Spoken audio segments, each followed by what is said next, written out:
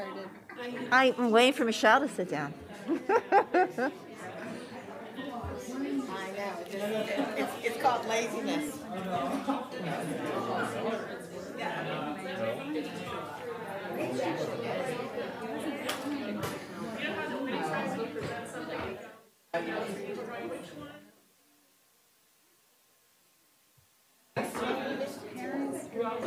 And alarmed.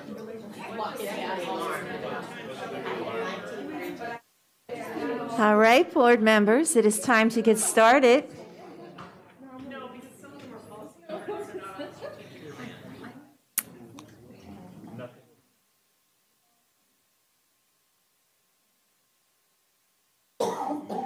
Good morning, everyone, and welcome to our Tuesday, October 18th work session here today. We will um, begin our talk with strategic planning. That will go from 10 to 12:30. We will have a break from 12:30 to 1, and then we will have our committee reports from 1 till 4 this afternoon. Uh, I appreciate you all being here in person. And before I begin, um, Ms. Keys Gamarra has submitted a written request to virtually attend today's work session. Are those all those in favor of approving this request?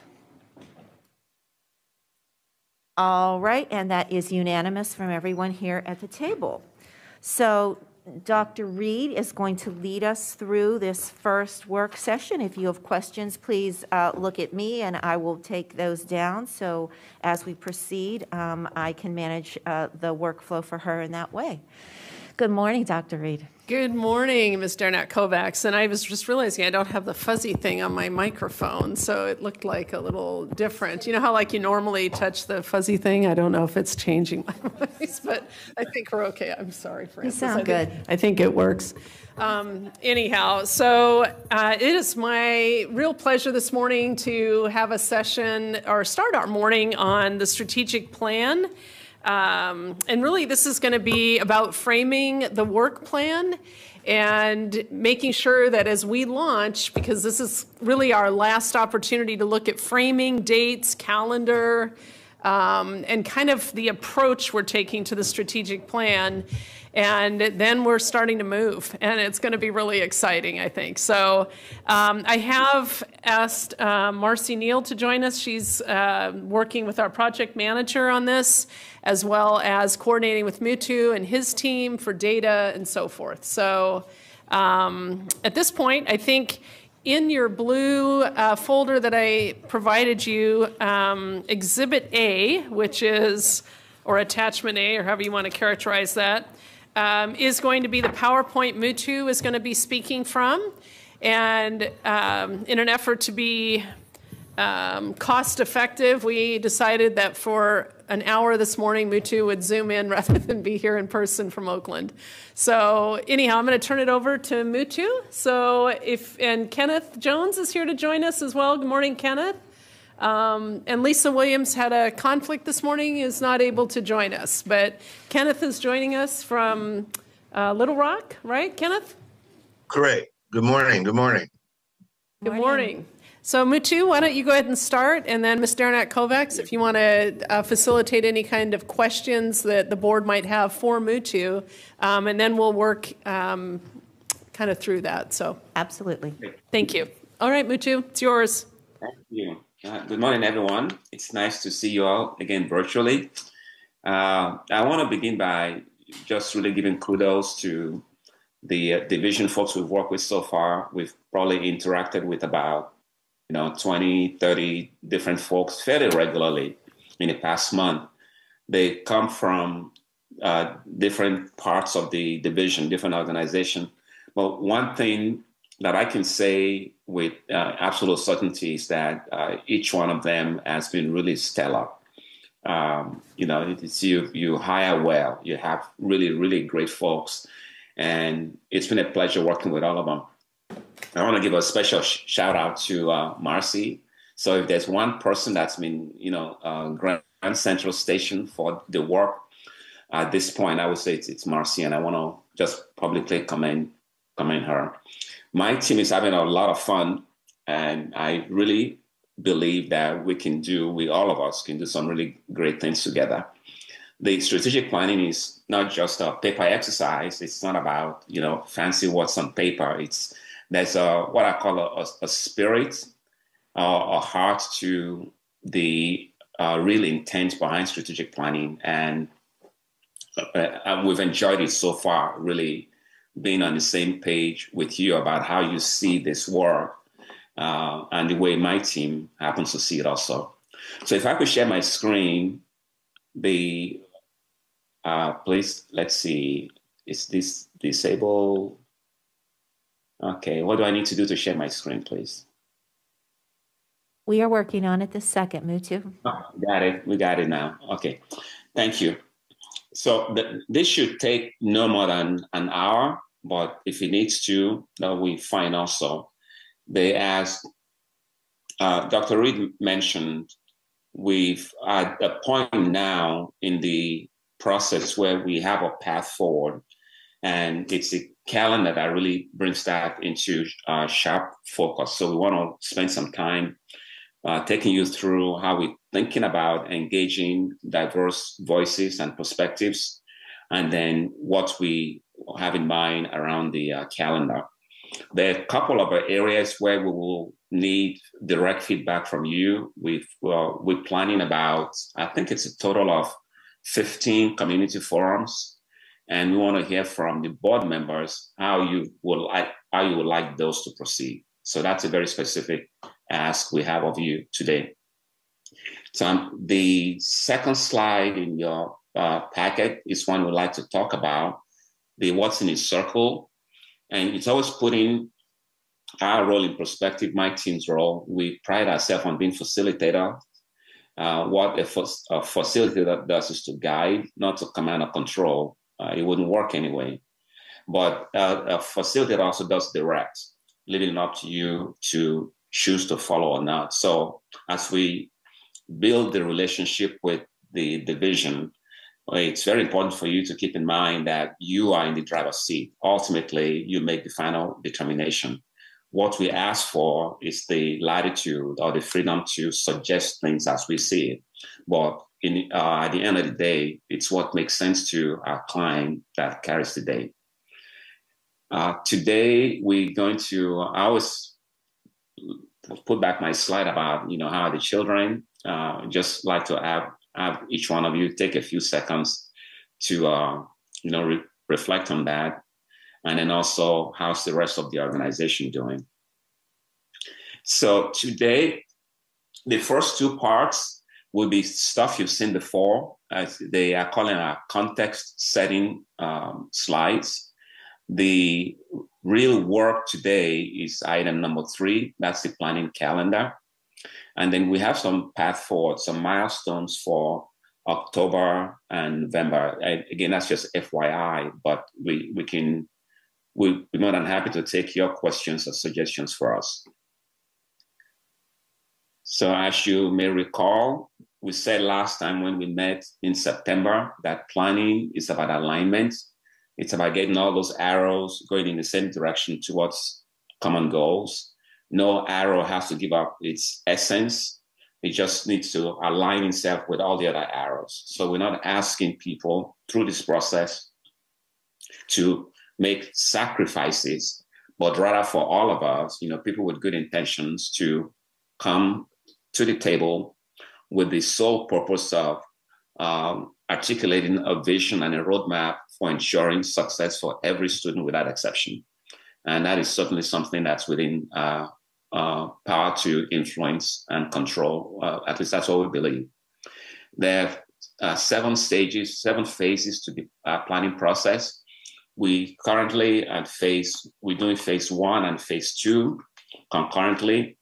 Uh, phase one is about making sure we get up to all the touch points, get folks involved, communicate with the stakeholders, you know, basically just mobilize the entire community internally and externally and Dr. Reid and Marcy might be able to speak to some of the things going on there.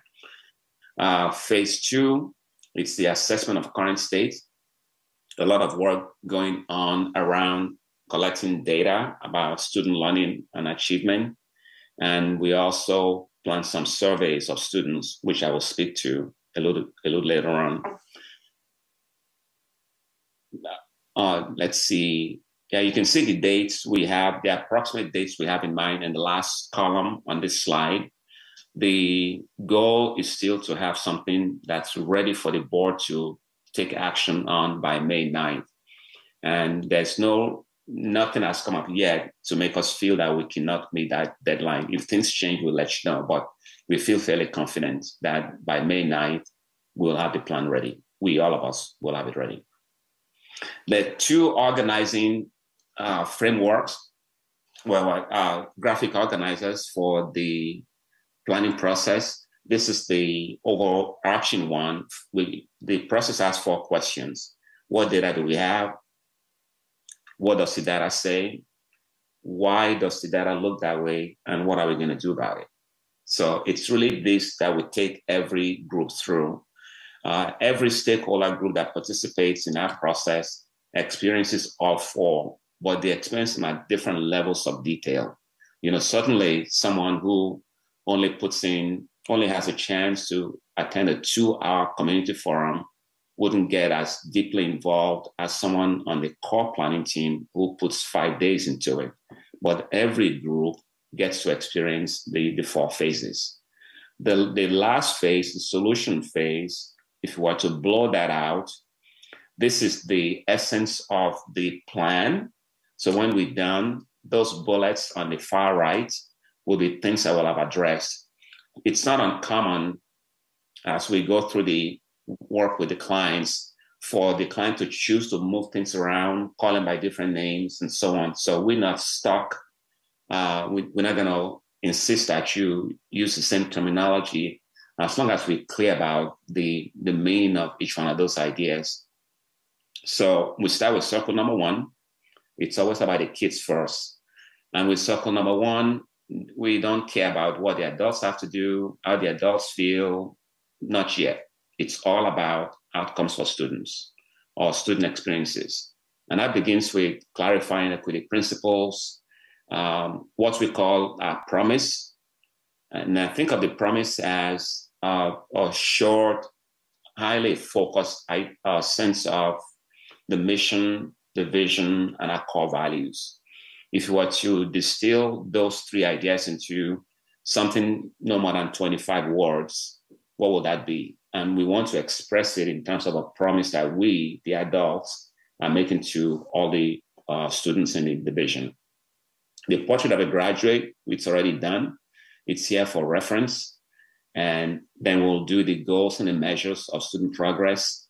And after the strategic plan is completed, we'll come back, or the superintendent will come back and uh, propose some specific performance benchmarks. Sometimes we call those excellence targets.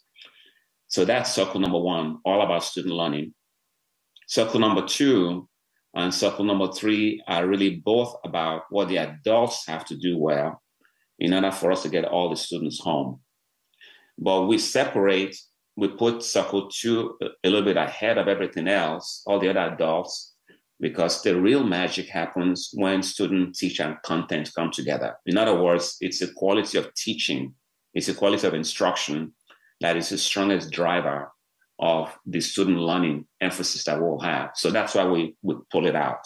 Uh, a little bit ahead of circle number three, which is about the infrastructure to support instruction so that we can get all kids home.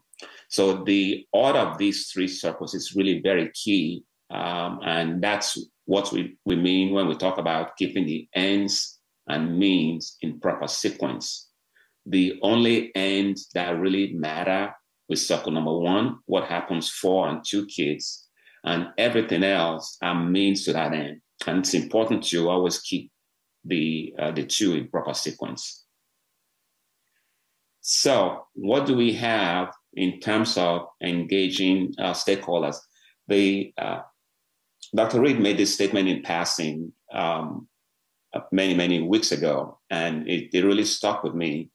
And it's one, thing, one we're adhering to.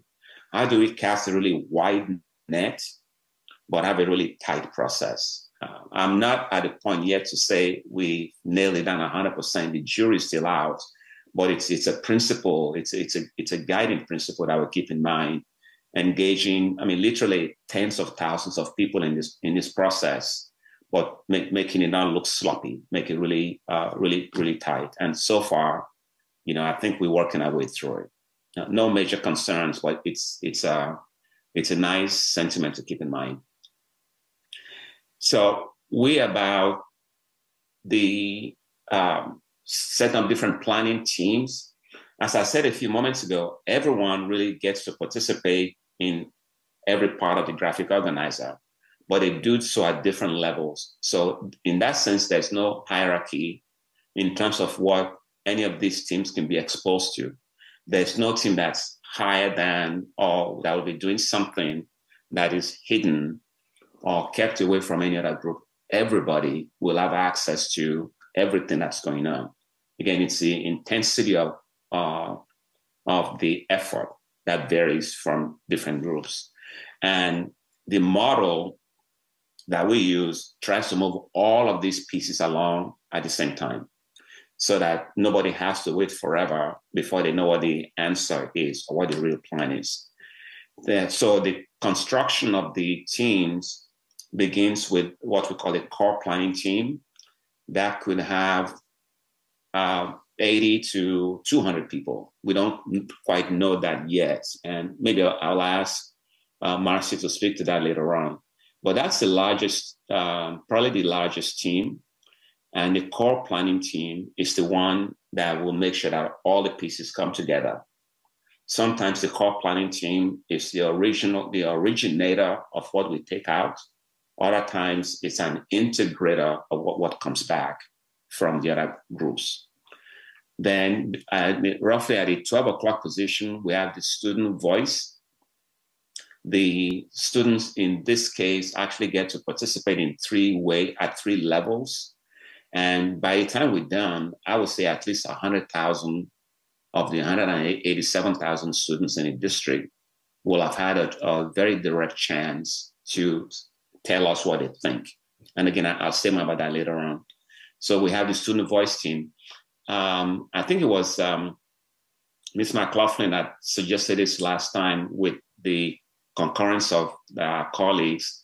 We've never had a separate family team before. We've always thought about the family team as part of the community forum, but you all made a compelling case that we should have a strand just for families. And so we've built that into it. And we actually have four, four sessions planned Again, I'll say more, more about the uh, details on the next slide. Now, all the work we do will be going to every school and department in the district long before the plan is done. So that's a reality check.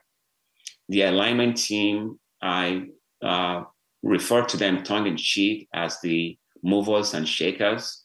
So these are your external partners uh, that vary from the you know local government to the homeowners association to the military to the equity groups so think of these as think of the alignment team as the partners we need to make things happen so they both they mostly external partners and the uh, we also highly recommend that at least one board member be a member of the alignment team uh, this one with the faith community is also a, a new one. And I'm going to ask Dr. Reid to maybe say a few words about the central, why, why you feel that this is central.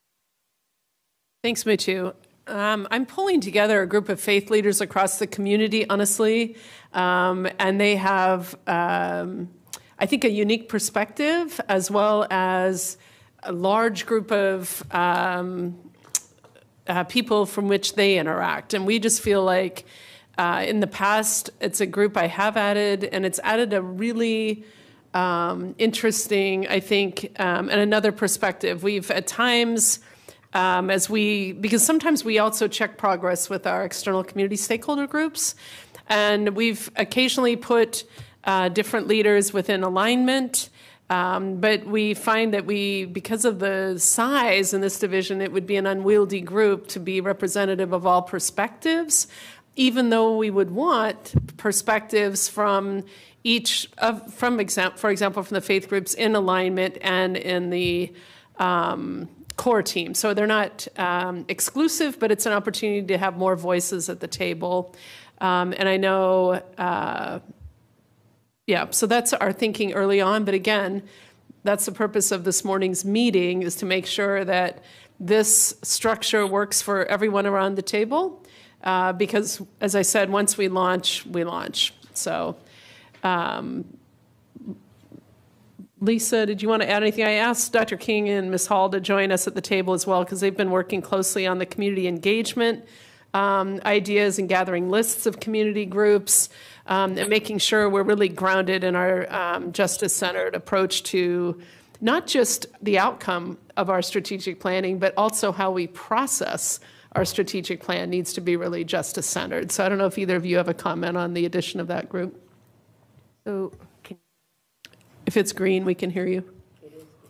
It is and if it's close green. to you, it is now green. Um, so we are continuing to build that list out. Uh, community organizations. You all saw the initial um, list of groups, and I think uh, we also invited board members to contribute to that list uh, wherever they saw holes, whether it's in their uh, magisterial district or throughout the, the region. Um, we are also building a list of faith based uh, community leaders. Um, and I think Nardos is, is your, I think your team is working as well on this.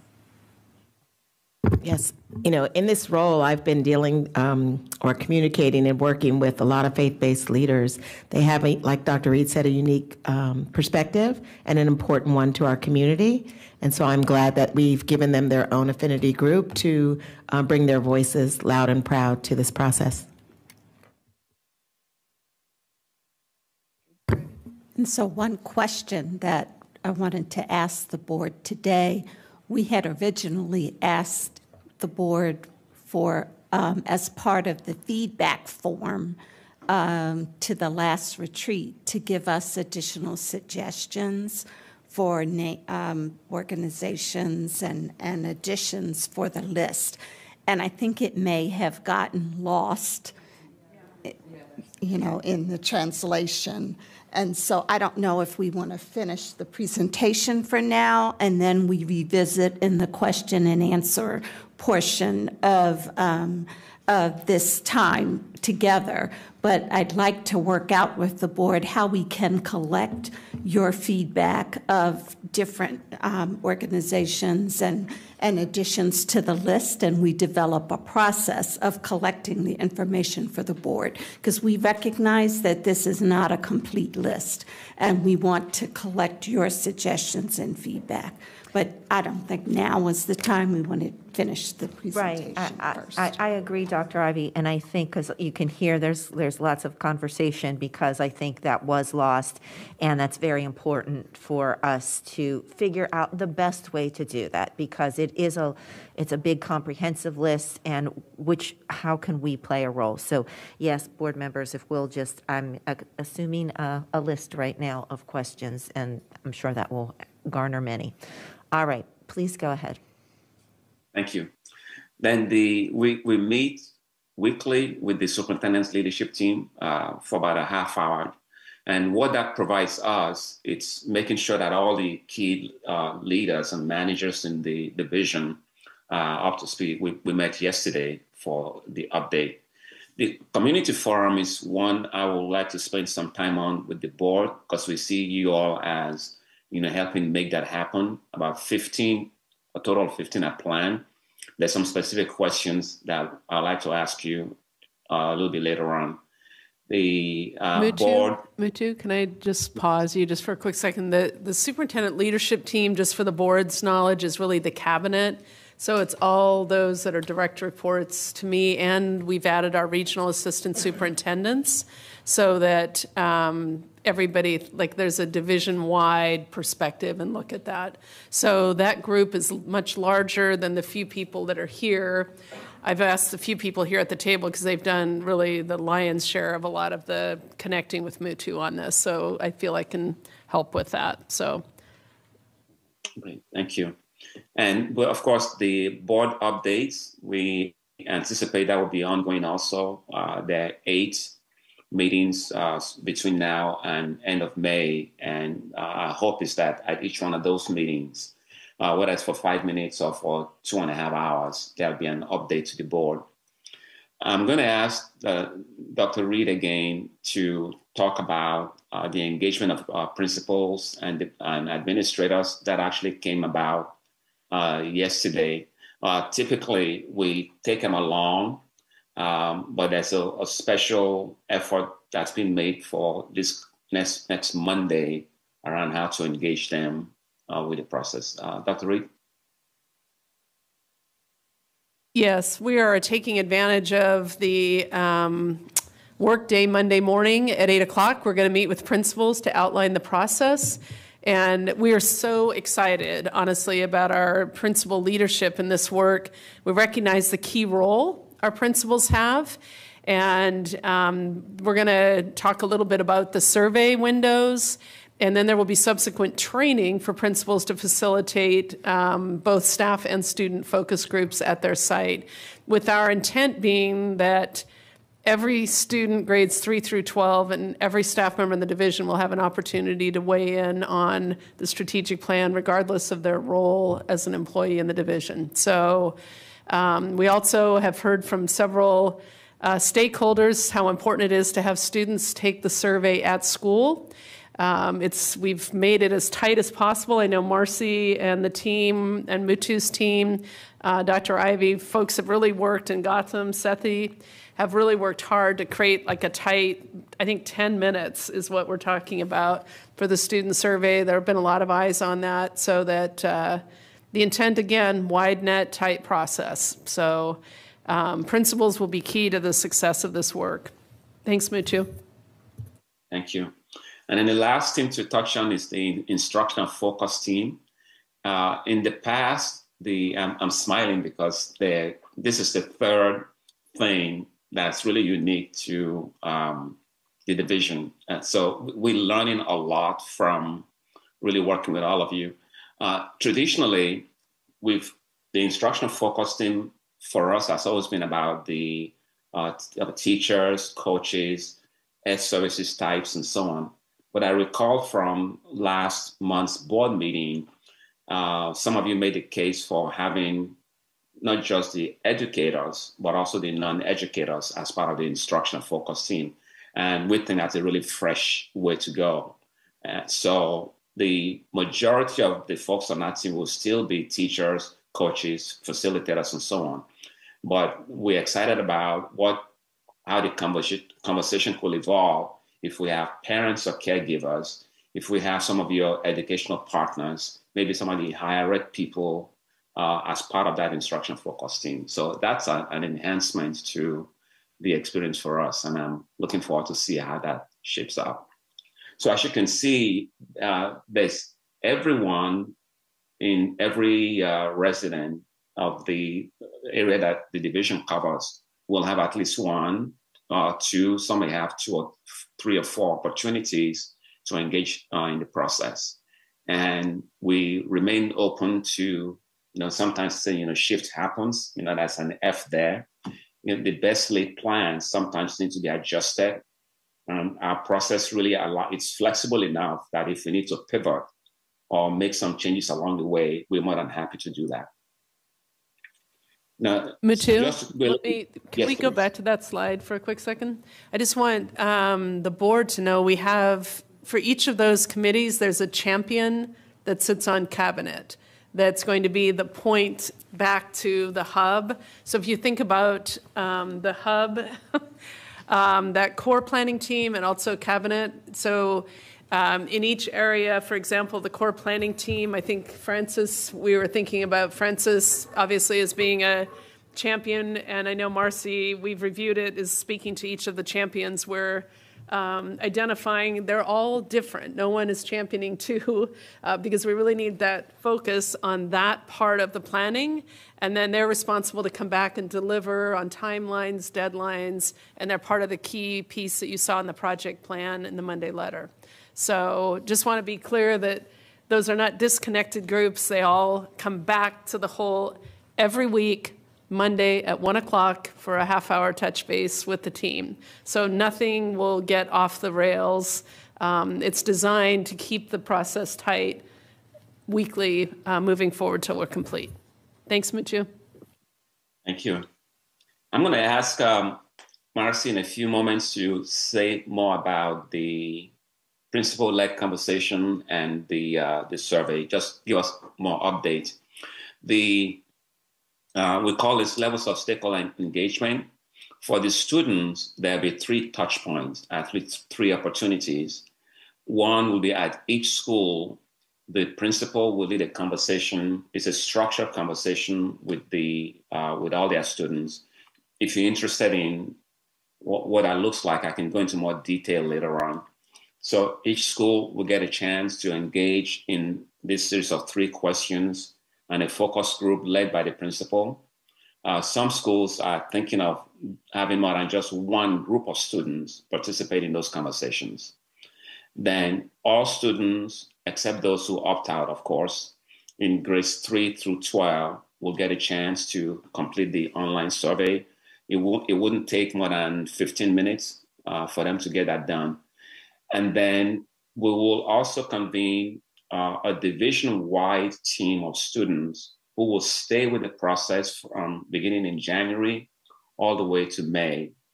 The school level conversation and the survey will all be done next month. They, be, they should be done by the first week in November. But the division wide team, uh, think of those as a group of 20, maybe 30 students who will have their hands and their feet and their eyes on the whole process so everything that the adults are generating or going through, the students get a chance to weigh in as well. But we will keep them as an affinity group, uh, just the kids giving us feedback on, on the work. And we're planning about four to six sessions. We don't have all the dates picked yet, but we'll meet with those students about four to six times. The core planning team will, uh, when it's done, will end up spending five full day sessions. The first one, it's a two day, two consecutive days on November 30th and December 1st. So just about six, seven weeks away. And as you recall, it's a very diverse group of, of anywhere between 80, possibly as many as uh, a couple of hundred people. The instructional focus team will be four full days, and they too start with two consecutive days. Well, they're not, I guess they are cons- consecutive. It'll be a Friday and a Monday. December 2nd is their first meeting, and December 5th is the second uh, meeting. Uh, family team, we've planned uh, four three hour sessions. Uh, in order to have you know, equity of, of, voice and participation, we feel that we should uh, schedule those meetings as a mix of weekday and Saturday meetings. Not, we don't want anyone to be uh, structurally excluded from participating by insisting that they come during the weekday. So what we're thinking about is, is again a mix a mix of uh, maybe three hour sessions on some weekday and a couple Saturdays. Uh, we've touched on the schools and departments already and the administration team. The alignment team, those people that I call movers and shakers. We have four meetings scheduled, each two hours. Those will be evening meetings.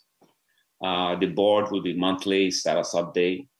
Community forums, um, we're planning, we're proposing nine of the 15 to be by magisterial district and six to be at large. Again, I'll say more in a few moments. And uh, then for the fifth community, we, we've added two, and then we meet weekly with the superintendency. So uh, these could change, they could evolve as we, uh, you know, as we go through, and we open to adjusting to those changes. I'm going to ask Marcy now to just share a little bit more about the uh, principal-led piece and the survey. Uh, Marcy. Thanks, Mutu. I'll um, start with the survey. So you should have received an update in the Monday letter on the survey timelines. There'll be information going out um, in FCPS News and FCPS this week so we can um, make sure our community and our teachers are aware of the forthcoming survey. Um, there'll be an e-notify that goes out centrally to all of our families to give them directions about um, opting out. They'll have access to the survey, translated versions of the survey. That's all being built onto our website um, that will be um, posted by tomorrow. Um, so the opt the um, opt out notification and the survey information will go out on Friday, this Friday, October 21st, and the window um, for survey administration will be November 2nd through November 18th. So we've asked principals to identify a time during the day that they can administer the 10 to 15 minute survey. Um, we've recommended to secondary schools that they consider looking at their advisory periods as an opportunity to do that, and that elementary schools can look at what the best window of time would be for their students. And our parents will have the opportunity, if they choose to opt out of the survey, to do that either through um, SIS or through paper if they want to return that um, paper opt out option. The principal facilitated discussion, we'll be talking with the principals at, um, about that on Monday at their kickoff meeting. Um, that's an activity they'll be engaging in um, between the beginning of November and by no later than December 2nd. So they have some flexibility in determining what day works best for their school. It will be some something between a 45 minute to a 90 minute structured conversation that they'll have with um, somewhere between 15 and 20 students in their school um, that represent the diversity of their student body. And we're working with Mutu's team on some loose type parameters to help principals. Um, so some principals may choose to have three smaller focus groups with five kids each. Some principals may choose to have all the students in together. So um, we're creating those loose type parameters right now. And then we'll have some training for principals likely the first week of November. We're confirming those dates as well. Mutu, did I miss anything? Nope, that was great. That's great. Thank you. Okay. All right. So the calendar. We have, um, uh, you know, th- three slides. It just shows you the layout for. Mutu, Mutu, if you want to hold for just a minute, it's attachment B in your blue folder. Thank you, Carl. Um, or if you've already put it in your notebook, it's attachment B. I just want to make sure they have the page that you're speaking from, Mutu. Yes. Um, can you see my screen still? Yes. Okay, it's maybe in my PowerPoint, it's slide 16 in the PowerPoint. Um, but I do. You, You're, you're right. That's what we have in our packet. It's slides 16, 17, and 18. An 18, yeah. Okay, that's correct. Great. As you can, you can see for many of these, we have, uh, you know, from dates and time already proposed. And the, uh, no major questions uh, uh, on these yet. This is where we need the board to uh, weigh in. The highlighted ones uh, for the community forums. As with every other group, we feel it's important to get every stakeholder group engaged at the front end of the process long before we've too far down the chute and then to come back at some point mid-process or like two-thirds of the way home to do what we call the reality check you know phase four where we ask the question is everyone still with us remember phase one is is everyone ready to go and then phase four is everyone still with us so we're looking for we're proposing two uh, opportunities for interactions with a larger community. Again, one very close to the December, January timeframe. And then the second one, probably around late February, March, uh, no, no, no later than late March. So as you look at these dates, you see that uh, we have January 30th and the 31st and February uh, 2nd for we're proposing those for the magisterial districts. And then we don't have firm dates yet, partly because of the structure of the um, the partly because of the nature of the at large. But uh, we need three dates for at large early in the process also. So the TBD for the at large would be uh, needs to be early enough in the process. Okay. Now they we've thought about maybe doing some of the at large, uh, like having just say one session, one of those three will be for Spanish speaking uh, families, for example, since they make up about a third of our student body. Or maybe we just have some other kind of configuration. Again, this is where we, we need to hear from you about what you think works best, works best. We also would like to hear from you about what you feel makes sense uh, at the magisterial level and also at large. Is it virtual meetings? Is it on site? Uh, either of those options is fair game. Then the, the second uh, touch point for the community forum, we're proposing just three at large, and those will happen sometime in mid to late March. So a set of dates early in the process, and then a set of dates um, like two thirds of the way through. So I'm, I'm going to pause there for your questions and comments, please. Do you want the questions and comments in general or just on this calendar right now, Mutu? On the calendar right now, please. Okay. So how do board members feel about the um, I, uh, the idea of community forums by magisterial district? And have you you have a, a preference for virtual versus on-site? And any other questions you have about the calendar? Okay, I'm getting some board members now putting their hands up. I have um, Mr. Frisch, followed by Dr. Anderson, followed by Ms. McLaughlin, and then Ms. Corbett Sanders. All right, Mr. Frisch. Thank you. Um, how will we make sure that the magisterial town halls are focused on community members from those magisterial districts? And what will we do to make sure that the six at-large town halls are not the same people um, each time they erupt together? So um, I think that's a great question, Mr. Frisch. One of the, and I'll share with you that um, when we started the community conversation scheduling with all the pyramids, uh, initially we talked about just sending an email or text to families in that pyramid. But then we began to hear from families that they couldn't make that night, right? Like that one night. So we then began to just send the pyramid invitations to everybody in the division, although we said it was like the Madison Pyramid. But I have found that I there are people we'd rather have them come for a night than not come because they couldn't hit that one night. So I think for the magisterial meetings, that's a conversation. I think we could um, I know globally, and I asked Helen to join us around those um, sort of more technical details around how do we, because that's where we started. I know, Helen, when we talked about the pyramid meetings, I think we could, we have the technology to send those sort of targeted emails to your individual magisterial districts if that's a preference. Um, and I just wonder, we also ended up deciding to put a web presence of all, like the calendar of all the meetings, so somebody could go on and go, oh, you know, I've got a soccer game this night or a concert that night, but I could go this night. And it's been interesting. I was looking at Miss Corbett Sanders. We actually had a parent one, at the one of the pyramids we attend one of the meetings that were talking about a different pyramid, um, and a parent popped up in the back saying, "Well, I'm from that pyramid." So it turned into kind of a little bit of a, a moment. But that's we can do that in a direct note and but there's a pro and con to that. So I think that's something I would. I, that's why we're talking about it this morning. What's your preference? I feel like I never turn my microphone off. I feel like with with uh, the number of at-large town halls, that that kind of negates the need for opening the magisterials up to anybody who wants to attend.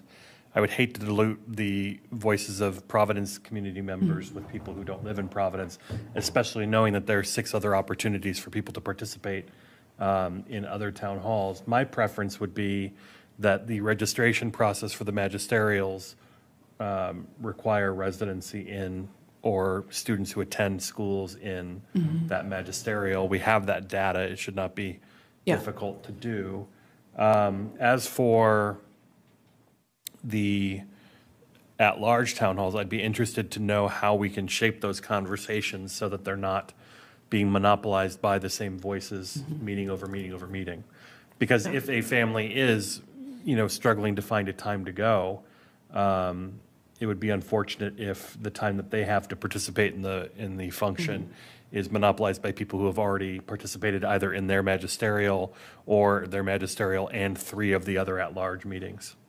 I to Mr. Frisch's point, I think that makes a lot of sense because we didn't for the community conversations we didn't have at large groups. So I think that and I think our plan is three in person and three virtual.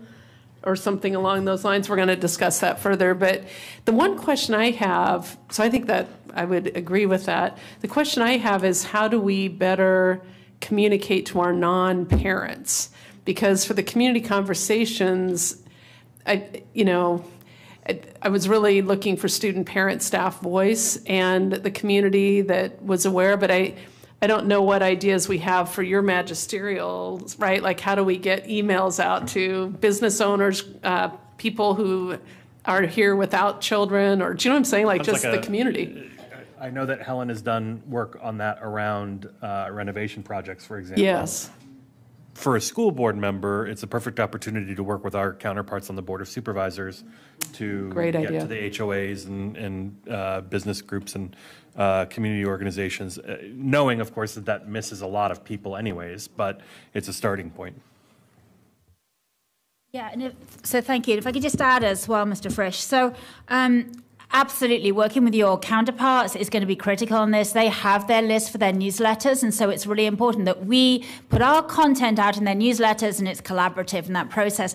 The other option is that you know, with the with the postcard option, with the superintendent conversations, we were a little late to the game, and also it was kind of be going to be um, probably a, a little less um, value in terms of what we were going to get back. But a strategic plan is really touches every single person across this county.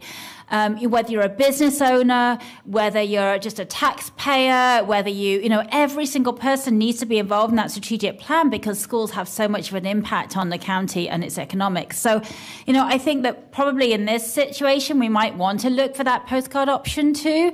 We have the time before those community sessions. I think that's one thing.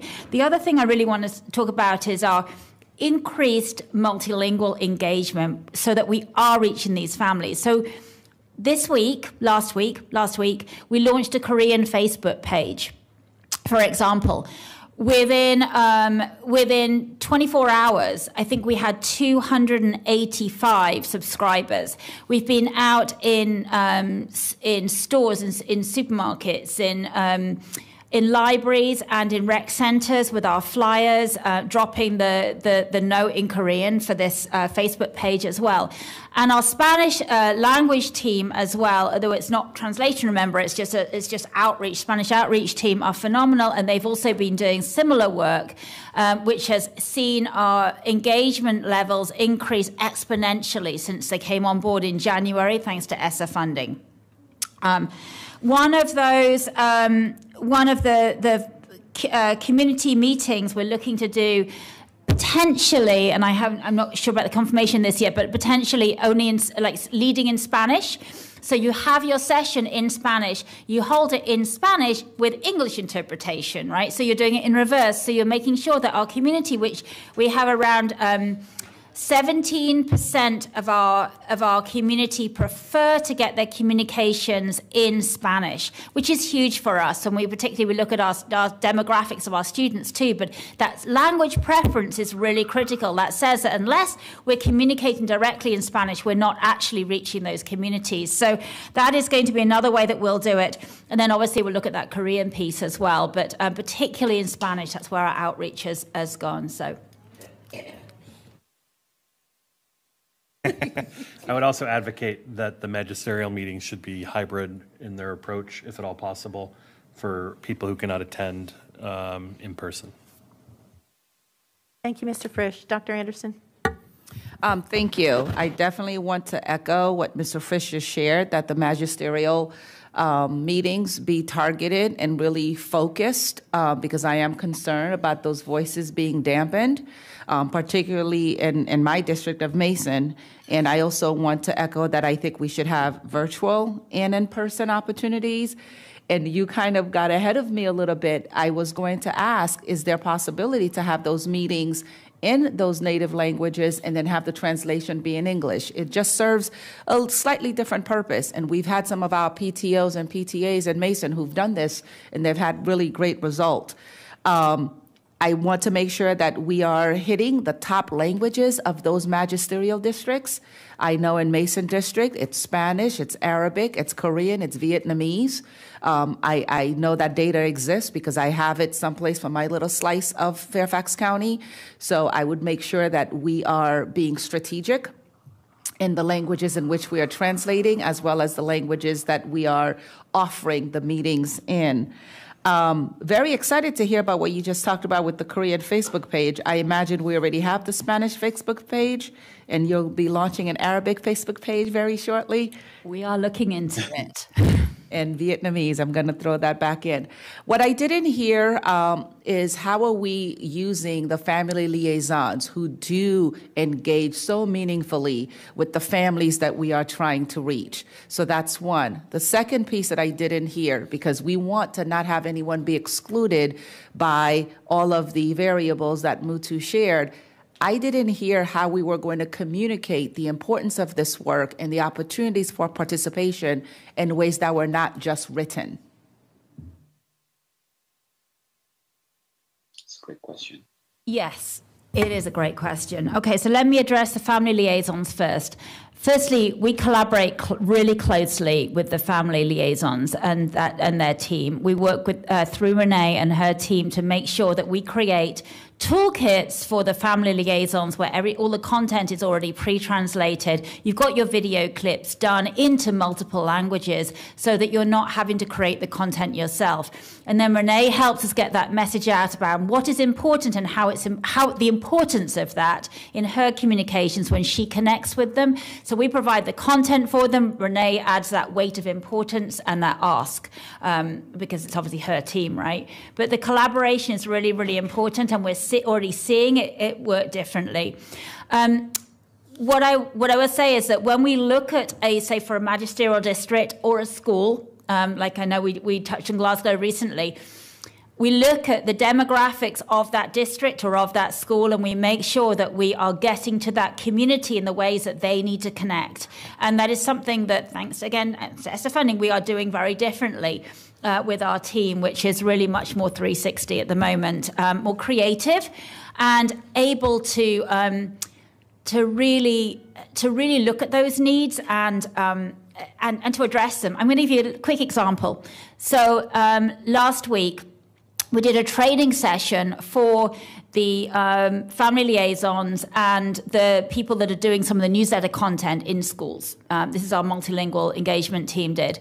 And they just gave them some ideas around how they could create their content in um, in different languages through video, right? Through video content, recording of maybe the content that they've got in their newsletters and then posting it out in different languages because they're the ones that know their communities and know and know how they need to reach them.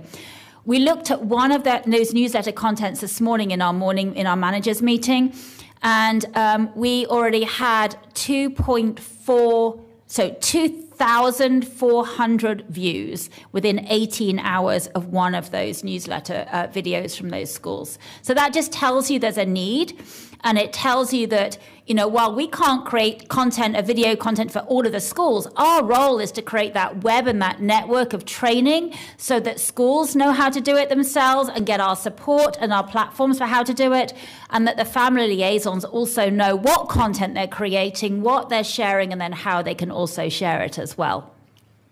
And my second question, Yeah. um, when Marcy talked about all of the efforts to communicate, I did not hear how we were going to engage folks who the written word is not the most appropriate way to reach them. So again, we we're looking at creative ways. You always need eight to 10 touches for whoever you're engaging with. So it won't be a one stop, okay? I'm not going to say a video is going to reach everybody. There is video content. That video content is, is might be in a Facebook post. It might be a, uh, might be a, a, written Facebook post, right? It might be um, a text message that takes you to a video. I, we're also looking, and I, I know, um, Dr. Anderson, that you have a, a vested interest in um, making sure that our website has a recorded translation, auto um, translation into multiple languages, and we are collaborating very closely. Our web development specialists are working very closely. In fact, we actually saw a write up for the um, the the spec um, for that. Uh, we, we finalized that this last week, last week, and that our IT team and our web development specialists that lives in OCCR are working to make sure that we can implement that as quickly as possible, maybe as soon as the next two to three weeks. Thank you. And the last piece that I want to share, the last two pieces, I, I, don't want for everybody to feel as if it has to always be a video with a face. Sometimes there's somebody reading the very same content and, you know, with the school's picture. It doesn't have to be complicated. Then you don't have as many takes. And also in terms of meeting people where they are, a tool that I know that many of the um, parent family liaisons have used, I have used that myself and trying to install it in my school board phone is the WhatsApp app because that is a place where you can reach a lot of people who don't necessarily respond to emails, but they will respond to WhatsApp. I'm wondering what is the division's capability to make this a little bit more robust and intentional, because right now it's just people doing it in their little pockets of the world. Um, so I'm not actually sure about WhatsApp, but I do know that we have um, the Talking Points app, which is is coming out, and that will help us collaborate and connect with our families. I do know that a lot of our families um, are on WhatsApp, um, and that's something that I will look into. I know that um, a is a very much an international tool, and so um, I know my own family uses WhatsApp and I don't. So there's that kind of gap in the communication because we're a little slower here with that kind of acceptance of it. But it is definitely a tool that I think a lot of international communities do use, um, and that maybe we need to kind of also explore. We there are a few question marks around it for us. Just that we need to go back to legal and to IT to confirm. So it's just kind of a, a, few check marks to check on that before we before we actually sort of say yes or no on it. So I'll have to come back to you on that. But there are definitely there's the there's the um, the other apps that we've been looking at as well to bring in. So yes, we're we're definitely looking to connect to uh, two ways and do much more f- two way feedback. Thank you, Ms. McLaughlin.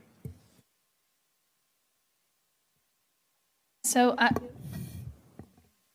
oh, um, yeah, my, I guess my first thought is uh, where I understand Mr. Frisch's concern, and certainly as a magisterial board member, we always want to maximize where we can the voices coming from our districts. Um, but I'm also just extremely mindful that we live in a county where, you know, many families, all of the adults in the household are working and um, kids have after school activities, practices, evenings. And if this really is about gathering the voices, um, I would say one, we definitely should use the community conversations that Dr. Reid has done as a way of measuring, you know, what has been the proclivity of people to go in their own, you know, districts or where they're, you know, attending another meeting, as Dr. Reid shared. Um, you know, how does our registration data help us do that? Because, um, you know, really, uh, I think as, as Helen noted, um, you know, this is our, our entire community that we're trying to hear from. Uh, so I, I think it's also important to understand if we are having people register, that will help us understand if we have repeat attendees. So, and that's that's really more of getting an idea of is this are we hearing from a wide swath, or are we just having some of our most engaged members continuing to come to every meeting available to them? So I, I think a registration can help us with that. Um, and then, you know, I guess the I definitely like the hybrid approach.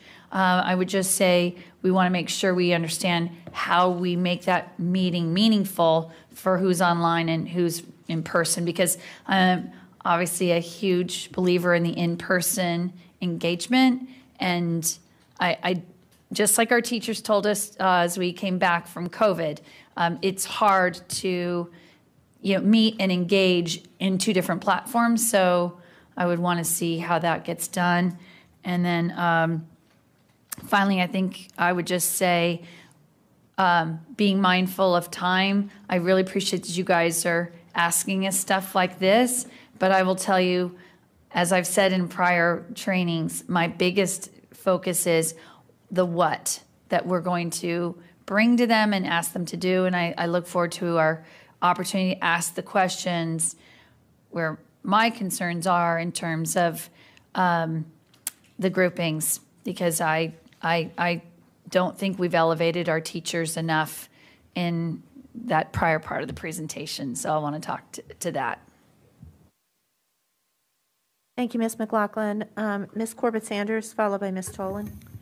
So given that this is only on the calendar and the engagement piece, I will hold off on some of my other questions about this presentation as well as the project management plan.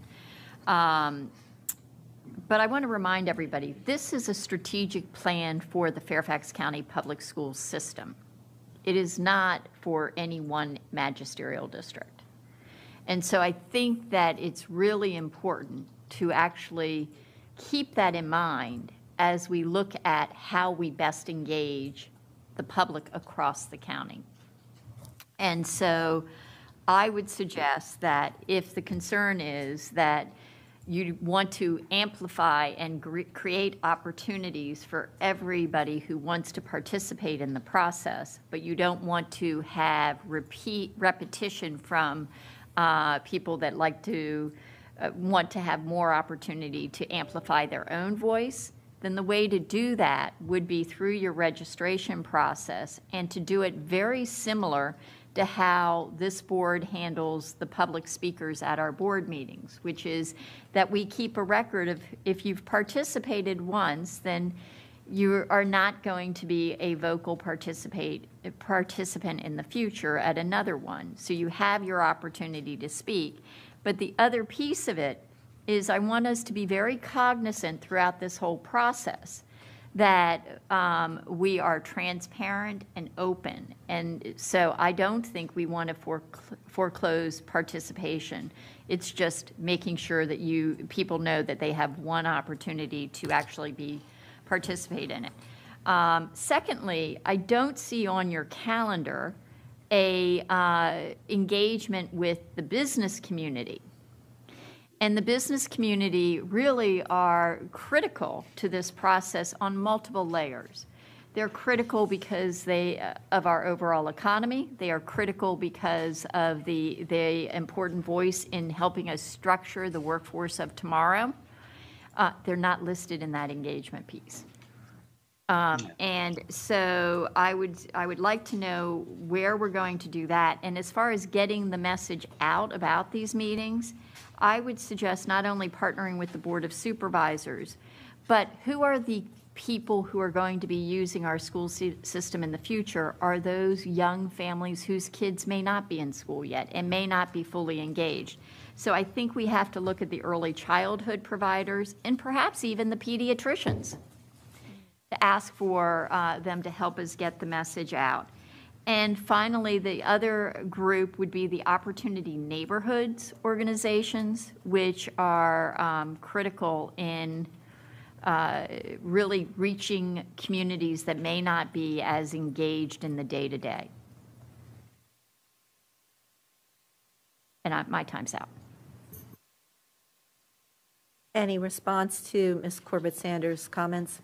Sure. I think one of the things when Mutu earlier stated that um, the process is learning from Fairfax as much as uh, we're learning uh, from the process, uh, I think that to your point, Ms. Corbett Sanders, um, and I'll talk with Mutu about it right now because here we are. I think we could add a group of just business leaders. Traditionally, we've included them in the alignment, alignment. team, uh, but I wonder if I don't Mutu. I wonder because of the sheer number of businesses um, and chambers, if that wouldn't make more sense. So I think that's a really that's a really good suggestion. Um, and I like the other, the early childhood and pediatrician, sort of our cohort planning model. Um, seems like also a group of people who obviously um, have a high concern um, about that. I know our IT colleague, VJ Rao, and his wife just had a baby boy last night. Um, so I saw pictures this morning um, and welcomed him to the class of 2040. So um, I'm sure, I know, sorry. but uh, I think VJ sent eyes back to me, like, you know, big eyes. Um, but we have to think about that. That's Those are our future stakeholders, right? So, Mutu, thoughts on a business group? Yeah, it's um, the, the the process again allows for for that uh, like you said, Michelle, traditionally the business folks are part of the alignment team.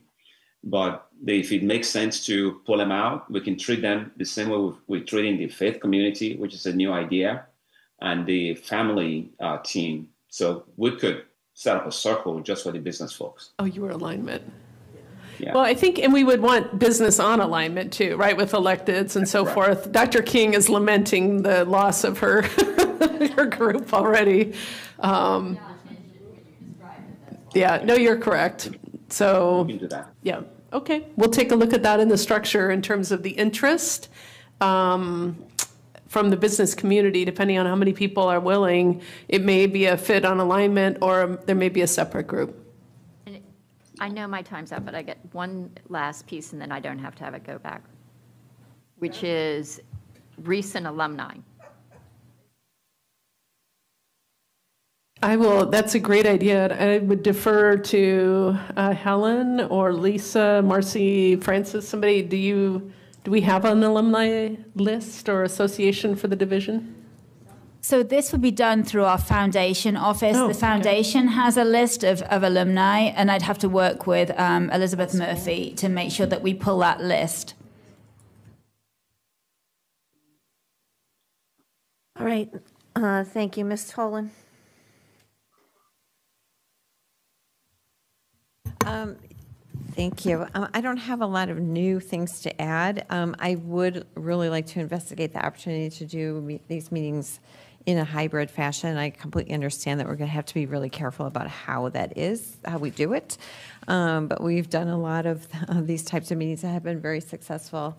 And um, just having that virtual option just allows so many more people to attend. Yeah. Um, And then, of course, there are those that really likes to have that face-to-face contact. So I would like to see that, if possible, investigated. I really, really appreciate the comments um, of Ms. Corbett Sanders around, um, you know, our preschool um, families and the younger families and ways to reach them. I mean, I really think that we need to make a huge concerted effort that everyone that is involved in any one of these um, groups needs to advertise everything.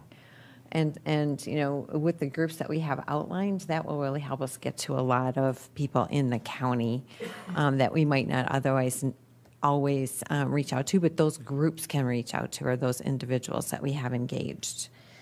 Um, I uh, want to talk a little bit more too on some of the other things in here. I'm looking for the, the um, side of the house, the design and construction, facilities, maintenance, transportation. Um, I'm, I'm not, I don't see them anywhere in here. So I want to make, how are we reaching out to those people and making sure that we're hearing um, information from them? Thank you, Ms. Tholen. And uh, leadership in those areas will be part of the core team um, because they're sort of part of the core division departments, if that makes sense. So they would be, um, because they're non-instructional, they would be in that core team, whereas all instructional staff would be with Dr. Presidio and that instructional team. So um, it sounds like based on some of the questions, we probably need to be more explicit about the um, membership, if you will, of those individual teams. So. Okay. Are they in the core team? Yeah. So representatives would be in the core team. Okay, I just want to make sure every, those people are heard from. So, you know, the way you're training principals, for example, to do their school-based groups, will, will these leaders be trained to go out and do focus groups, small groups throughout their organization? You know, that is a great catch. Um, let's make sure that happens because we definitely want to hear from our, obviously, our all employees, but have an opportunity to do focus groups with our different departments. Um, we would absolutely need to include them in that training. So thank you for double checking on that. I think that was intended, but let's just make it explicit. Yeah, So and I'm going to hope that instructional staff includes our central office as well. Actually, yes. Um, We haven't done the membership of the committees yet. That's um, coming up here in the next couple cabinet meetings. Um, But we just have identified champions so far. Yeah, Thank you. yep. Thank you. Um, I have uh, Ms. Cohen followed by Ms. Pekarsky. Um, I guess uh, just a few things. One, definitely, again, add me to the choir of hybrid.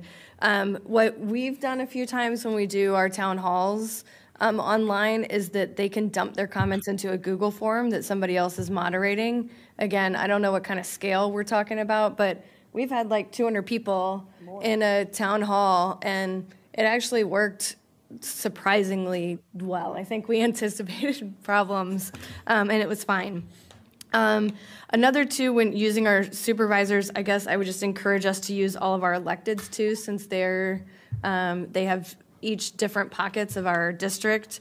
Um, one thing I was just going to ask, I see like there's three meetings that go on at the same time, and I was just going to ask that they not be contiguous districts.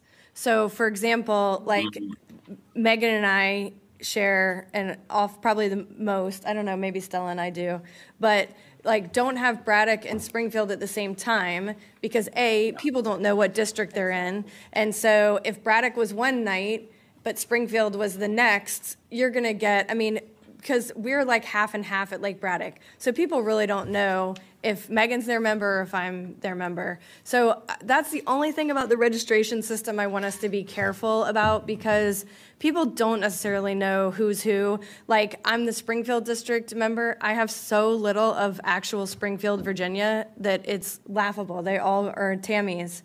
Um, oh, yeah, and yours. So I, I don't know I, I don't know where you were thinking that you might hold some of these because for example if there's a meeting at like West Springfield High School now Tammy Megan and I share that school if it's South County it's mostly Karen but I send a decent chunk so I guess being I, I would be very interested in thoughts about how to resolve we don't know the answer to that because I'm telling you like we we just combat it by like we often do town halls together because people just don't know.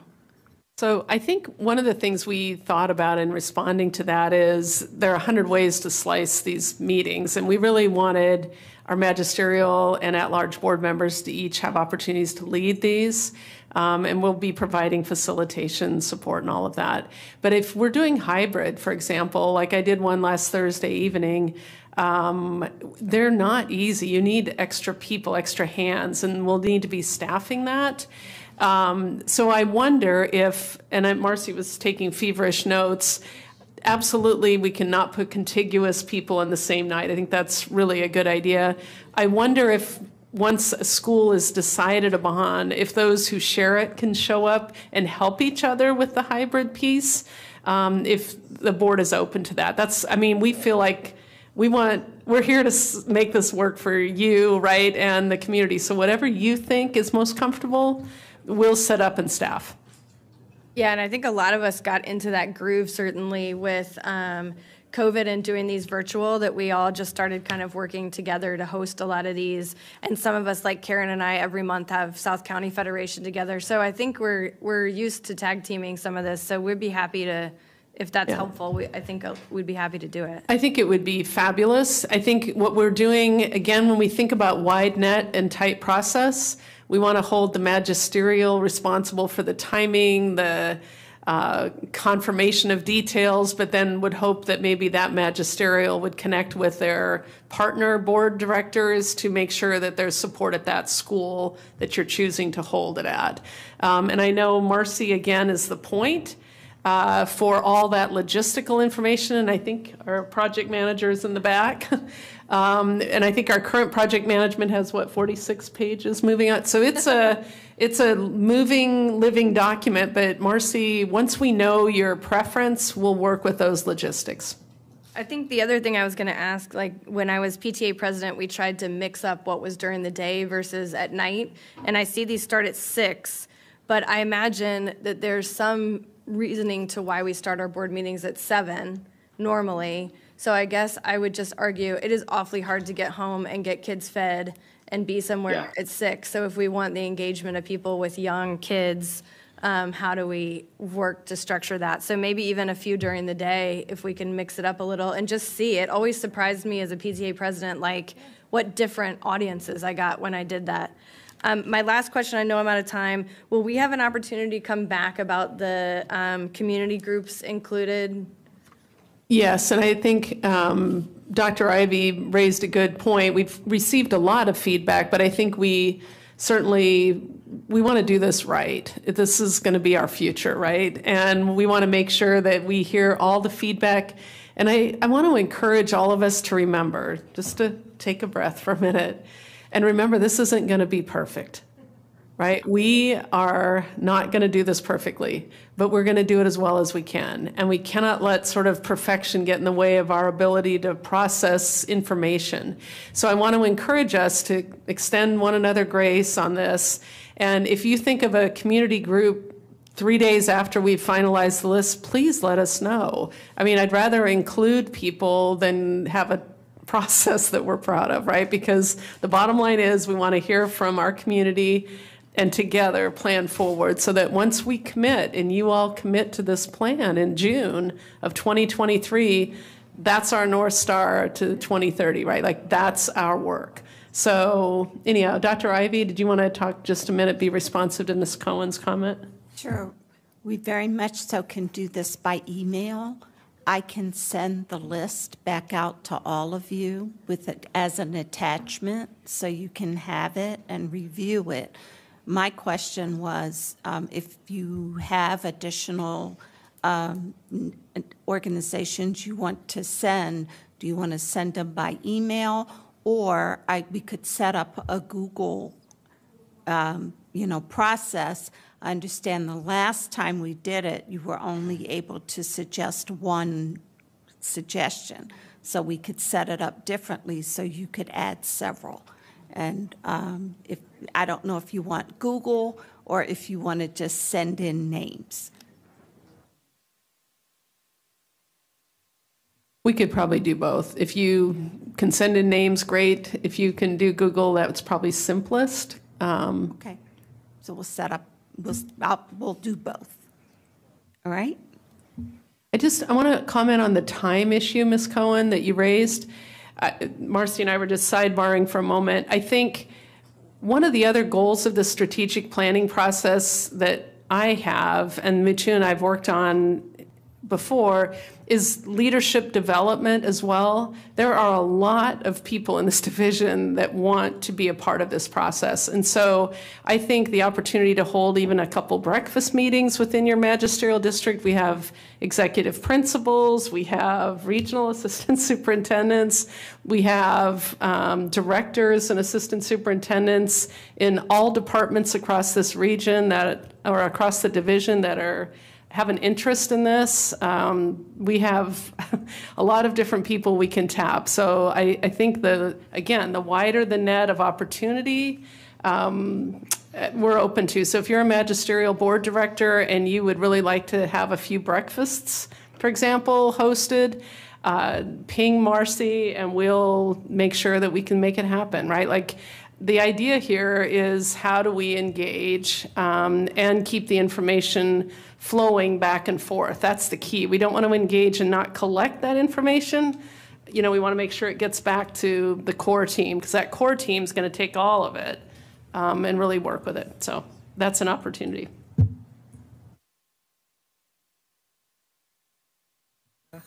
Um, thank you.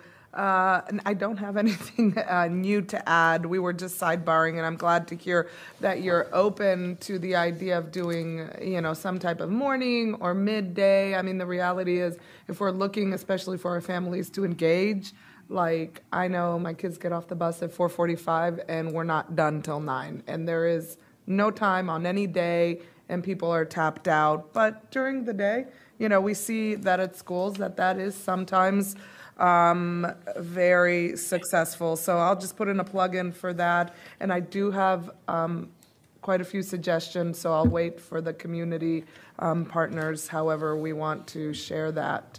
Uh, but of course, I agree, virtual, whatever we can do, I think people, you know, I think from here on out, that is just should be the new normal way for us to engage because it's successful and it creates less stress in people's lives. So thank you.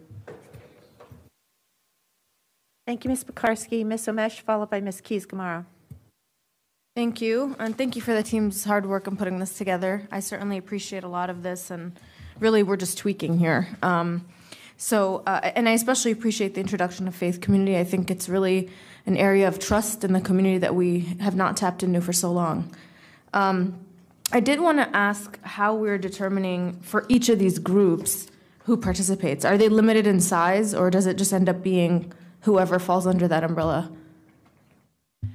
So Really, my preference, and Mutu knows this, we've sometimes fussed with one another about it, is anyone who would like to be there and is committed to working on this work in good faith um, within the guidelines and norms, we should include.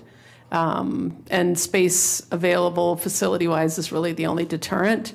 What I, we also find is that, and I don't know, Helen, we I'm going to say we get about a third more register for community conversations than show. I mean, that's just human nature. People sign up for something, but then I don't know what your thoughts on that are. Yeah, it's around around if for for in person it's around 50-50. Those that register and those that show. We always follow up though to know of another event. They can show up if they missed one because of a, a you know some clash. Uh, when it's when it's virtual, we end up with a higher attendance rate, um, somewhere between usually like 60, 70% of those that registers actually t- uh, come on online and engage with us in some way. So, um, you know, there's definitely a benefit to having that, that virtual opportunity as well. Okay, so in terms of the invite that goes out, is this something that will be sent to the whole school community? You know, how are we reaching? Invite for which? For the various stakeholder groups. So I think um, I know Lisa, you've been working on that in particular with Marcy in terms of how we're t- addressing the group. So. Um, in fact, we just had a conversation about that last night. Um, do you want to share kind of where we our thinking is on that? And I'd like to hear your thinking, Ms. Omeish. And Helen can Helen can chime in on this as well. I think it's going to be important to make a broad announcement similar to uh, the community conversations with the superintendent uh, and create a space where any, well, we're hearing differently now, but create a space where everyone knows just so that folks understand the process. I think that's going to be important, that transparency. But then we, you know, we, we specify the different magisterial districts and, and invite specific folks to the magisterial district events. However, be transparent online, et cetera, so that they can see we're doing the work uh, division wide. In terms of, of invitations, I think you talked about um, postcards, Helen, as well as we have all kinds of opportunities. You know, we, we can even do at some point some type of, of audio um, invitation somehow. We can figure that out, whether it's video we, I have to check in with Helen because I know these things are often reserved, uh, but for some type of, of robocall just once to make folks aware in a different way. Um, you know, through faith-based organizations, outreach that way. There are just there's a multitude of ways that we can reach out and get those invitations out. And I know Helen's going to have a fully, yeah. you know, a full plan soon. This is also an opportunity for us to create new lists. I think that one of the things that I've discovered, I don't know if it's as true here, I haven't been here long enough, but so many of what I would businesses or groups or advocacy groups or organizations have evolved since the pandemic began, right? Like, and not only in their leadership, but some have folded and some new ones have sprung up that didn't exist, right? And I think as we're dusting off kind of all of our patterns of being um, and go to partnerships, this is a great opportunity for us to sort of re engage with our community. So, um, I think we're really going to have to think about uh, augmenting whatever lists we had on you know had working with but i know that anyhow everything's an opportunity. So it ellen? is. that is right. Everything is an opportunity. And if we look at the way that we've done um, uh, the cip for example we're looking at how do we need to reach the communities that we're trying to reach that we have said we're going to reach right? So it's not a one-stop shop fits all. It's a where, um, for example, if we're trying to reach students and get our student voice here, how are we going to make sure that we're really reaching those students to connect with them versus our faith groups, versus our business groups? Everyone engages in a different way. And so it's almost like you need a micro plan in the same way that you have for the CIP framework. You have a micro plan within each of those. And you have a micro plan for this, for each group and how you're going to engage that group. And so it's not a case of looking at like a formula. Yeah, no, for sure. I mean, I, I, I, like the idea of a robocall. Then I start thinking about languages. You know, it's kind of like a lens that you have to put on everything. And then I know Ms. Tholen brought up last time, again, connecting the loop between all our work. The family engagement survey that showed us texting was a really popular thing, right? So we mentioned that last time. Um, and all kinds of ways, right? Reaching out to these groups is kind of the, the cushion. Like I see it as the way of helping influencers put, put out the word, but then What's how are we answering to every single family having heard somehow? Postcards is a possibility. And I'm sure that's expensive, but go ahead. And I think there's one more thing as well, and, and that I, I, forgot to mention that also in the, within the CIP plan, and that is the empowering others to make sure that they reach their community. So you're identifying the stakeholders, which are really critical to, to that community and are real voices in that community. So, for example, um, I know that we post our content via the, the Moss website, right? And we do it in a way that they ask us to because it's not a way that we would necessarily think, oh, yeah, that's a, a way that we need to. We connect with them and make sure that we're doing it in a way that works for them and for their audience. And then they help us because they know their audience get the message out there um, much clearer and much better and in a way that resonates for that community. So that's just another example of how uh, we're trying to make sure we tailor that outreach and we make it really specific for each audience. And we're really thinking about individual audiences as. Um, as, as individuals, right? Rather than just kind of like en masse. We don't have staff as an audience. We don't have families as an audience because there is no such audience. Yeah, and then thinking, being thoughtful too about who's structurally left out of those decisions. I mean, I know we still have is it at last I checked was nine percent, but I, I, totally don't fact check me on this. Of families in Fairfax County who don't have internet or like regular access to internet, that's an example of something where inherently we're leaving a certain population out. So how are we reaching them? And Dr. Anderson's points earlier on the literacy piece, et cetera. So I just want to make sure we're thinking about that. But to that point, for those who follow school board meetings, which certainly you know will not will still leave plenty of people structurally out uh, we don't really have a clear, like a business item for this meeting on Thursday. I know it, this came up in retreat last time. I, I think it'd be a great idea for us to present a timeline, just do a brief presentation on what this is and you know how people can get involved. With the strategic plan? Mm-hmm. I, you know, I think, Ms. Mesh, if I might, um, I think that's a great idea and maybe the board might consider um, a standing item while we go through this process for maybe an update at our regular meetings. So I would defer to Ms. Derenak Kaufax. Um, and maybe that's something that chairs could discuss, but that would be keeping things up in the forefront. So thank you for that suggestion. Yeah. Thank you. Um, I, I, will talk to uh, Ms. Sizemore Heizer. We'll talk about it in chairs, but I think I don't, if we don't get it on tomorrow, I really like the idea of a standing item. I think that that is a very um, excellent opportunity for us to continue to keep the community engaged and Mhm. involved. And it's really, it's w- our work for the next year. So it is the core of our work. So that should be Yeah, included 'cause- for certain. So thank you for that. No, for sure. And I'd love, you know, in your conversations, I guess tomorrow or at chairs, um, we, we, were, we talked in retreat about doing some kind of celebratory kickoff kind of idea when we announce to the community what the plan is. I don't know if that can be Thursday. It would be awesome if it can, but otherwise, maybe we can identify. There's nothing on new business, so. um, yeah. Uh, okay, so that's uh, that. Um, in terms of the piece on uh, the list, the stakeholder list, I had floated around the idea of engaging our public and being able to help identify this and just sending out a mass email and asking people to bring suggestions. Now, before we do something like that, we're going to have to define criteria for what um, probably we consider to be a group or what should be added, or I don't know. We have to be thoughtful about how that might be uh, misused. But notwithstanding, I mean, not that not being a reason to eliminate this, I really think we can benefit from. I mean, we don't know what we don't know, right? That's the whole problem. We're gonna again, 12 people are gonna pontificate about who's out there, but that's never gonna be sufficient, and we're already missing the people who we've been missing. so we're gonna continue missing them. So I think that that's something I really want us to think about. Uh, you know, it's it's a little crazy, but I think it'll give us the maximum reach that we're looking for. But that's my time, and I'd like to go back. All right. And I'd love to hear their reaction Yes, to that. please. So, thank you, Ms. Omeish. Um, Mutu or Kenneth, I would be interested in your response to um, how we get away from missing the people we miss, right? Like, because we only know what we know. Kenneth, you want to go first? Oh, yeah, well, uh, I have some overall thoughts that may um, be helpful in this.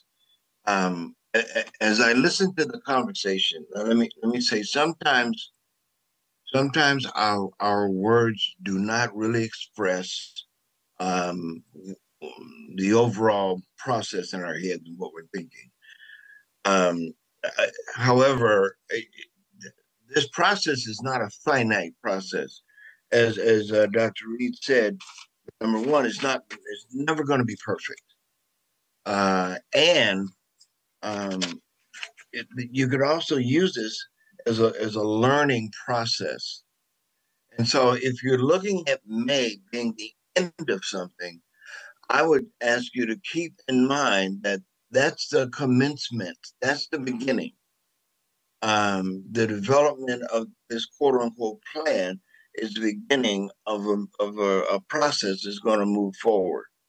You know, so when I say about strategy development and implementation, it's not about the, the it's not about having something at the end of this. It's about what you're going to do when you do have something at the end of this. And so, um, ideas such as um, board member me saying sending out an email, uh, having some criteria, you know, I think I think that's a good idea. I also want people to realize that you're going to be coming up with good ideas throughout this entire process. And so don't let any of those good ideas derail the process, but continue to think of this as a learning opportunity. So if you can do that, uh, as these ideas come up without derailing the process, and Mutu can tell you much more about the process that um, that you're using and whether something will derail the process or add to it. Um, just keep that in mind that this that the development of this quote unquote plan is the beginning. So don't so just um yeah and i mean and the more the merrier the more the more uh, voices you can hear that's fine but again realize that you're going to be you're, you're going to be learning throughout this and you're going to be coming up with things all along the way. You're going to be coming up with things in may that you're going to say oh man i wish i thought of this in november and but that's okay. Um you know again don't let these things two things. Don't let them derail the process. And remember that strategy development and implementation is ongoing. It's if you think of a student graduating at the end of 12 years or whatever and what do we call that? Commencement. That's the beginning. So in may don't think you're done. That's the commencement. So continue to learn continue to add to the process, uh, but realize where you are in it and what you're creating. So, Yeah. I'll stop there. Thank you. Uh, Ms. Omeish, your, your question makes me, uh, you really triggered a thought. You said, uh, I do, well, I'm paraphrasing, how do we make sure we don't continue to miss those groups we've traditionally missed? Which suggests that we know who those groups are that we traditionally missed in the past. So perhaps what we ought to do is to be very intentional about identifying who those groups are and going to them, I mean, literally tomorrow and asking them, you know, what's the best way for us to uh, communicate with them. So that that that will let us know uh, how they want us to engage them. And then the second point I want to make is really picking up on a sentiment that uh, uh, Kenneth just mentioned that we we stay loose about the uh, the process. The door is always open. I mean, until we're done on May 9th, we can always pivot. We can always adjust. So uh, put our best foot forward. Uh, intentionally identify who those groups are that have usually been left out. Have a plan for engaging them, and then stay open throughout the entire process. Just stay open. If something comes up that we haven't talked about or we haven't thought about, uh, the process we, we take you through really is um, it's not done until May 9th. We can always pivot. Thank you. And I would, I would say that even on May 9th, someone, someone is going to say, hey, you missed me or you missed us or et cetera, et cetera. And, and as Mutu said, being loose, being fluid, being open and saying, even after this, uh, we, we, we still want, uh, we still want your input. Uh, you know, I think I've said this before. Whenever you ask people, especially large groups of people, for their input, they uh, psychologically people believe that you're going to use the information they give you. And you know you cannot use all of that information, okay, ever. And so being clear that we're that that everybody's even at the end, eh, quote unquote, of this, the, even at the end of the beginning of this process, I say in May it's the beginning. Even yeah. then, to be and for people to know that you're willing to uh, review uh, their comments and their input. I mean, and that should be an ongoing thing. How, how, how, how people are perceiving not just the creation of this um, plan, this roadmap. I don't even like the word play it in that context, but the creation of this roadmap, uh, but being able to comment on its implementation also what we're how we're how we're creating um, how we are reaching these uh, goals for these students. Yeah. yeah. Thank you, Kenneth. Um, colleagues, I just want to direct us to time. Um, we have two more colleagues that haven't spoken yet, and, well, three, including myself, Ms. Keys Gamarra and Ms. Meren. Um, and then I will allow for one minute go backs on the calendar piece, and we must then get to Mutu's finalization of his report so we can get to our general questions. Okay? So um, right now, Ms. Uh, Keys Gamarra, followed by Ms. Meren. Okay. Uh, thank you, uh, Ms. Derenak Kaufax. I, I apologize. I've had to go in and out a couple of times, so I may have missed some comments. So hopefully what I'm saying isn't repetitive. I want to just kind of, I think, step back a little bit with respect to the how of what we're doing. I understand uh, we're looking into how we're dealing our strategic planning. Ms. Um, Keys Gamarra, this yes. this particular section is on calendar only, and general questions will be done after um, after Mutu finishes up his entire section. So unless you have calendar specific questions, if you can hold those till later. Well, I actually think um, based on my comments, and please let me know if I'm misunderstood. I may have missed a comment in here. Um, hopefully, this isn't eating up my time while I try to figure out what I'm supposed to say. Um, but we're talking about getting appropriate input from the community, correct?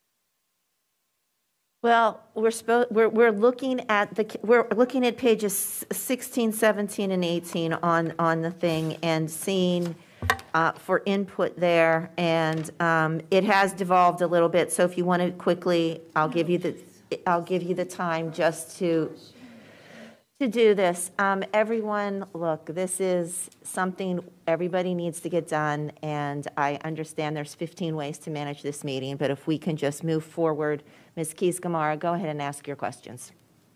So I wanted to just kind of look at this more from an open, uh, from a one Fairfax approach, including what we can do to go to the community as opposed to inviting them to come to us.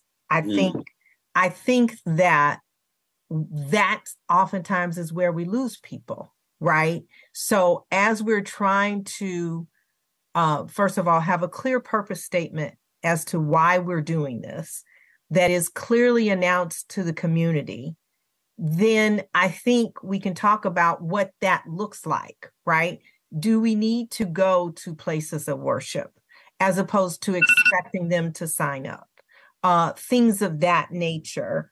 Um, and I think that the process being clearly defined um, is with that level of integrity may help us on the outcome where people understand what our efforts have been. So I've I edited my comments a bit, uh, Ms. Derenak Kaufax, in light of what you said, but I wanted to just offer that other perspective uh, and would like to hear feedback on that. Thank, Thank you. Thank you, Ms. Keys Gamarra. I appreciate it.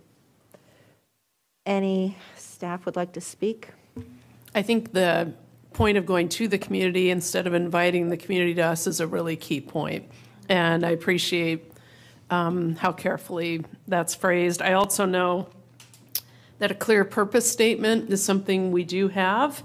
Um, but the fact that we have it and the community maybe doesn't is problematic. So we need to make sure that that is shared, um, as well as our very clear why for that. So um, that will be something that the team is working on, and we'll have something for the upcoming Monday letter on, I think, a draft, clear purpose statement and so forth. Um, so I think very responsive to that. Thank you, Ms. Keys-Gamarra. Thank you so much. Ms. Meren. Yes, just in the vein of calendar, I would love us to really see further us use our, or look to our supervisors as the champions that they, they tend to be. And so what can we give them as far as talking points and materials so that whenever they have a meeting from now until January, they're advertising it, their public meetings, their district meetings. Um, I believe, I believe their budget meetings aren't until more like March, so I think that window will have passed. Um, and businesses as well, you know, the chambers of commerce, I'd love to have something when I go in to, to give them. So we have, you know, MOUs with folks, so anyone who can be our champion, and whether it's a newsletter or speaking at a meeting or when they're out in the community.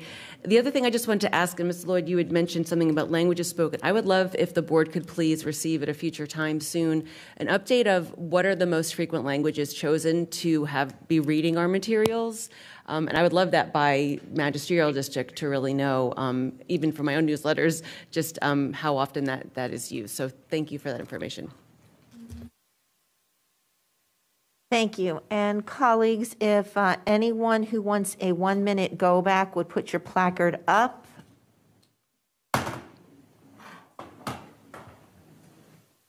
Ms. Omeish. Thank you. I, I didn't f- get the final word from staff about whether we would do that with the email about the groups. I know Kenneth said it was a good idea, but If, would, I'm sorry, would you repeat the question, Ms. Omeish, about which, about the email for groups? to send out to the entire community to give us um, group names, et cetera, that we may have missed. So the question is, will we do that? Yeah. or think about it. Oh, I'm trying to think of how to do it, right? Because I think one of the things you shared was what are the parameters we would list within that to define a group.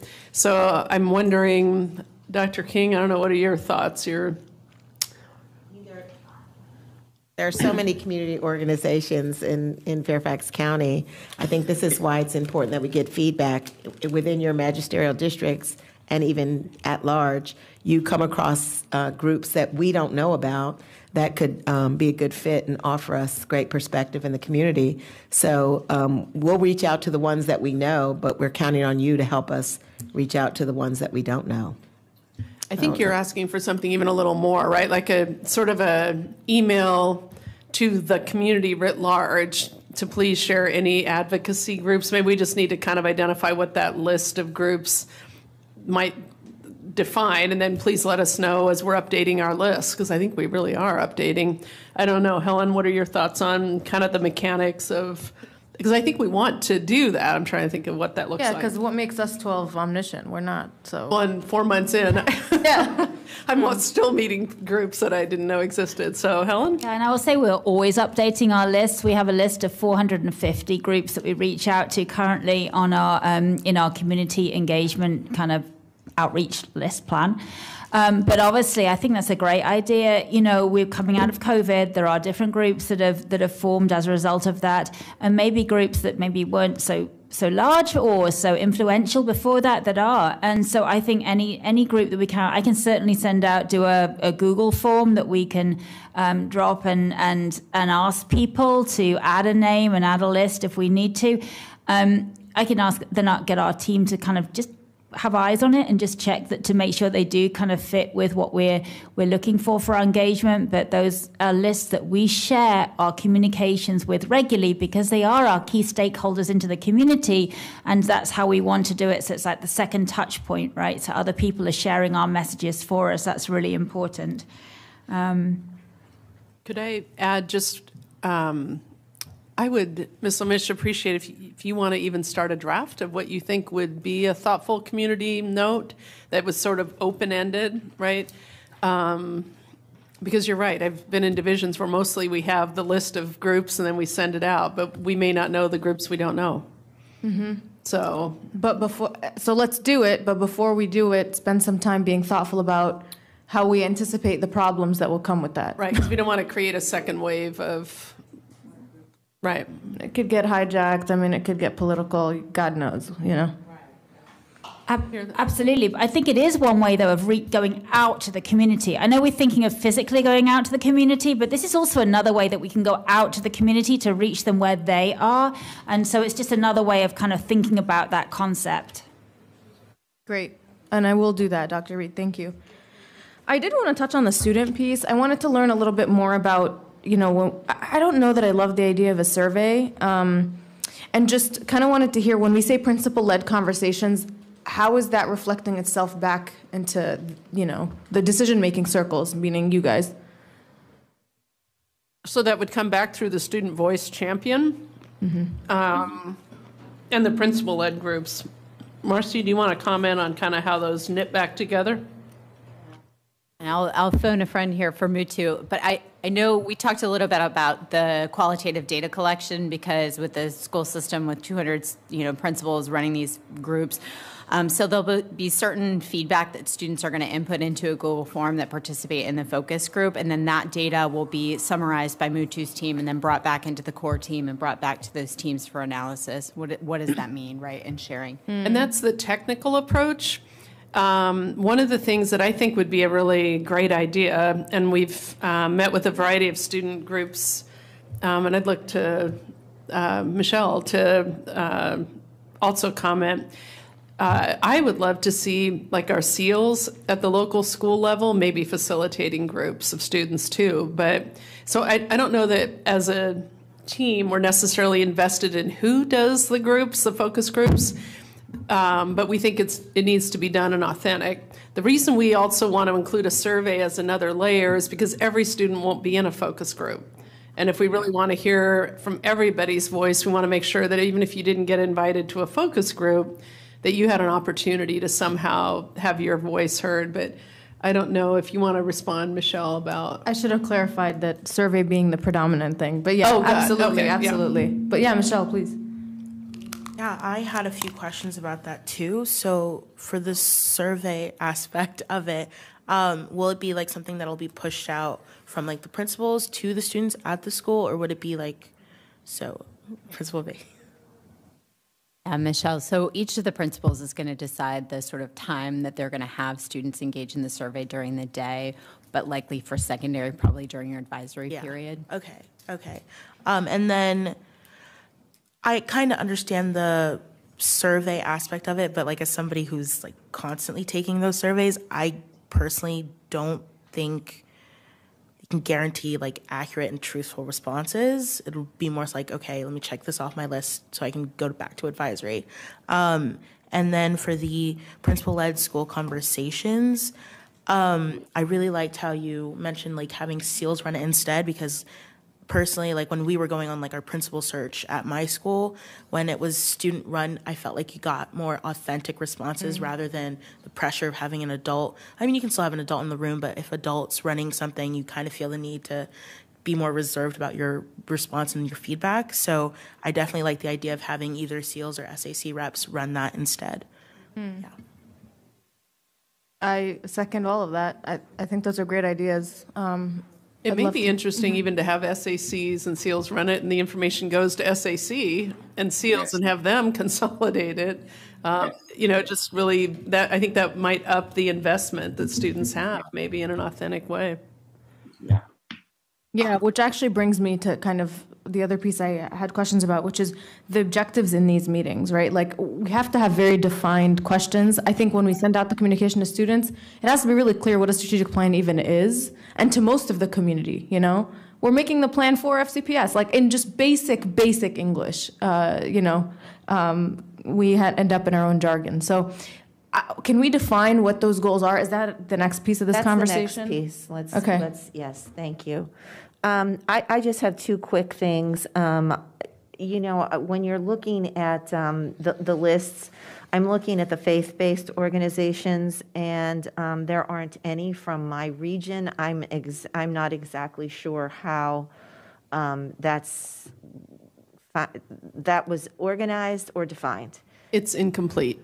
Thank you. And so you'll ask us to add to that. Okay. And, and then the second thing is, um, uh, and maybe because I was touring an elementary school yesterday, very old school, particularly for um, elementary school parents who aren't engaged in the big FCPS website, everything, the folders, Tuesday folders, Monday folders, paper, paper in those folders because they look at those all the time. That is your little go-to when you're in elementary school. So, all right. Thank you all. Um, Mutu, we have a few minutes here for you to finish up so we can get to some questions.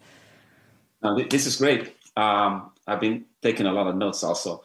Uh, I really don't have much more to share. Just one more. Let me share my screen. One more slide, and we should be done. Can you see the uh, calendar again, please? Yes? Okay. Then the um, the last slide, it's about milestones for this month. M- many of these we've covered already. The uh, student data piece will be done on the 21st. That's uh, a week from Friday. Then my team takes over and we begin to analyze and process and, and package the, the data. We've said enough already about the student voice. Uh, I really like the idea of how we can involve the SACs in the analysis of that data. And I, I'd like to discuss that further with uh, Dr. Reid and with my own team. Uh, calendar seems to be okay. The uh, one question I have, well, one um, thing we have to figure out if we're going to do hy- a hybrid, how do we manage a mix of hybrid and in person at, the- same time? Uh, we've talked, touched on communications, uh, planning team. Uh, I, I think we're in pretty good shape. Yeah. I, I have no, no further questions, um, and nothing else. Uh, if I could do one. Mutu, you were going to, I think one of the things the group is interested in is kind of seeing the uh, questions you would expect at the meetings. I know we had tightly framed those in the past. Do you have a slide for that, or can you speak to that, please? Uh, this is for, for the school-based conversations or the survey? The school-based or the focus group-based? Okay, yeah, I, can- I can do that. I, yes, let's do that now. Um, one second. Great. Okay, we we're going to be going through this with the uh, principals. Uh, by the way, one of the best one of these uh, student voice engagements um, was the one at North Shore School District uh, where Michelle used to be. We got the, the students just took it over. That's why I like Michelle's comment about the engaging the SAC maybe much more deeply than we thought of until now. I really would like to explore that some more. But this gives you an idea of what the uh, student-led piece is going to be all about. They, we start, we treat everyone pretty much the same way in terms of the stage setting. So some of the same slides that we've shared with you, we will share with them. Now it's, it's always nice for folks to get a feel for how what they're doing fits in. And it's just part of engaging everyone, not just at the head level, but at the heart level about what the planning is all about. So the first five slides are the same as what you've seen. The principals can decide whether they paraphrase the slides or whether they share with them with the students, but making sure the students know the context is a, key part of uh, showing them respect about the process as well. So you've seen all of this before, so I'm going to go quickly through them. Then we'll talk about the three levels of engagement or student voice. Uh, level one would be the online survey, all students in grades three through 12. It's confidential and anonymous, and it will be done by the first week in December. That's the, the timeline. Then the school level focus group discussions will be at each school, led by the principal, and again, same time frame. And then finally, we have essentially a standing team, very much like the core planning team, like the alignment team, like the instructional focus team, the same group of students meeting for uh, four to six sessions and having a purview, a worldview that covers the entire division. So, and they will get to look at everything everybody else sees at the same time that we're working with the adult teams. So you can think of that third uh, as uh, the synthesis and the alignment of the work. Then the process, we take them through just three parts. Uh, start very broad. What are your uh, current school experiences like? Then move in a little bit, what matters most to you? And then finally, if the adults could make you one promise, what would you, what would you like the adults to promise you? And it's the last two that we will actually uh, gather in writing and in some form. Uh, different folks have different uh, stage setting or icebreaker uh, exercises to do. This is one that we've, we've done successfully in, in the past, just to you know prime the pump, so to speak. Then uh, part one will be uh, part one A is just to find out what's going well and the goal is not to cover all five questions, but to have them handy. Uh, since it's a focus group, in a sense, you're leading the group and you're also being led by the group. So we'll be encouraging the principals to kind of use their own best judgment as to which one of these questions to use and when. But again, this is the very wide net. You know, how's the world going for you? What's going well? That's one A. And then one B is the flip side what's not going as well yet. And we build just two simple prompts what will help you learn and what will help you feel better. What will help you learn better, what will help you feel better. So it's very loose. Allow the students to say what's on their mind. So that's pretty much all we do, all we ask to be done around the first part of the three part conversation. The second part Activity number two uh, now pulls things in a little bit. They will have a list of uh, 10, you know, attributes or, um, you know, areas of focus. And we'll ask them to identify their top three individually. So everyone, every student gets a chance to just do their own processing. They'll do that in a Google form.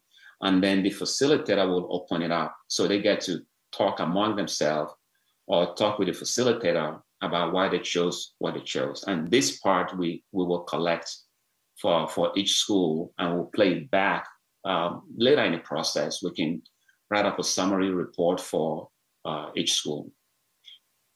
So that's part two. And that could go on for about 12 to 15 minutes, depending on how engaged the students are.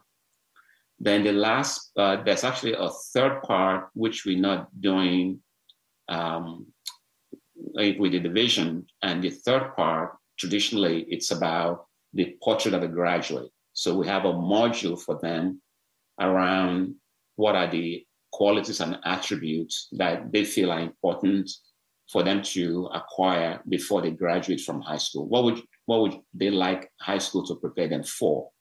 But since we we already have a portrait of a graduate, it's not part of uh, what we're going to do this time. Normally, that's activity number three, and then we'll close with the, this very simple prompt. We call it the one guarantee. And if the adults could make you one promise, what would you like them to promise? And it's always very insightful. You get a, you know a few um, you know partly tongue in cheek, uh, maybe even a little bit silly ones. Uh, but the this one question really lets you know what matters most to to the students. Then what we'll ask the uh, so this prompt will be answered in writing in the Google form. The same thing with the activity two. All of those input will come to my team, and I have a, a team of four people who do nothing but to process uh, information like that. You know, four in addition to my, my core team. So we'll, we'll, take you know hundreds of um, you know feedback and start to mine them, see what are some of the main ideas from it.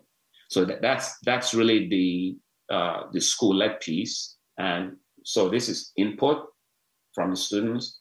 The same way the survey is input from the students, and in the same way when the student team processes all of that, it's all input that goes back uh, along the way to back to the core planning team to integrate.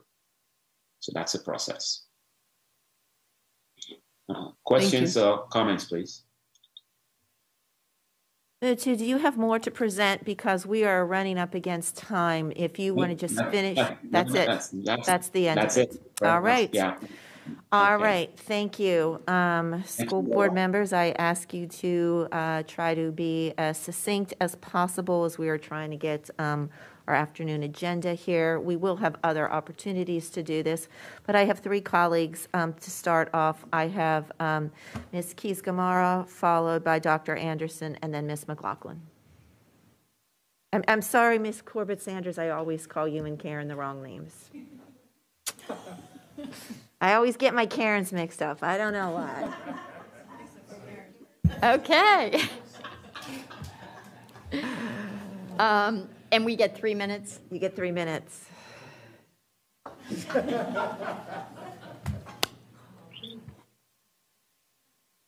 Okay, thank you. And I am honored to be mistaken by the Honorable uh, Ms. Keys Gamarra. So I have a couple of questions. One is, and it's really on um, how we communicate and what we're doing here. Um, One, we still don't have an actual budget for this process, and it is very important that we have a budget for this process. Even if it is already being covered from existing funds, it is important for the public to know. Secondly, um, in reading the project management plan, I am a little concerned in the update this past weekend of, uh, or yes, Monday, um, that there's no actual mention of workforce development or career and technical education and future aspirations, and I think that that's critical. Um, nor is there a mention of teachers in the um, in the update. And so I think that uh, it will be very important for us to be intentional on how we are going to engage with those constituencies. I appreciate that um, my colleague uh, on the Route 1 corridor uh, mentioned about the faith groups. I sent in a significant number of faith groups to be represented in the calendar process, and none of them were represented. So I would, I can dig out the old email and give you the points of contact, but it is critical that we have it. We actually have something called Ventures in Community, which is the um, interfaith alliance in that area. Um, Then on the student, uh, so additionally, I think it's really important on communications about this going forward that, um, Dr. Reid, if you could actually have any communications on the strategic planning process as a separate standalone communication so that it is, um, everybody sees it and we can focus on it because um, I'm a kind of a a nerd when it comes to reading everything, and I had to go through because of the way it comes up on my screen. I didn't. It didn't easily come up on my screen that this attachment was there. Um, talking about student voice, and thank you very much for um, presenting it as you did. I think that it is really important, as with all of our cohorts, that we have a consistency in the standard way of presenting the topic and the questions that are being answered. And so when I heard that we might be able to customize it at each school level, I get a little worried because um, to do our best work, we need that consistency. Um, and it's just a good research practice. Uh, additionally, I would suggest that the cohorts at the school level include not only our SEALs, but our leadership team and our students who are active in AVID. Um, so, trying to broaden the group to ensure that we get as many um, student voices as possible. I was a little concerned in looking at the questions that there was not specific language on academics. And um, as a school system, I think that that is really important to be very specific about what are the aspirations of our children, uh, our students for academics, and what their future plans are. And I do have more, but I know I'm out of time. Can take Ms. Keys Gamarra if you like. Any comments from staff? I just want to clarify I've tried to, I'm toying with kind of rearranging the Monday letter. So I'm at, I have the feedback section on the top for just those items that I want feedback because I do agree it's a dense, there's a lot of material. So I want to clarify, would it be all right if I do a strategic plan update, feedback, and then all the articles, or did you want a completely separate email? So just separate within the Monday letter? Okay. No. Everybody wants, Everybody Right, I'll do every- both. I will do both. That'll both. be perfect, Michelle. Thank you, both.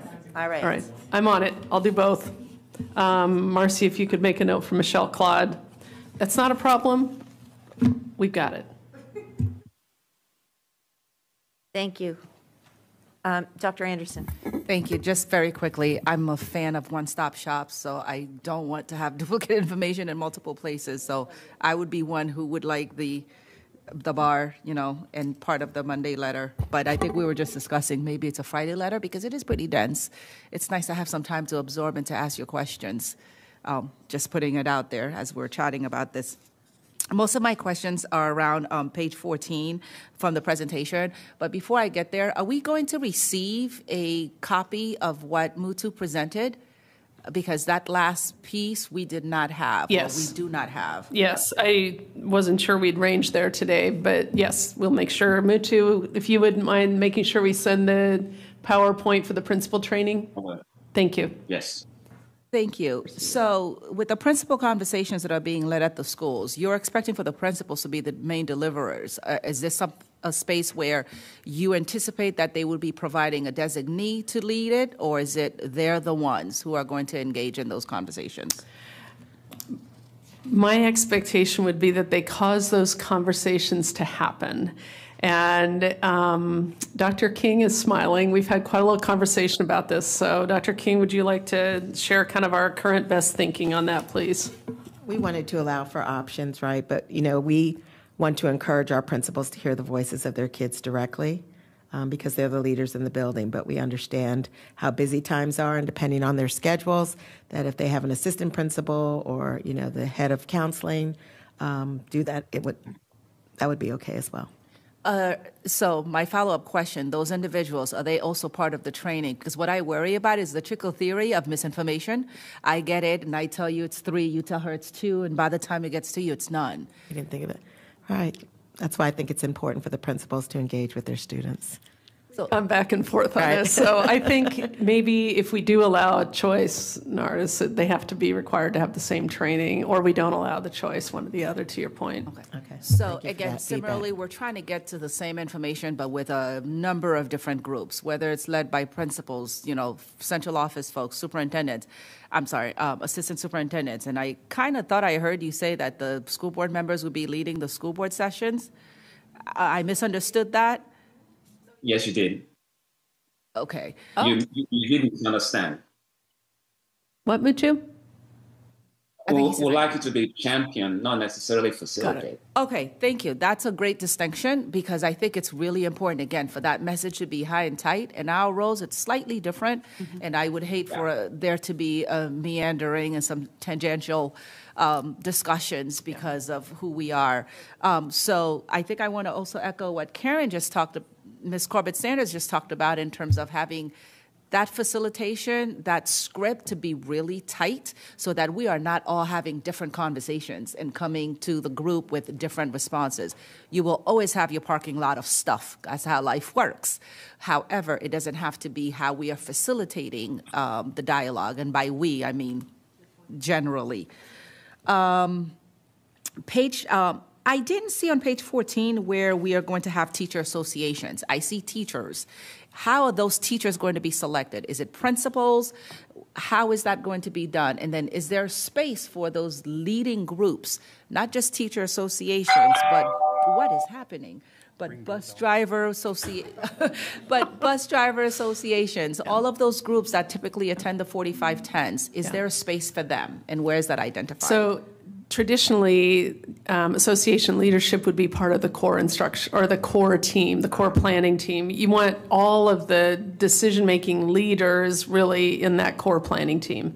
Um, whereas the instructional team will likely have um, an open call for educators in some fashion to make sure different content are represented and so forth.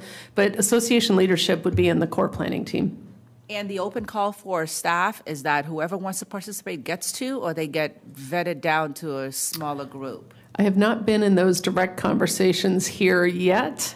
Um, so I'm not entirely sure. Once we have the champions um, identified, again, it's more a function of size. I'm comfortable traditionally with just throwing it out there, making sure regions are represented, content, grade levels, and so forth, right? There's certain, uh, we want to make sure we have voices from all aspects of the educational setting. So I don't know if Marcy and the team, have you already discussed that at all?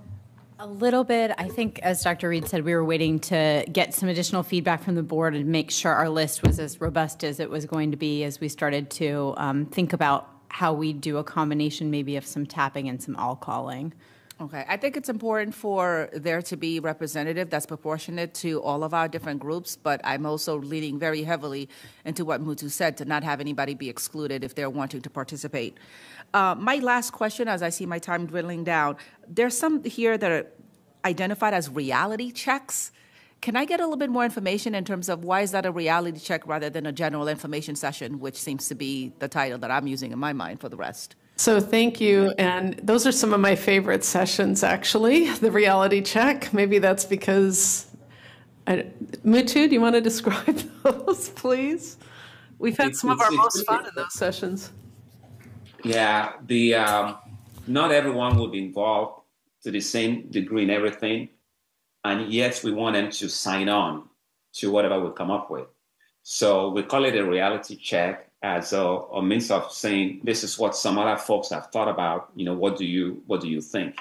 It doesn't happen too often, but it's not uncommon for one person to bring up a, a perspective that no one has thought of before, and actually could change the whole trajectory.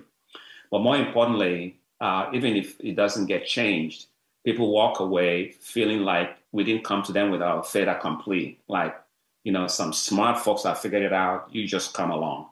So we set it up as a, a real uh, opportunity for them to say, I don't agree with that, or have you thought about something else? So that's why we call it a reality check. I, I'm so sorry. Isn't that available for all of the groups to do? I just worry about the optics because on this list, the faith committee gets reality checks, the principals get reality, schools and departments get reality checks, but the core planning team get full sessions. I know I've run out of time, but if there's time, I'd like to explore that. I, I hear you. I, I hear you. Yeah. Thank you. I have Ms. McLaughlin, followed by Ms. Cohen. Okay, um, going down the list as quickly as I can. Uh, I do think that our school division, the board, can benefit from talking with the board of supervisors, Chairman McKay and the county executive, on their strategic plan process. What were their participation rates? What was their lessons learned? Um, certainly, um, I repeatedly say this over and over again, and I don't hear it, Dr. Reid, from your division or your administration and the prior administration. The school board members are one of your key communication portals. So every time I hear everyone being talked about how we're going to reach out, FCPS News this, weekly that, if I don't start hearing and the school board members in their newsletters, I'm I'm just going to reach a breaking point because I don't know how many ways to Sunday to say that we are a team and we are one of the best ways that families open an email, read it, and will participate. So um, I'm sorry, but it's just been years and years of asking why we're not considered a key part of the communications process. Um, I, I, think that uh, to what um, Ms. Corbett Sanders said, I want to make sure that whatever we put in front of our families, what we put in front of our students and every stakeholder, if we don't have academics clearly delineated, um, we're missing why so many people live in this county in the first place and send their kids to Fairfax County schools. Um, I want to thank Mutu for showing us what you're going to do with the students. Dr. Reid, um, I'm very excited about this work, so I want to start there. Um, but I would like to see what is going to happen with the rest of our community engagement because um, I was actually hoping that's what we were doing today, not kind of uh, going into in depth on how we'll invite. I think it was a good conversation, but now we've run out of time, and to me, it's the meat and potatoes. What will we bring? To my colleagues, I want to emphasize more than anything you can't have meaningful strategic plan input if we don't first inform our community on where our needs are. So I wrote, we need to have the data analysis on what are the strategic needs of our students. What is the data telling us that we need to be doing? Because the students are at the center of all of this. And going back to the very beginning, I am not comfortable with the, I think it was the uh. Um, T team because we added the family team. So parents are now in the family team. I think looking at our teachers being considered at the center of learning, to have a principal's own, you know, team, but then we have a, again, I keep writing the the information, whatever instructional instructional focus. Mm-hmm. No, if we don't have a teacher bucket by the teachers alone, I think we will pay a price, and I wouldn't blame them. So there are over fifteen thousand of our employees. They need their own team, and then you can have school based support staff or however you want to do it, but. Having a principal only team and not a teacher only team, I don't think that sends the right message, and I have run out of time. Thank you, Ms. McLaughlin. Um, Ms. Ms. Cohen, i- i- were there any comments? Yes, ma'am. Yes, go ahead. Got it. I, You got I it. would say that um, we will work on all of the above and get back to you in a, an appropriate setting. I think the data analysis, we have uh, pieces of that completed. Um, and I think those are good points. Thank you. Yeah, the, the big thing um, I just want to make sure and then take away from my remarks is um, when and how we can get just a draft of similar to the student um, But the- delivery okay. model, what will happen with the other groups. Thank you. Uh, Ms. Cohen, do that. followed by uh, Ms. Tholen. Uh, Oh, I'm- Mutu, were you going to, I think the similar questions are across the board of all groups, are they not? That's correct. Yeah. It's just framed a little bit differently, but Yeah. essentially the same three groups. And then we take the data and bring it, Mutu's team brings it all together.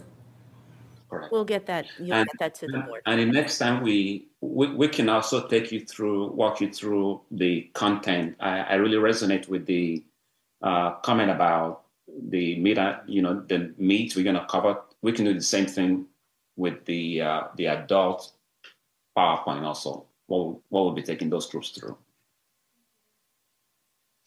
Ellen. Yeah, and I would just add into what Ms. McLaughlin said when we talk about teachers, just expanding to instructional staff. Yeah. Um, I was just going to ask when we talk about, and I, I appreciate um, Karen kind of trying to think out the box of how do we include other student groups. Um, I know several of our schools have a principal's cabinet, instead of a student government association. So just making sure we're tapping into whatever it's called in a school. Um, but I guess my question with this survey, I feel like we have this opportunity with the students to deliver that in advisory and but but train the teachers how to have the conversation. So not just administer the survey, ha- have the advisory teachers be able to talk about what is your strategic plan, how does it impact your daily life, how does it impact my life as a teacher, how does it because I think then those teachers we you wind up with you know the Venn diagram of everybody over. The teachers get to bring into the conversation the student voice, and the students get to bring in the teacher voice because in theory, hopefully, we're all working like a linked chain. And so I just think there's this, uh, you know, advisory has been kind of this. Um, I was going to say amorphous, but I don't want to undercut the value of it because I think it's incredibly important. But I think this is exactly the kind of thing that we um, we should capitalize on having this time where there doesn't have to be a work product from our kids in this hour and whatever minutes. Um, and morning meeting, the same with our elementary schools. Like these are the time to have. What does strategic mean? What does planning mean? What does it look like? What is you, what's a strategic plan in your house? Right. You know, how does your family operate? What core values or any like?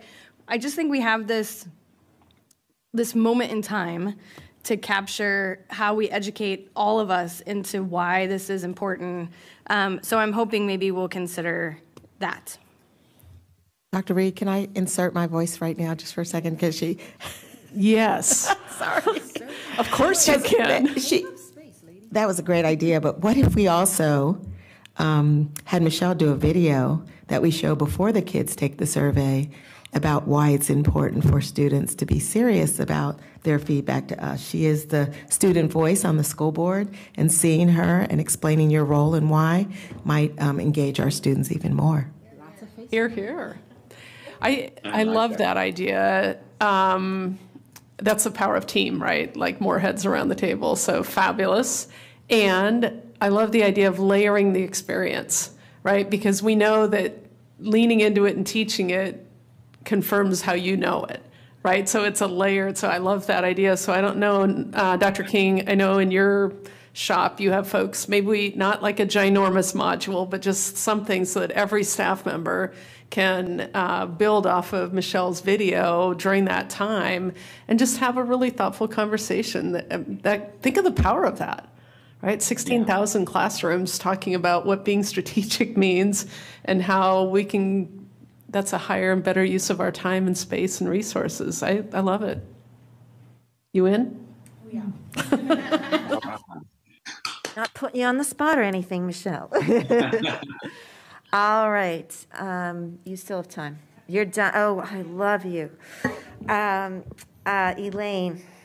Okay, um, I love that idea too. And now, of course, my teaching brain is going um, on how we even uh, perhaps follow up. You know, like our people are always complaining about how we gather information. We take they take a survey and then you don't ever hear anything. So, especially with our kids, like what happened, what sort of general information came out, you know, keeping them engaged through the process.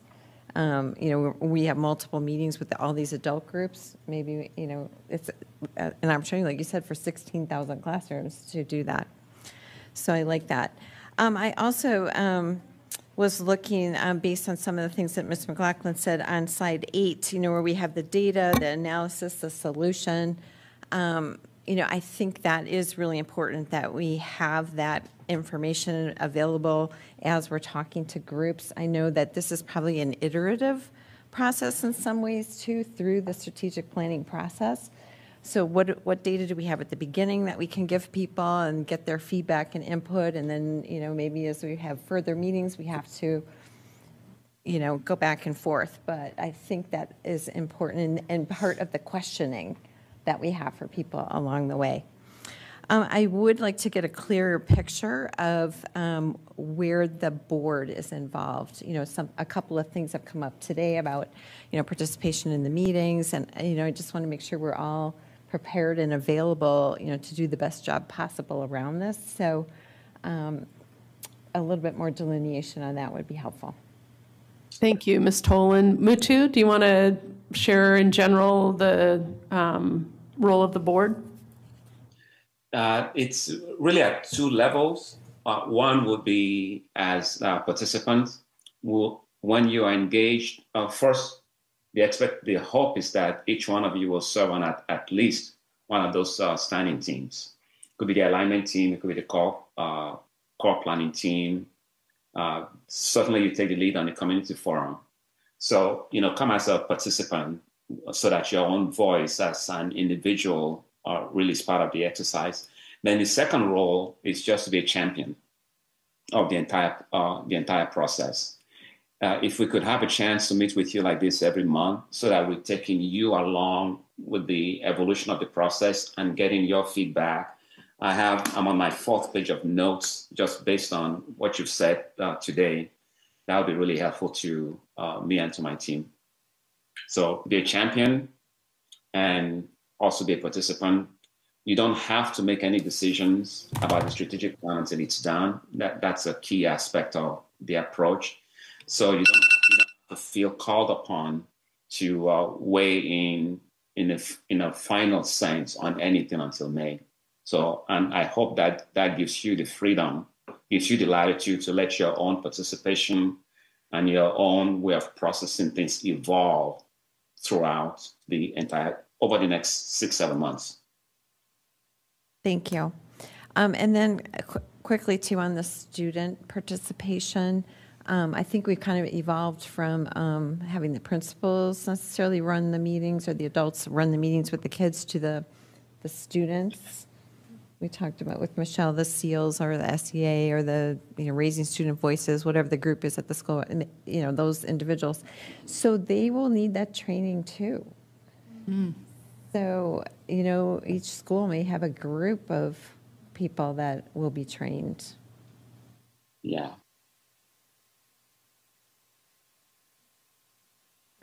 Yeah, that's um, I'm just thinking on my feet here that could actually be a very powerful evolution of our thinking, you know, versus where we were two hours ago. I mean, the notion of instead of calling it principal-led conversation, we actually have a school team, and that team will include an, the administrator, maybe some other adults in the school, and maybe some students at the school, and they lead the conversation. Uh, that would make for a much more inclusive approach than just mandating that the principal leads the conversation. So if that's okay with, with all of you, we can explore that as the, the model going forward. I think we can explore that with the caution that I think Ms. Corbett Sanders shared about making sure we're consistent um, site to site because we don't want to exacerbate that. So I, I think it's to explore with the understanding we want to be consistent. Yeah. And I also think that in no matter which model we use, the one thing we have to really make sure is that training is a key component to this and making sure that everyone is, is fully trained. Yeah. Thank you. Um, I just want to make everyone aware we have three committee groups that we worked really hard to get here. So at 12:45, which is 15 minutes later, I think I can get between Michelle and Abrar, we can get everybody's questions in. Please be mindful that we are not going to go beyond 12:45 for this session. All right, thank you. Ms. Omeish, followed by um, Ms. Togby. Thanks. Um, before I ask my next set of questions, can I just get clarification on the additional attachments? I guess we're not discussing those today. We are not discussing those today. Okay. All right. Thanks. Um, so I, I, guess uh, thank you for the the brief presentation, Mutu. I, am still struggling a little bit to see kind of what our objective is overall um, and what we're hoping to derive from the community. And I and I point that because I think getting that kind of laser focus on what the conversations are going to look like, what we're seeking to hear about is critically important. Otherwise, we're spending all this time doing all these meetings and asking questions without clear direction on how that actually will translate in informing what we're doing. Um, I say that because I know with the superintendent search, we did a massive, you know, community outreach thing, and it was, you know, tours and going around, and uh, and that was a specific question, like, what do you want to see in a superintendent? With this, I mean, the strategic plan is so vast. What's our, you know, what's our plan? Like, let's think backwards. So we're, uh, you know, in the conversation post community outreach, where we're saying, okay, now how, what are we going to build? What will be useful to us to know about where the community's at to build that? I, I don't know if, I don't know that we've connected those dots quite yet. I, I didn't quite get that from the presentation, but. Mutu, do you want to respond to that? I, uh, if I think I I would like to maybe by showing you an example from another uh, district. This was actually just last week. The with the can you see my screen? See the Hillsborough mm-hmm. School District? Okay. With the uh, uh, community forum, the content depends on where we are with the overall process, but everything is still about those four questions: What data do we have? What does the data say? Why does the data look that way? What are we going to do about it? So the front end community forum will be focused on looking at the data. What data do we have? What does the data say? Why does the data look that way? By the time we come to the second set of community forums, we'll be much farther into the process. We'll be, we'll be asking about solutions. So this example I'm going to show you is this is uh, with a district that's close to the end of the process. So the questions are around the goals and the strategies, right? So um, we will it was it starts pretty much the same way they all do. We take time to uh, set the context. Uh, so I'm going to go through very quickly. You've seen all of this before. They have their own uh, team. As you can see, they had only like uh, eight eight circles around the core planning team. With um, uh, uh, Fairfax, we up to ten, and I, I, really think that's very fresh. So, uh, profile of their students, profile of students, mm-hmm. and then for this particular community forum, the deep dive was into the portrait of a graduate for them. So, Ms. Omeish, the content is going to be about one or more of what's on the in this column, depending on uh, where we are at the points we have in a community forum. So uh, with mm. this group, their first community forum was to take a deep look into the portrait of a graduate. And this is some of the things we use to facilitate. We start off with a, you know, a quote or a guiding statement just to get the conversation going, you know, cast a really wide net. Mm-hmm. And then we'll get them into the uh, exercise. Part of the graduate, you know, what are your hopes? What will the employer look for, etc. And then they get to work to tell us what they think. If there's been a draft already, then we show them the draft. We never start any group by saying, let's show you what the other folks have said. We don't start that way. We actually usually hide what's been done to date and allow each group to tell us what they think, and then you show them what's come before. And often it's very uh, affirming for them because you see the overlap. And as you can see, this group, the uh, for this community forum, the stakeholders identified the, the qualities before we show them what the core planning team had come up with. So that's really the process. Then we do the same thing with the goals. So they will come up with the goals that they would like to see as a, as a, as forum participants, and then we show them the draft from the core planning team or the alignment team or the instructional focus team, depending on again where we are in the process. Okay, so, so this is showing them the draft. And then the uh, next part will be the strategies. And again, we lead off with questions for them to process without biasing them with what other folks have done. And then it's after that that we'll, we'll show them. So that it's that's really the way everything uh, rolls out. Everyone is about um, everyone is about this page, mm-hmm. okay, the right right side, and at each forum they're given a chance to say what they think first, then they're shown what's been done, and then that's where the, the process unfolds. Yeah, okay. So, the, and this will depend on what point in time we're in. So, what you just outlined, exactly. yeah, is not happening for every group meeting. It's just for a specific point in time. Just, Exactly. Okay. Exactly. Um, I appreciate this. I think, you know, we don't have this material or, or things that align with this. I think that would be helpful because that's probably part of where our headspace, you know, we want to discuss or think about how to make the most of these conversations and how they'll be useful to us as we formulate the next steps. I'm mindful, I, I know Tammy's uh, pushing me on time here, so I'll, I'll, leave that there, but I just, I think there's a lot unexplored um, on this piece, and, and I certainly trust the team, but I think we could benefit from some conversation around those components that we didn't have to talk about today. Thank you. Thank you. Thank you, Ms. Omeish. Um, Ms. Togby, and you'll be the last word on this.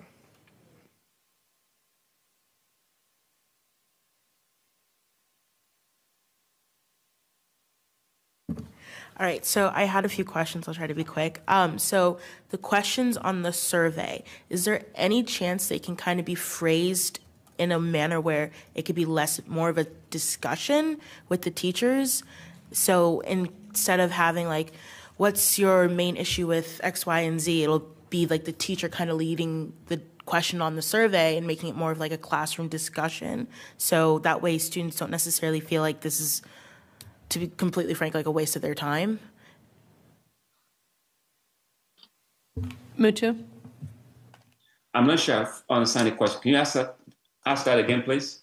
Yeah, I was wondering if there's any chance that the questions on the student survey will be phrased kind of open ended in the sense where the teachers can be leading that discussion. And at some point, the teachers can also like explicitly uh, state what is a strategic plan, like why are you taking part in this and things like that?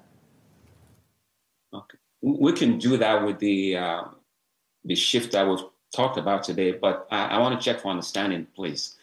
The uh, these are the types of questions that we just offer as prompts. They don't necessarily have to ask all of them. Would these kinds of questions be in line with what you have in mind? So these questions would be on the survey or is this just for the group that the oh, no, principal? Oh, oh, I got it. No, they're two separate documents. The the survey questions are, I think they're like about 25 or 30 questions, and they're on a Likert scale, you know, from strongly disagree to strongly agree. And the students get to do those uh, privately. Those are anonymous responses. Okay. So and that's the online survey part of it. Uh, I don't know if you have the, if you've seen the questions. If you haven't, I'm sure we can share them with you. Mm-hmm. Then there are these questions that are the prompts for discussion. And this is where the, the student leaders or the principal or the teachers get to ask these types of questions. So they really choose two concurrent activities going on when it when it comes to feedback from the students. Okay, thank you.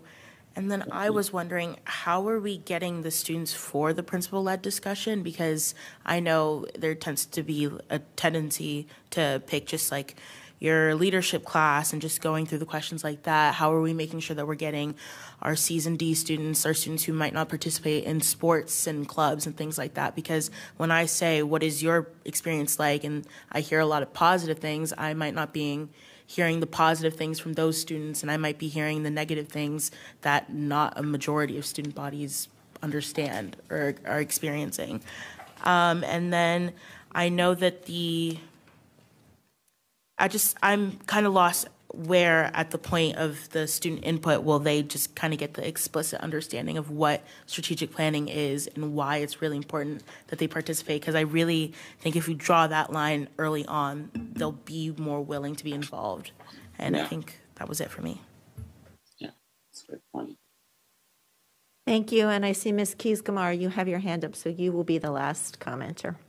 Thank you. I really appreciate it. And I will try to keep it um, brief. Um, I, I guess as I'm listening to everyone, I'm a little concerned about the next opportunity to really understand what it is, how we're going forward. And in my previous comments, I said it's important to make sure that the community understands with a clear purpose how we're moving forward.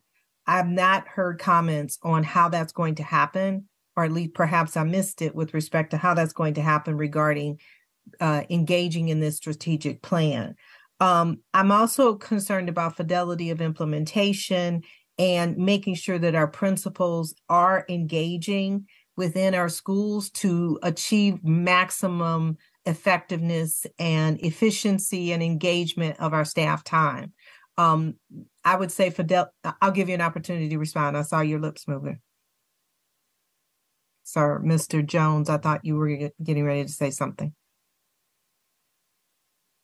Well, I, you know, I was, I, I was really, that was just my brain working when you say the fidelity of, of implementation.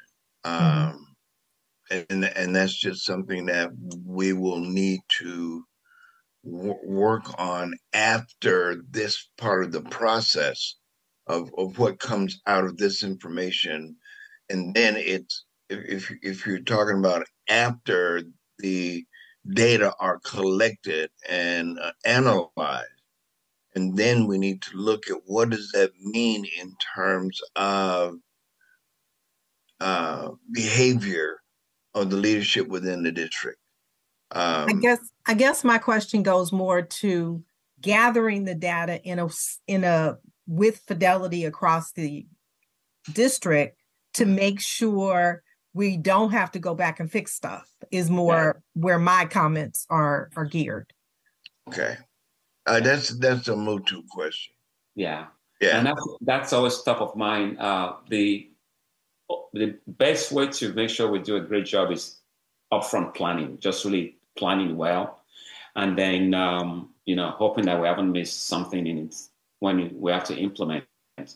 Uh, that could still happen, and if it does, we just have to figure out how to fix it. But it's it's doing due, due, diligence on thinking through the planning phase, and uh, we call phase one is everyone ready to go, and the the more people we talk to, the uh, more finely focused the the approach is. So we got a lot of a lot of feedback. We got to go back and change a few things. So I guess as a board member, I'm wondering how this conversation shakes out, and I'm anxious for an opportunity to see how you process this information so that board members uh, have an opportunity to give input to the final product. Um, I will say in the past, um, when we have dealt with issues, we've relied a lot on emails and things of that nature, which I do not consider to be a communications plan. And so it makes me a little nervous going forward, although I, you know, appreciate your expertise. Um, if once once we don't gather it well, then it's problematic. So I am hoping for an opportunity as one board member, whether it's two by twos or however we do it. I think there needs to be some follow up because this is too important. I will I will hope or I will recommend um, you know at least maybe one more session. I don't know if the board is meeting in on November that we come back. We've we've taken a lot of input. It's going to evolve, but the first real rollout will be early November with the survey. If there's a way to you know engage the board and say this is the plan going forward, that would be great. It's it's always good for us to get feedback from you know, from our stakeholders, which includes the board, obviously. I, I realize we have a time concern, so I will say I'm looking forward to that because I think that's going to be the most effective way to use our time. Yeah, that's great.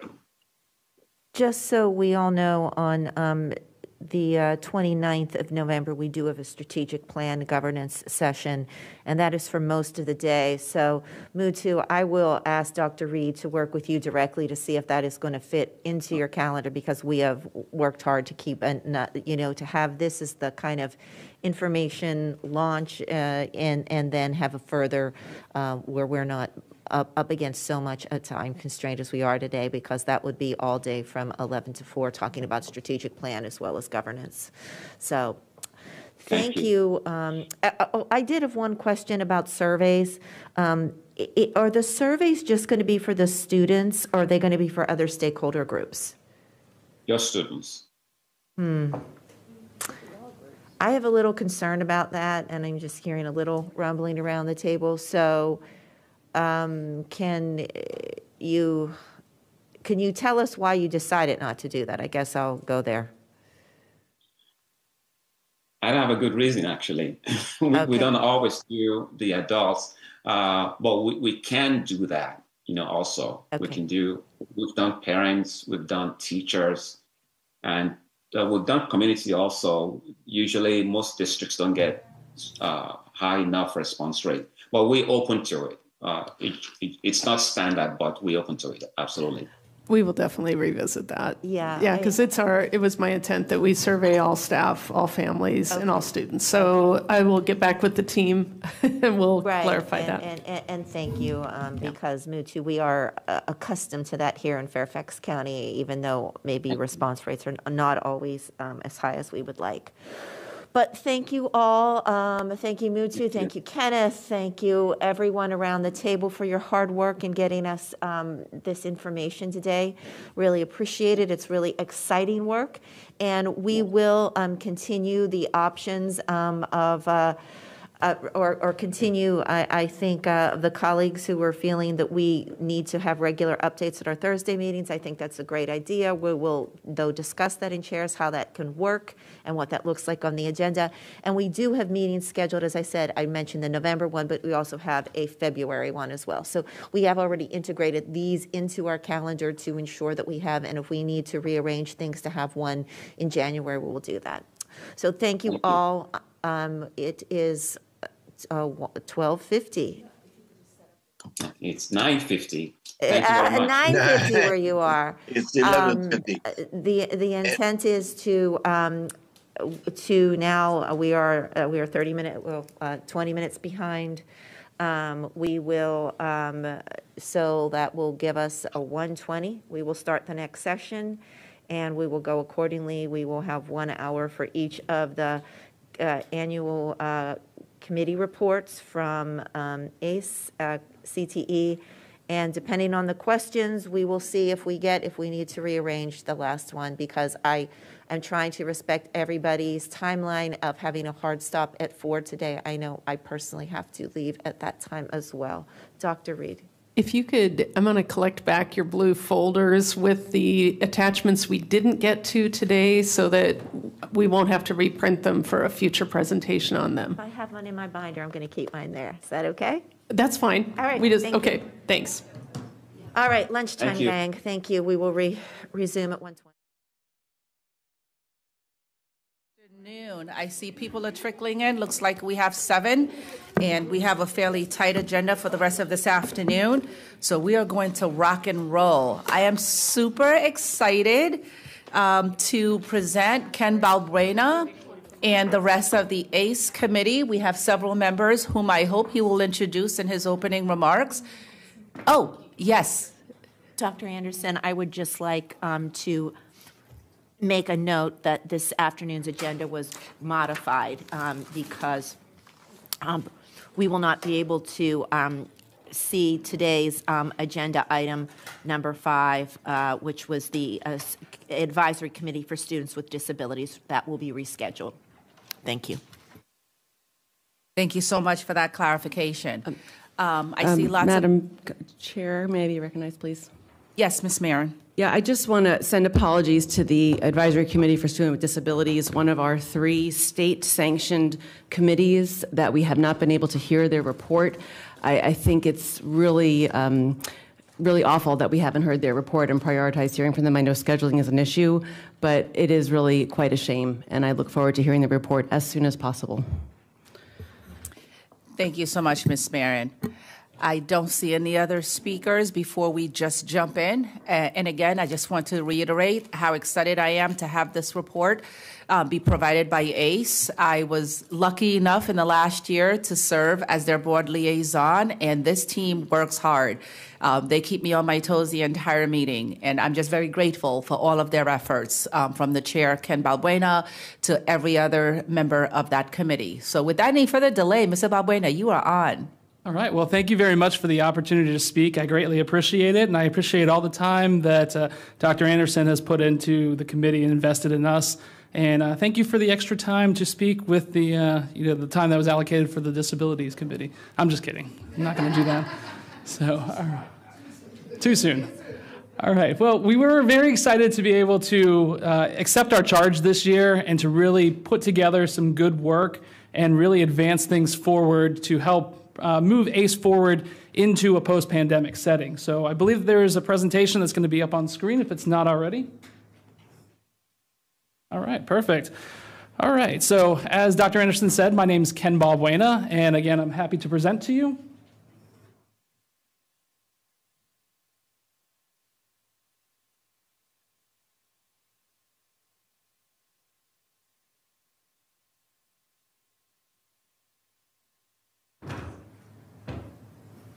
Okay, perfect.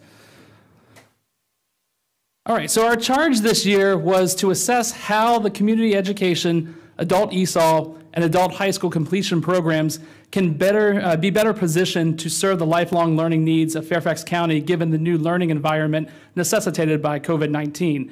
So that was a charge that we definitely wanted to, you know, really look at within the frame of adult and community education. But in order to look at where we are and where we can go, we had to take a step backwards and look at where we came from. So we did a recap of FY21. And in that, we administered a survey following the spring term, and we really wanted to look at a couple of different things. Uh, we wanted to look at, you know, instructor preference. So if you're an instructor, do you have a preference to teach online or do you have a preference to teach in person? Uh, what about the type of class? Does that make an impact on whether you want to teach in person or virtual or even hybrid? And what does student engagement look like? And what we found from the instructor survey, as well as the student survey, because the two of them really mirrored each other, is that instructors definitely tend to prefer to teach in person versus completely virtual in general. But when it came to virtual versus hybrid, that's where the classroom based and lab based preference came in. So classes that were more classroom based, such as um, you know business classes, those um, instructors and students prefer to actually have a more virtual than hybrid experience. Whereas those classes that were lab based or tech based, uh, there was a preference to have a hybrid model versus a fully virtual model. Uh, and, but when we looked at whether teachers um, answered that they felt like they had the necessary tools to teach online, and when we looked at the students who said that they felt like they had the necessary tools to learn online, those who answered yes to those questions tended to rank higher in terms of whether they preferred virtual versus hybrid. So that was consistent across the entire board. So, in short, we wanted to take this um, information and really wanted to look at how we can move forward. But we also wanted to look to see what actions were taken from our FY21 report. Were there things that were done that were recommendations that the school board either acted on or that staff acted on? And the answer was that we found three things. First, there were ESSER funds that were dedicated towards adult and community education for wellness and uh, for the Fairfax County Adult High School. So thank you very much to the school board for your support in those regards. We also saw that staff um, looked at the different data that we had presented in the surveys, and they really tried to figure out which classes they could schedule both virtually as well as in a hybrid format. Um, and that was supported one of our recommendations from our FY21 report. Uh, there's also an effort to modernize and streamline the apprenticeship courses. So there definitely were some actions that were taken following our FY21 report, and we were very happy to see that.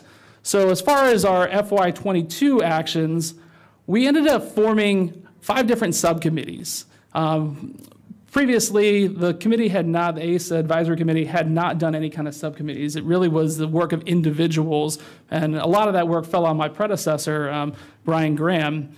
And I looked at the bylaws. The bylaws said that we were able to actually create different subcommittees. And I was like, hey, that's a great idea. Let's not have all the work fall on me, but let's let the collective whole and the uh, people that you have appointed take some action and take some ownership of the committee's work as well. So the five committees that we created, there was a curriculum subcommittee, a technology subcommittee, enrollment subcommittee, completion to success subcommittee, and a marketing and outreach subcommittee. So, in short, the curriculum subcommittee's role was to really look at the classes and what classes could continue to be moved online versus those that needed to be in person. The technology subcommittee wanted to see if there was enough sufficient technology to support our ACE programs, uh, both from registration as well as to execution in the classroom, so the entire student life cycle. The yes. Oh, sorry about that. Didn't realize I was uh, ahead a little bit. Thank you, Karen. All right, the technology subcommittee, you know, really wanted to look at the technology and how do we optimizing things. The enrollment subcommittee wanted to look at um, are we are our students across the county really enrolled in our ACE programs, or are there certain pockets that you know really are the only places where ACE students register? Completion of success, do our programs make a difference? Is there a way to track the student output once they complete our programs? And finally, marketing and outreach. Are people aware of our programs? Are we leveraging our internal FCPS resources enough to really present ACE in a very positive way?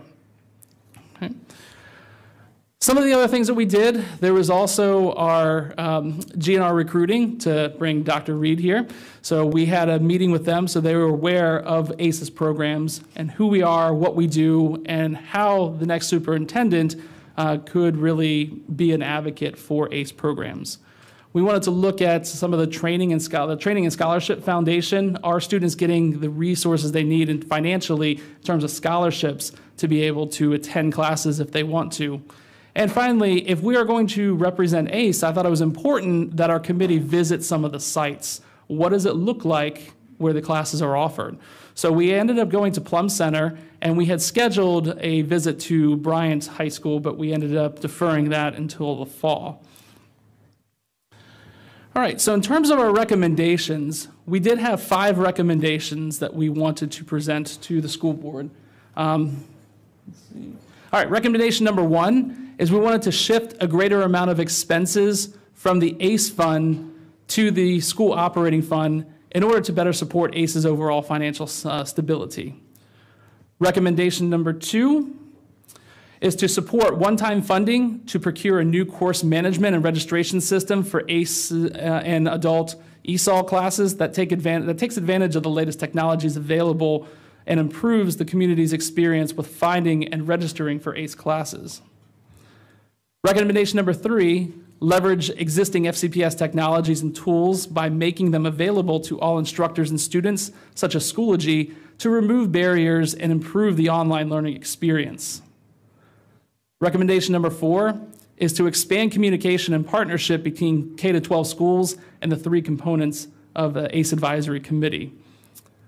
And recommendation number five is to support the marketing and outreach needs of ACE holistically through a consistent awareness of ACE programs and greater alignment with existing priorities and strategies.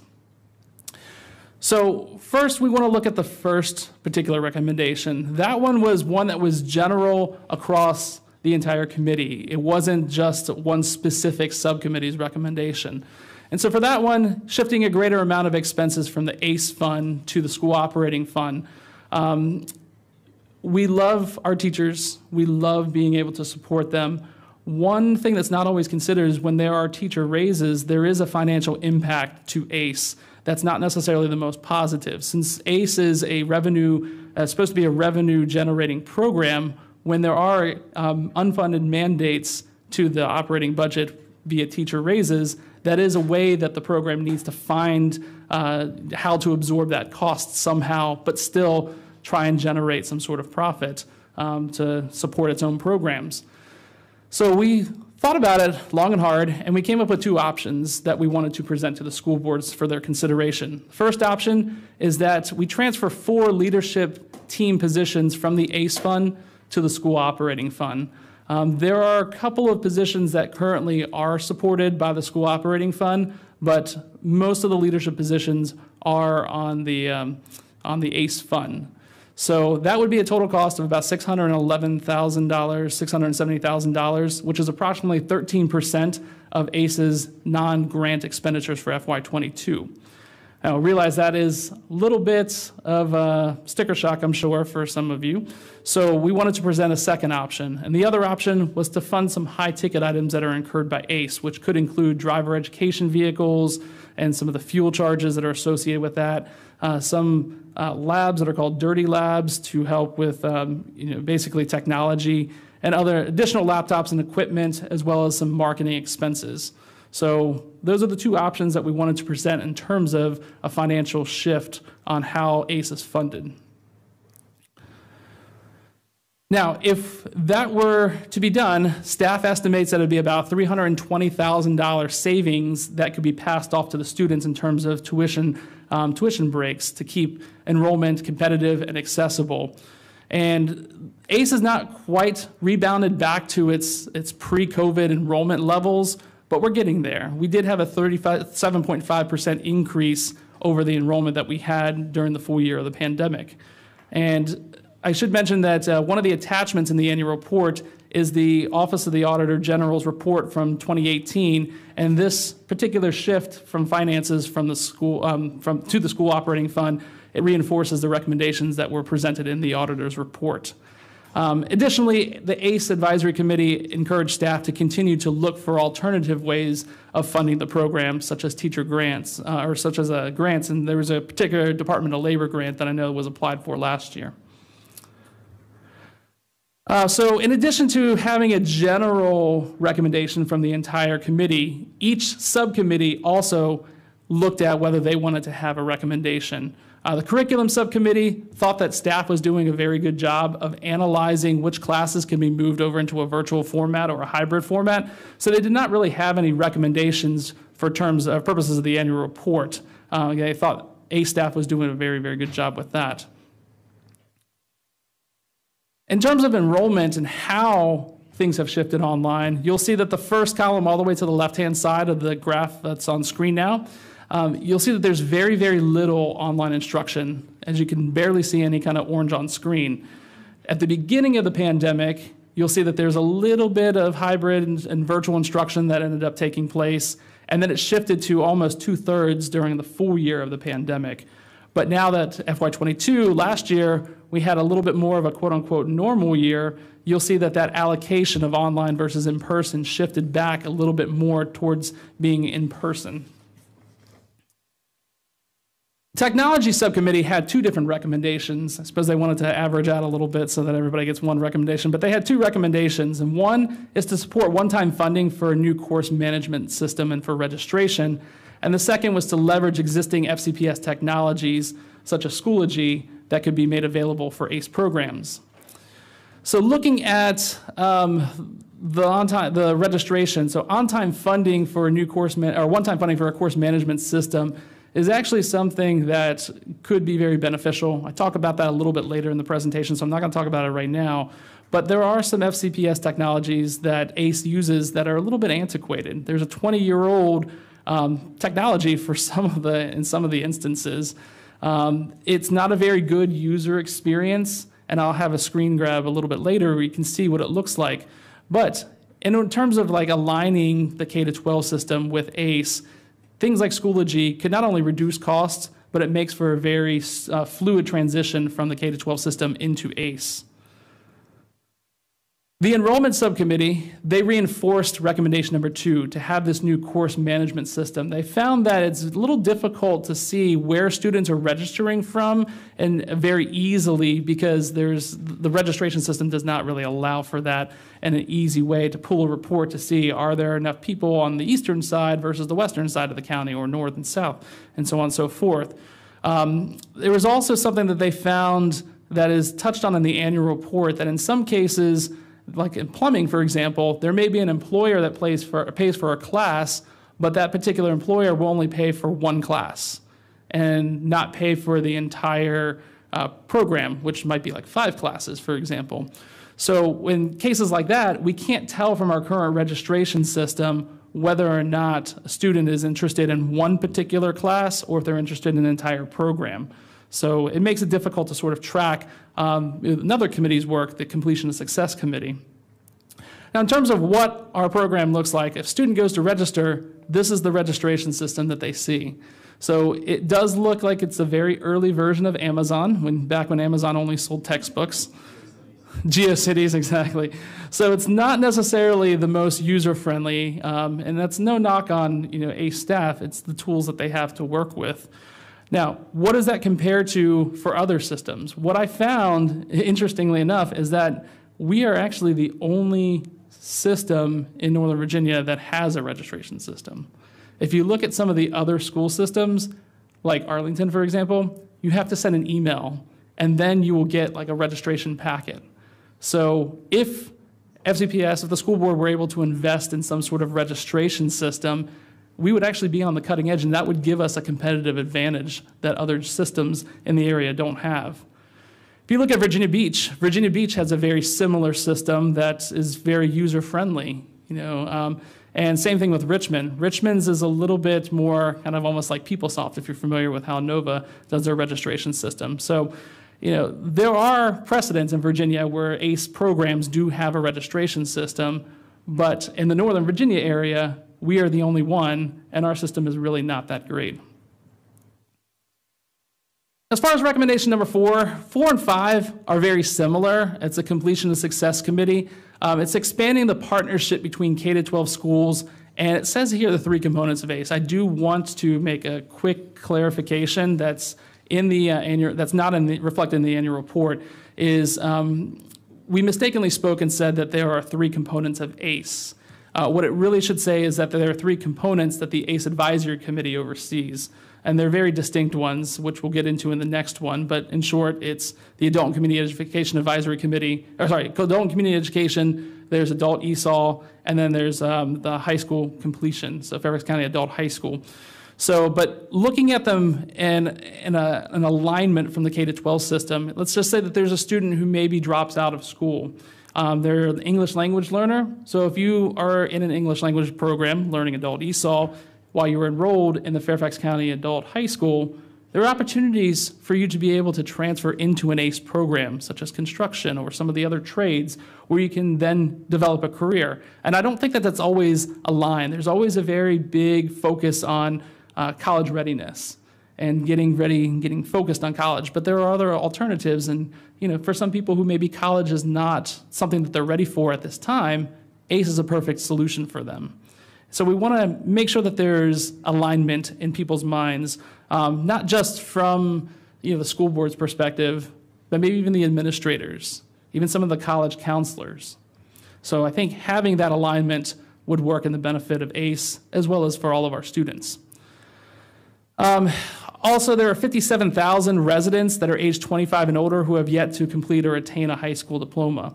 And Fairfax County Adult High School is a great opportunity for them. Uh, there are a couple other things here. There might be some barriers like access to appropriate transportation, adequate staff members. So, if there's an awareness that maybe this particular site in Herndon might be a good place for, um, you know, an ACE program, that could be something that is brought forward to you know the administration's attention but also looking at this and thinking holistically and thinking of the students not only aligned with the portrait of a graduate model but also aligns with the fairfax one policy uh, or the one fairfax policy and expands access okay. one thing i do want to say that um, i think i skipped over let me skip back one slide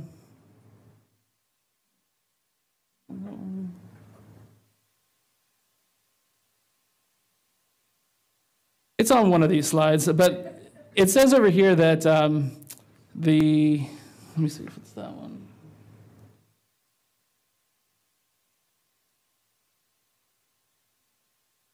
Hmm. Okay, um, it's recommendation number five. Let's go back to here. My apologies. Okay, so recommendation number five, supporting the marketing and outreach needs of ACE holistically through the consistent awareness ACE programs um, can greater align with some of the existing priorities and strategies. So I mentioned about the three components of ACE, adult, uh, community, uh, uh community education, adult ESOL, Fairfax County Adult High School. So those are the three components in a very visual representation that we have here. But also, some of the things that um, really are not present, for example, is uh, the inclusion of ACE and CIP. You know, we have not, ACE facilities have not really had a renovation since 2007, and they're not included in the current list of CIP projects that are identified from FY23 to 27. Uh, although that said, ACE did benefit from some of the um, consolidation of multiple locations in the Herndon area during the FY19. But as far as a dedicated ACE facility, there has not been a renovation since 2007. So when we're thinking of things holistically, that is something that the committee is requesting that the school board, Dr. Reid, uh, considers. So just some key takeaways here. ACE enrollment is on the rise, but the deficits continue to be a challenge. And upfront funding for some of the different um, items might be a way to alleviate some of these deficits. Short term investments in technology can reap long term benefits, and thinking of ACE holistically as a better service to FCPS students at varying stages of their life throughout their careers, and ultimately uh, has them make a positive influence on society. So, with that said, are there any questions? All right, thank you very much, Mr. Balbuena. Before we get into school board member questions, and I see many placards have gone up, could you please take a moment to introduce the staff that is here from ACE as well as the rest of the committee members? Sure. All right. I'm going to turn it over to our school board, lia- or sorry, our uh, ACE liaison, Karen Williams, to do the introductions. Okay, so um, we have me. I'm Karen Williams. I'm the Director of Operations and Strategic Planning for ISD, and ACE is part of my responsibility. Um, and we have Joe Thompson at the table. He's our um, non-traditional schools special projects administrator, and he is the oversees of Fairfax Adult High School and other programs. Have Rich Polio, the Director of Adult ESOL, here at the table. And then um, we have Dr. Michelle Morgan, who is the administrator for the Fairfax Adult High School, Paul Steiner, the administrator for ACE um, Community Programs, Monica Skander, who's our staff assistant. And can you get your microphone a little bit closer? Thank Sure, you. sure. Um, we have um, Shakira Alvarado. She is the administrator for our AFLA grant. And our vice chair for the ACE Advisory Committee is Lois Passman. Okay, I think I got everyone. I think I have everyone. Yes, I think you did. Thank you. Um, We have several com, several board members, so we'll start there. Uh, Mr. Frisch, followed by Ms. McLaughlin.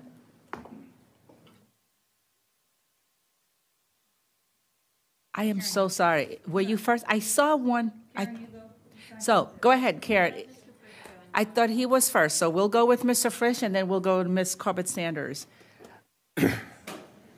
Um, Thank you for the presentation and the work this past year, or I guess it was a little earlier than that. Um,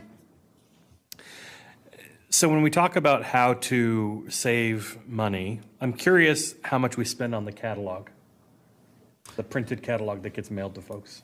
So that I'm going to defer to uh, Paul. You happen to know?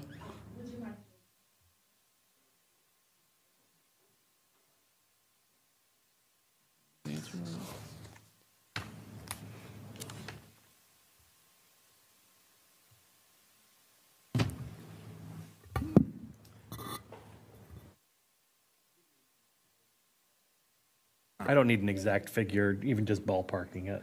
Ballpark, uh, I believe, is about $350,000 per year is what we spend for marketing. Um, and how much of that do you think is the catalog? Well, we have, if you have been a Fairfax County resident, we've made changes to the catalog to really save money on printing and distribution of the catalog. We've also executed uh, this past year an RFP uh, to modernize our marketing. And so printing of the catalog used to be four times a year, and it was fairly standard. It also drove when we offered classes and how we would inform students. So we're modernizing that. And what's really important, uh, to give you a real world example right now, um, conversations with high school seniors about what they're doing after graduation. Those happen in March, April, and May with FCPS staff with a catalog for apprenticeship classes that didn't hit the, the home of that student until August, after that student graduated and had some time to him or herself, it's not effective. So we've modernized the way that we offer classes and, and our terms set up. And then our marketing, we also need to mirror that. So having a catalog that comes out four times a year uh, is something that we are looking at uh, improving, implementing, along with social media, digital, uh, and other ways that we can uh, reach potential students. Um, so we have an RFP on printing. Uh, we also have an RFP for marketing in all things, let's say digital, social media. I am uh, I'm deferring to those experts in marketing um, because I'm a you know I'm an educational administrator. So we are getting help to modernize and really reach those students more effectively. What's the RFP in printing asking for? Cheaper printing, or is it looking to move away from printing? Uh, a little bit of both. And, and what we are actually embarking on is uh, looking at all of our options, looking at what our menu is in terms of what we can do, and then using our allotted budget to really reach our students more effectively. You know, um, that's something uh, You know, I don't know what I don't know. That's why I'm, I'd like to utilize information from a marketing expert. So if I want to reach more students in the demographic of 16 to 24, what is the most bang for my buck? I'm glad you asked. um, I ask these questions because I've believed for many years that the catalog is a waste of money, um, by and large. I'm sure we get some people through it, but there's no way to know if it's the most effective way of doing it because it's what it's just what we're doing, right? Um, so we know the demographics of the people who sign up for our various offerings, right, for different programs or classes. There is no reason in the world why we shouldn't be able to reach those demographics specifically with messages around the programs that are most likely to appeal to them through digital advertising, where we hit them over and over and over again, let alone for people that latently come to the website and check things out. We could have, you know, remarketing pixels on the website to follow them with ads. All of these things. I, I will be honest, the $300,000 figure is astonishing to me. That is a massive potential marketing budget for um, digital, which I, I have no way of knowing it for sure, but I'm fairly certain you would see a giant increase in the number of students signing up for programs if we were reaching them that way. Mr. Fisher, if I may, um, just my background is also in marketing communications, and now I work as a government consultant. But um, part of it, I think, would be a bait and switch. If you were to invest in a large marketing campaign and get them to the current registration system that they have now, and they have a hard time getting through it. Oh, I'm not. I'm not saying you shouldn't update that. I think that goes hand in hand. I'm not even sure if the current system could even handle a remarketing pixel. I have no idea. Um, but there are a number of things like getting them there to begin with. I think is is half the challenge, and then you've got the challenge of is it easy for how many clicks is it taking for them to get from visiting the website to getting registered for a class. You want to remove as many barriers as possible. Mm-hmm. The other thing I think about is you know Google search results. When somebody's looking for baseline offerings that we have that other people have too, whether it's Nova or or other uh, programs, are we in the mix when it comes to what people are finding at the top of their Google search results? Those are the kinds of things that I would be looking for in this RFP um, and making sure that we are leaning heavily on people who know best practices, current best practices, when reviewing what we get back from that RFP. Um, so I know that we have access to, to some very smart people, and I hope that as we get those submissions back, that we are leaning heavily on them. I will tell you this the marketing world is really good at marketing. And so if you don't have people who can see through the baloney, uh, in what they're telling. You know, this is the latest thing. We're the only ones who can do it. All lies, all lies. And you need people in that room who can see uh, fact from mm-hmm. fiction uh, so that we don't buy something that's just a, a further waste of, of resources. Um, is there any thought as to whether we could partner with Nova uh, on using their system to, to as, as the backbone for our system and maybe a cost saving measure? I think that might be a little difficult since it's a state institution, and so there have to be some sort of RF, um, like an MOU that's signed by the school board and NOVA. Um, so I, I don't know the answer to that. I don't know if that's. So I'll just uh, mention that we did look around the around the Commonwealth actually for any registration system that we could piggyback or, or use, yeah. you know, and not go go through the RFP process. Uh, we really didn't find anything that, that gave us the full range. Um, Virginia Park or um, Fairfax County Park Authority had a pretty robust system, um, so we had been working with them a little, but we had some good lessons learned from them. So we, we feel like we're in good position to okay. be able to purchase something that's fairly inexpensive, not too customizable at this point. And, and do those systems update over time, or are we stuck with it until we do another?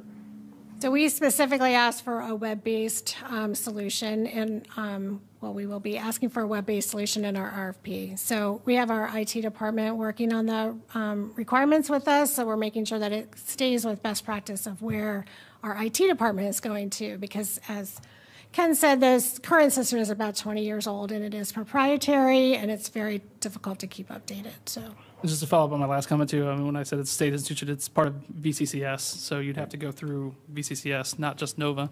Right. All right. One last reiteration of how important it is to be using digital in the right way. You know, we are leaving potential students on the table by not reaching people who have come to the website and walked away, or who have taken classes previously, or who have searched for classes that we're offering and not signed up. Um, So hopefully we can move that in the right direction. Thank you. Thank you, Mr. Frisch, Ms. Corbett Sanders, and then Ms. McLaughlin. Thank you. Um, Couple things. One, we are one Fairfax.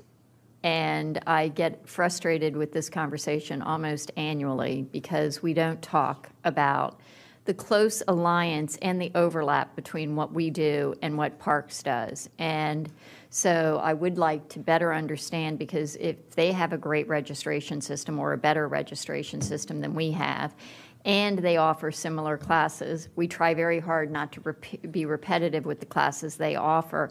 Why aren't we doing this as a joint venture between Parks and ACE to address especially those things that are not the core education focus, um, but are more like workforce development? So that's my first question, if you want to answer that. And then if you want to stop my, it keeps going.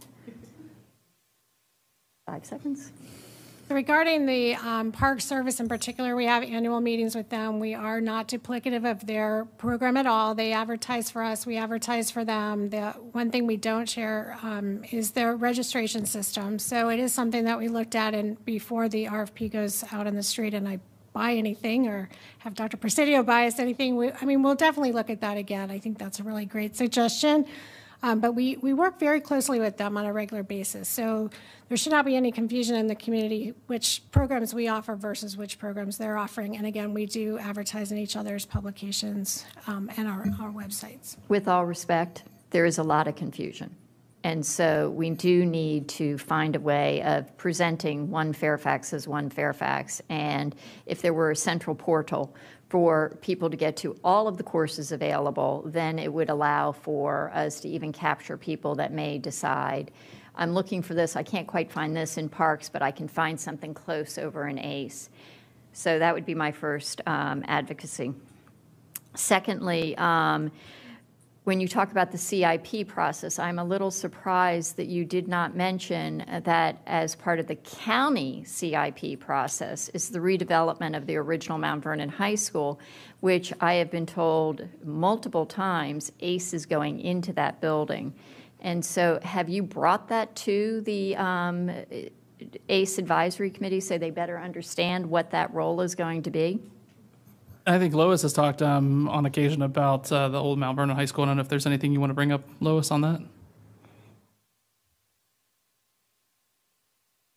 It was whether um, we've whether we've discussed about the old Mount Vernon High School and being able to use it for ACE purposes. Oh, Lois. Probably. Go ahead. Thank you. We discussed it was probably in passing because it's been promoted or advertised that's going to happen. Whether it's actually happening, I think it's still uh, on a going to be kind of thing. Not at all. As Lois and I have a shared um, past from the standpoint that Lois was the original chair of what they were going to do with that building in 1985, and I actually chaired that building uh, re reinvention committee um, in 2015. And then, subsequent to that, and we've had multiple conversations, I know Dr. Presidio has been engaged, the county executive has been engaged, that um, ACE is going into that building. And so I think you all need to have a, a full briefing on that and some input into it because that's your CIP play right now.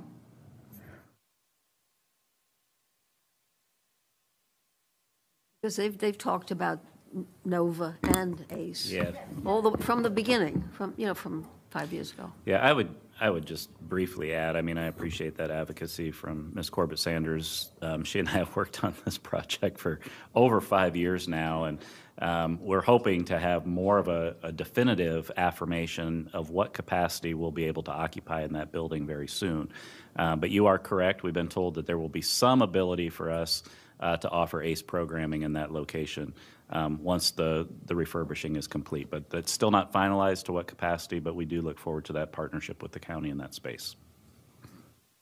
And we've both been pushing Well, and uh, there's confirmation. You all are getting space in that building, and it's a substantial amount of space. So I think that there has to be that conversation because when you say you're, nobody's talking about CIP and capacity, I'm a little surprised because that has been agreed to uh, from multiple sources. So the next piece um, that I do want to raise is um, if you could kind of give an idea of who are two actually extra pieces. One is I fully support Schoology, but I do think it's really important for us to also look at um, that shared registration either with parks or with the school system. We should not be doing a standalone because it increases your marketing challenges. And then the last piece is if you could address the um, four people or four leadership positions that you're thinking that the county would take over. And it would be would it be actually four or is there a way that existing staff might take on some of that responsibility?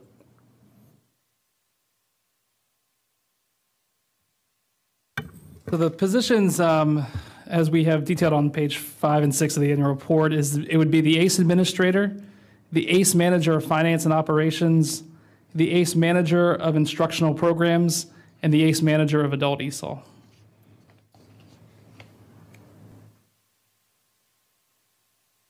Ms. Corbett Sanders, did you have just, did you want to wrap that up? You, you look like you have a follow-up. Uh, yes, I would just want to know how the where there are synergies with existing FCPS operations um, and how, if it's considered any duplicative. But obviously, that would be something that Dr. Reid needs to look at. Okay. Thank you. Thank you. Ms. McLaughlin?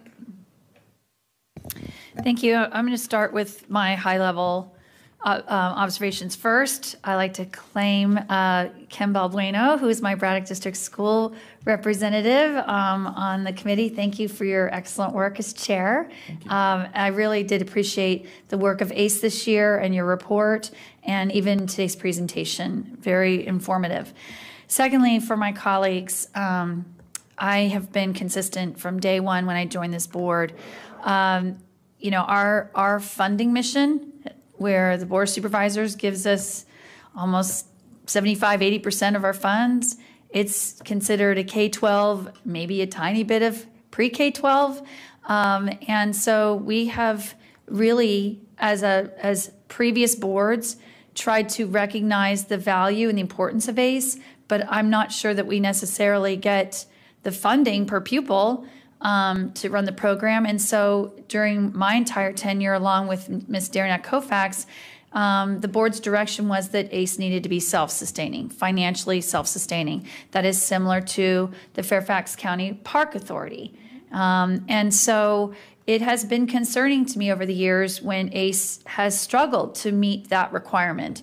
And so I just want that to be like my most macro level focus is I, I absolutely want ACE to be successful. I remain a huge champion that the ELL services is probably the most paramount because we know that we have a lot of people coming to our county um, that continues to grow in size, and fluency in the English language is essential for, for their success. So I will never step away from that. But for the other programs, uh, you know, again and again, year after year, we just talk about where is the data analysis that shows which pro, which courses and programs are self-sustaining and which ones are not? And when they're not they need to go away because we we have to be again efficient and effective with whatever we're running through ACE program.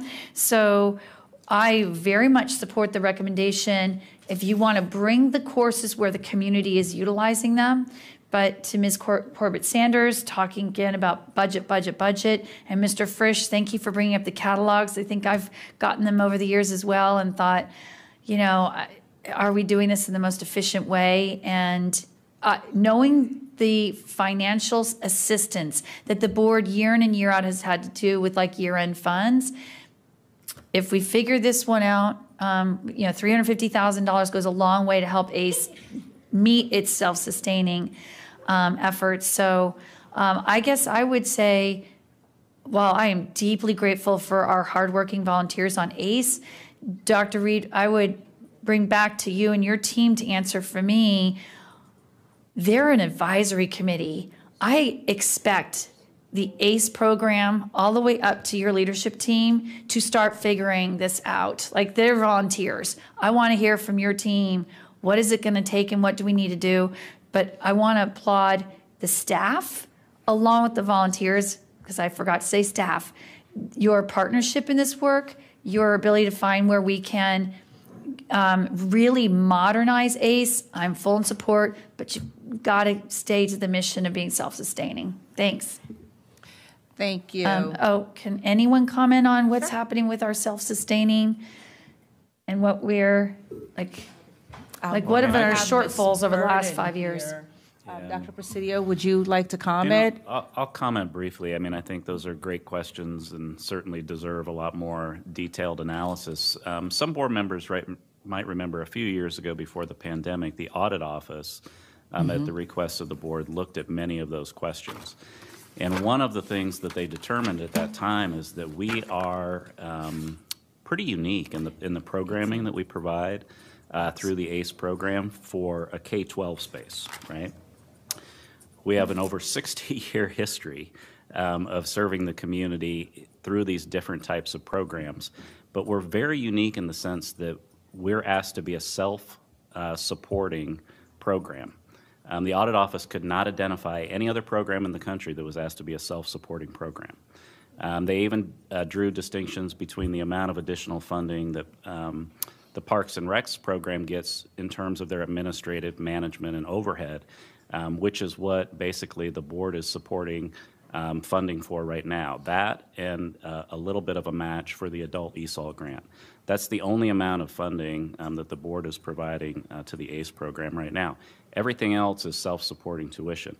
And when we do the analysis of, uh, and the team does a good job of this every year of looking at programs in terms of how much revenue are they generating, are they generating profit, are they generating loss, investing in those programs that are the greatest, you know, revenue generating uh, programs for future offerings and expansion. They do a good job of doing that analysis every year. It's interesting, I think, sometimes some of the classes that generate more revenue um, are those community enrichment classes right? They're not even the ones that necessarily we would strategically say are aligned sometimes with the, with the board goals, like workforce development uh, for students who didn't graduate on time or recently graduated um, and have not gone straight into a two-year or four-year college experience. So we're relying sometimes on those community enrichment classes actually to generate revenue to subsidize some of the other things that we're doing that are in alignment with our strategic goals. So it is um, it's a very complex program um, to manage. Um, I think the discussion at the table today has been really good in terms of you know additional efficiencies. How can we market it better? Um, and certainly the team would benefit from you know any of those partnerships and expertise that folks in the community have to help us with that. Um, Ken has been great. Other co- uh, committee members have been great at bringing some new ideas to the table. Um, so the team, the team is open to anything and everything to figure out how to continue to offer these services in the most effective and efficient ways possible. Thank you, Dr. Presidio. And just for everybody's um, information, that report is also included on board docs from the auditor's um, investigation from three years ago now, maybe even four. Thank you, 2018. Um. Um, Cohen. Thanks. Uh, we are very big fans of the ACE program in our family. I think everybody from my mother taking Italian to my um, oldest, who somehow did not kill their driving instructor, um, we are very appreciative of, of all that you do from behind the wheel to um, expanding the uh, knowledge base of some of our citizens. I think a few things I just want to say. I mean, one, we this board just keeps talking constantly about family and community engagement and how it is an impediment to the kind of information that we get back, to how we develop together this strategic planning and how I mean, this is one of the big ways that we engage with the community. And I would argue um, one of the biggest barriers we have is this communication gap, and yet we spend a lot of resources working to help um, teach family members English, which helps us and helps them be a bigger part of their kids' education and a part of our system.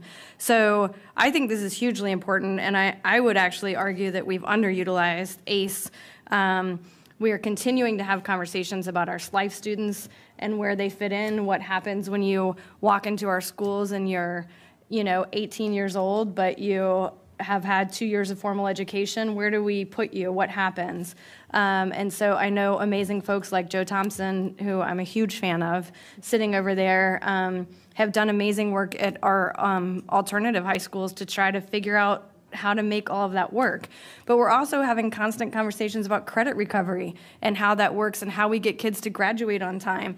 ACE is such an amazing resource for that because the things that it offers, just like Mountain View, are sometimes at different schedules at different times. Things when you're able to take courses. So I I I I think that this is an investment well worth um, what we get back from it. I totally agree with what Carl said that if we can, he just whispered over to me, like, if we can really capitalize on how to market those things that Sloan said are not maybe things that we're even thinking about that wind up subsidized, the things that we really, really need where we may not be getting the money, man, that's gravy. But I think it's unreasonable for us to ask ACE um, to pay for itself. I mean, we don't do that in any of our other.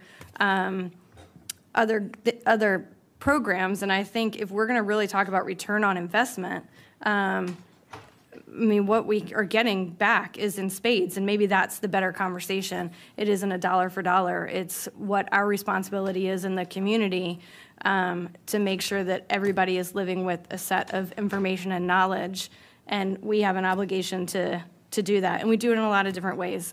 Um, so I, I really appreciate your suggestions. I did not know about the existence of the 2018 audit report, so I'm going to go back and dig into that. Um, but whatever we can do to be helpful, just know that I know there's at least a few of us on the board who are willing to help in any way we possibly can. Thank you so much, Ms. Cohen. If I can uh, just touch on one thing since you brought up about the driver's education. So that's an area where we did see a good amount of um, increase in the enrollment. And it's also been a good program to to adapt and use our lessons learned from the virtual learning. So one thing that we've tried to do is make it a hybrid instruction. Maybe Paul can expand on this, but we tried to make it a hybrid instruction so that the classroom portion is done virtually, whereas the it's a little difficult to do behind the wheel virtually. But you know we do that in person that part we don't want to do virtually. Dr. Um, Anderson, can I super fast just say, even during my oldest navigated this during the COVID times and having the virtual instruction did great, but you guys went above and beyond during COVID to try to figure out how to make behind the wheel work, and we are all the drivers of Northern Virginia are greatly appreciative of that. Some of us may have to revisit that. Um, Ms. Meren, and then Miss Omeish. Hi, thanks for all this information. I want to start by saying I think that this has parallels to some other programs, and I'm the liaison to the Career Tech Advisory Committee, and I just see a ton of connections, and I'll try and segment so that I save that for the next portion. But uh, the, the parallels I see are this ACE offers quality programs, just like Career Tech Ed offers quality programs, just like SAC offers quality programs. The issue is access. There just never seems to be enough access. It's you know part of the marketing it's part of the offering. And we have been lamenting this for years. So the remarks i want to share are really for the benefit of our new superintendent um, to understand where my advocacy has been over the years. And i had served at one point as the ace liaison. So again i am a fan. But i do think that it's worth assessing the role of fcps in the adult education space. Is this our space? Our mission is to educate children. Um, i think that ace that cte that Nova Community College, Fairfax Parks, it's all siloed. And yet there's all this overlap. I think that we need to unentwine this from being, so, so that, that I'll put that out there about who's doing double duty, where can we better leverage partners, what's really adult ed and what's really student ed, and how can we align our students so that they can access opportunities. If the adult ed program is about furthering our own students, I think that that's one case to be made. If it's an adult education to provide leisure opportunities, I'm not convinced with any data that that is our space. I think that's a great space for parks or for other um, local organizations, but i have asked for that data. I've never received that data about what is the return on investment for offering leisure-based courses.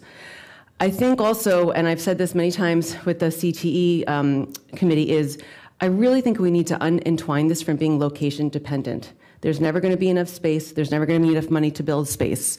We have buses. We have a lot of county buses that I see driving by empty, not our buses, but county, um, Fairfax County buses. We have trailers that we're trying to get rid of.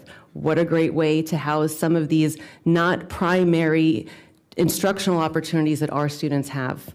Can we have mobile? You know, we hear all the time about Herndon, but even just this morning, I was lamenting with our CTAC chair, all the, the academies that we're visiting in these programs, none of them are in North County where South Lakes High is and Madison High is. All those students are going to Chantilly, or they're going to Fairfax, or they're trying to get down to Edison. And yet, we're talking about building these facilities in Herndon. Why isn't there a more division wide view, and why isn't it more entwined? And then, yes, absolutely modernize the marketing. But then you have to modernize the enrollment, and that gets back to is this really our space? Is our space to be in adult education? So I hope that's um, for your consideration, Dr. Reid, and the board as well. Thank you. If anyone wanted to offer some commentary to Ms. Meren's remarks? All right, seeing none, Ms. Omeish? Yeah, I mean, I can, but I, I certainly. Uh, that was not exactly my point, but feel no. free. It's your three minutes. No, I'm actually happy to follow both Ms. Meren and Ms. Cohen because I think this is this is where we kind of uh, make the case for ACE, where um, we understand to her to Ms. Cohen's points that we can't be successful at the endeavor of educating children without certain supplemental supports, those being family engagement, uh, English learning, uh, and just making sure our families are empowered. Because the idea is all families care, but families have blockers to being able to support their kids in the ways that we hope for. And so when we identify those blockers, what's the next step? They have to be able to empower themselves, and ACE allows them that avenue to do that. Uh, without it, I don't know where else they would turn, right? Um, we would expect of them to be at a certain point without giving them the tools to get there. So I, I'm, I'm a huge fan of, of ACE and its programs. I actually, though, in thinking about exactly what you're pointing out uh, and saying that you don't have to be anti ACE to perhaps be critical, um, so to that point, I actually think we could benefit from a joint board of supervisors, school board committee on this, in the same way we've done for environment and, and facilities, uh, just to discuss programming seriously and think through, you know, long-term funding, et cetera. It seems to be one of their responsibilities. So I, I put that to you all. We can discuss that maybe in the joint meeting we have coming up at some point. Um, uh, beyond that, though, I did want to speak a little bit, just asking questions about the funding pieces and whatnot. I was asking, I don't know if Ms. Burden or even Mr. Sethi can be part of this conversation, and this is where it gets a little bit frustrating because the solutions tend to be interdepartmental. On the budget side, I'd love for us to think about specifically the, the big ticket items. Like, why, why are we uh, not funding vehicles, for example? I mean, we have a separate shop for that in FCPS, right? Where they have all kinds of vehicles, replacements, whatever, maintenance. It seems to make sense rather than have ACE self manage take advantage economies of scale and just have that be a part of the bigger FCPS facilities uh, or like resources. Um, um, I don't know who can Dr. answer that. Reid, would you like to comment on that? Sure. Um, I I'm having to assume that they could avail themselves of our transportation vehicles if they're available and then still need to be revenue neutral. Is that my understanding? So so just uh, quickly, we do, we buy from the fleet. Right. We do buy the cars. So you are able to use that can- economy we- of scale? Yes, we can use the fleet price to buy the, the cars, but we also have to to retrofit them so that they can be, they have a um, separate brake. There, there are things that have to be done to the car to make them Are you ready talking for. about driver's ed cars? Yeah, behind the Oh. driver's ed cars. But these are our kids that are using this. So I guess I'm Correct. wondering why we're not using like, I don't know, old FCPS cars or something They probably have to. that can be retrofitted. Why are you buying your own? So, um, so we do buy them, like I said, from the fleet. There are specific cars that um, are available for behind the wheel. Um, and we- But you're buying them? Is that we, what? we purchase those and From then FCPS? From it's actually I think a Fairfax County um, contract that we we purchase them from, and then they're serviced and everything through Fairfax County. However, our regular transportation is serviced. However, our normal our normal servicing happens through um, Fairfax County, but we have to also pay for that um, annual maintenance, the the registration, the little all the um, safety inspections, all of those types of things. But so the cars, and then when they have reached their usable life, then they're sold at auction through the county. I feel like we should be able to get a waiver on the. Yeah, it's the like a transfer of money of the same. Yeah, we just transfer the money.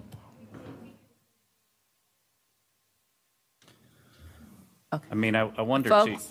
I wonder if your larger question though, is, or at least the way I was interpreting it is, could there be more cross-departmental collaboration, right? And I think that is something that the ACE team would welcome. Um, I mean, it was part of this report to really think about the facilities issues, you know, partnering the ACE team and facilities, partnering transportation and ACE, looking at, you know, are there additional opportunities for cost savings, efficiencies, Mhm. just better management? You know, Mr. Frisch mentioned, you know, perhaps maybe working with our own communications team more closely on the marketing side, right? Like, I think the ACE program would benefit from a lot of additional support from other departments in the division. Yeah, I think I'd like to see a follow-up meeting between the ACE committee and uh, uh, budget, our budget team. Even this one-time fund, this is an awesome idea. It's tangible, it's clear, it's limited, it's straightforward.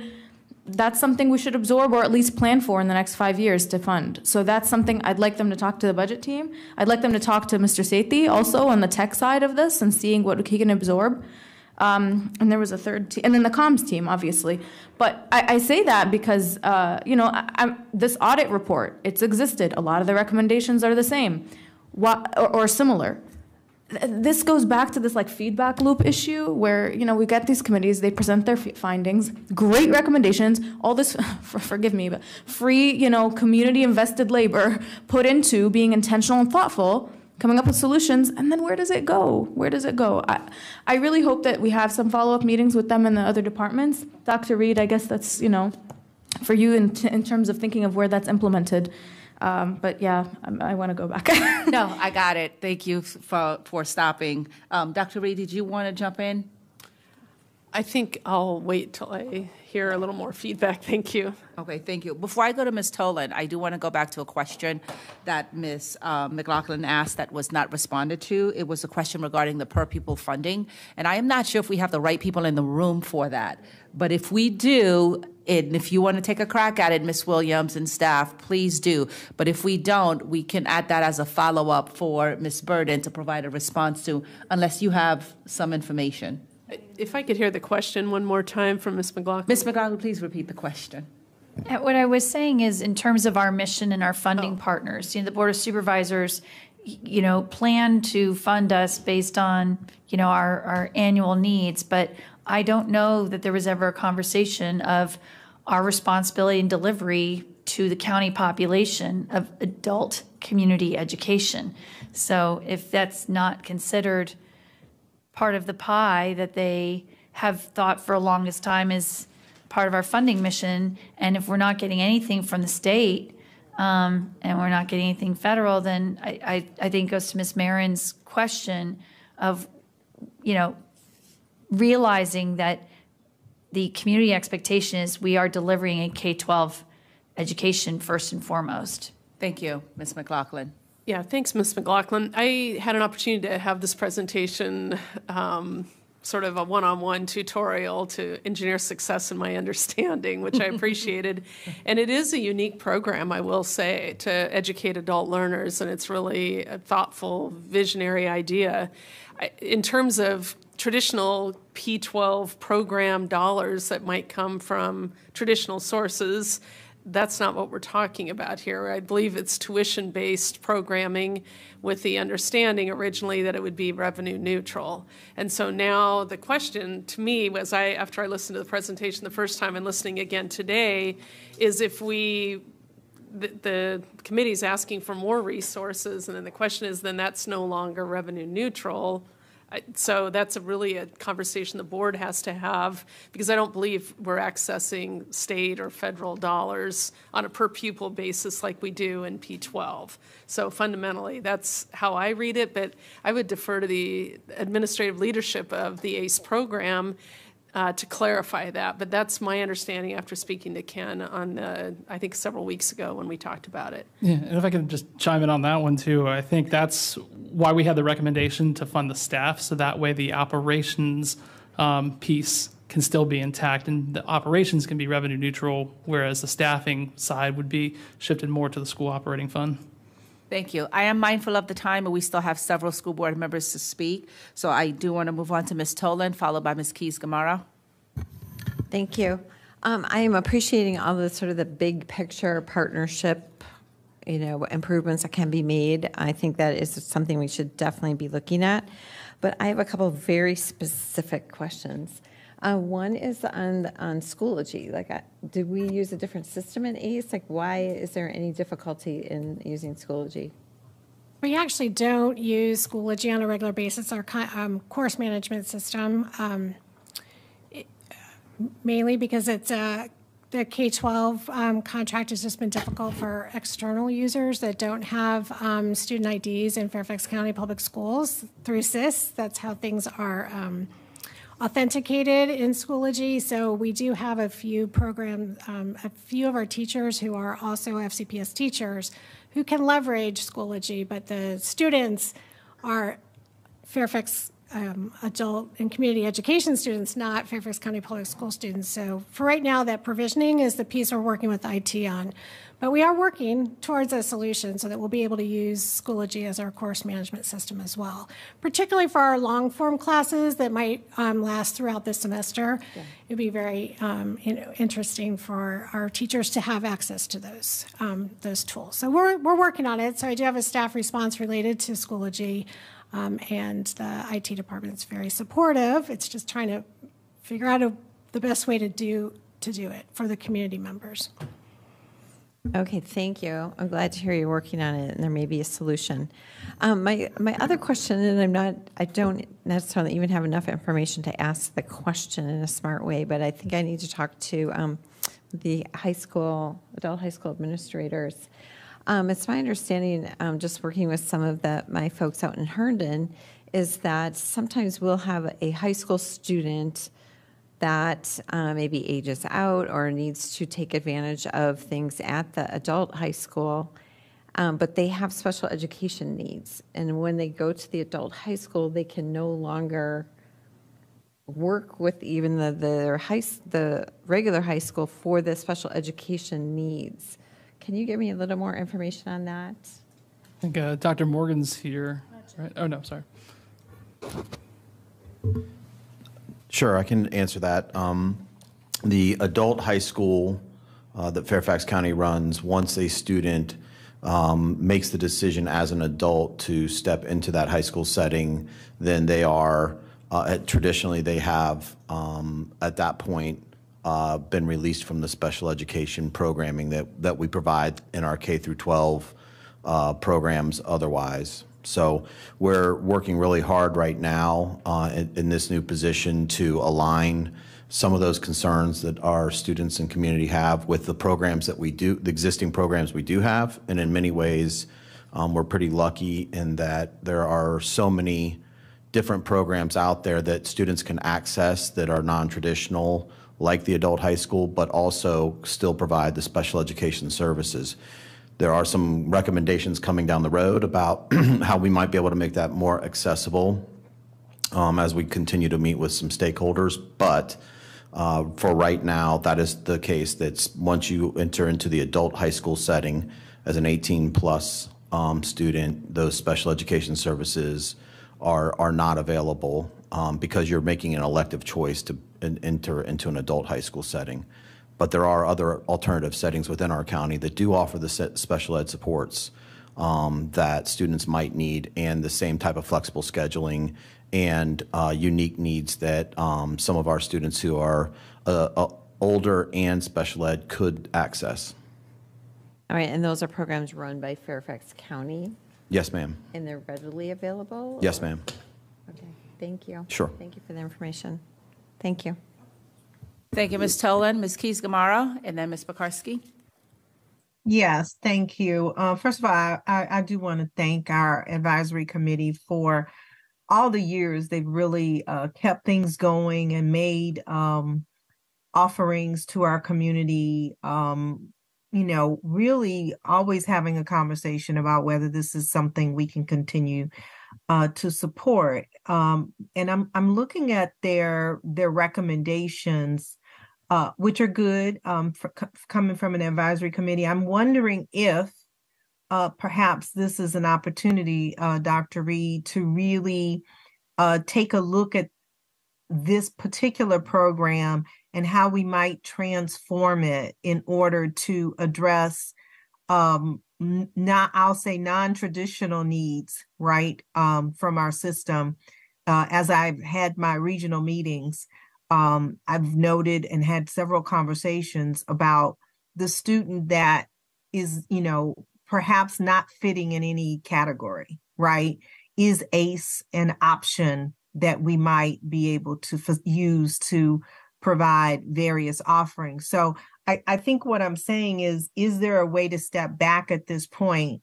Um, maybe this is a good time with the new superintendent to look at this program, um, not just as, oh, it should be self sustaining, but is it a way to perhaps uh, address some of the concerns we know uh, we may not be meeting as well because we have students that don't meet the traditional sense.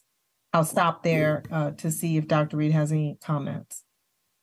Thank you, Ms. Keys Gamarra. We actually I was speaking to one of our regional assistant superintendents a few weeks ago about some of our like 17 and 18 year old newcomers who are mm-hmm. coming in, maybe who haven't been in school, formal school in a while, and thinking about what was possible with ACE um, in terms of versus maybe a more traditional high school, particularly if they were working or had some type of a um, a job. And we also have been sort of not sort of we've also been discussing where does night school fit in for Fairfax County Public Schools in terms of students who do need to work.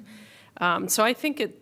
I'm excited about that opportunity. I just want to make sure that um, you know that we're thoughtful in terms of all the funding pieces as i'm it's my first fall to go through the budget process too and um, reviewing a lot of uh, department requests as well at this time but i think to your point um, this is really a unique program and i think the, the mm-hmm. thought around being um, perhaps innovative in how we approach students who might access the program and I'll want to talk a little more with uh, Joe Thompson about this IEP separation.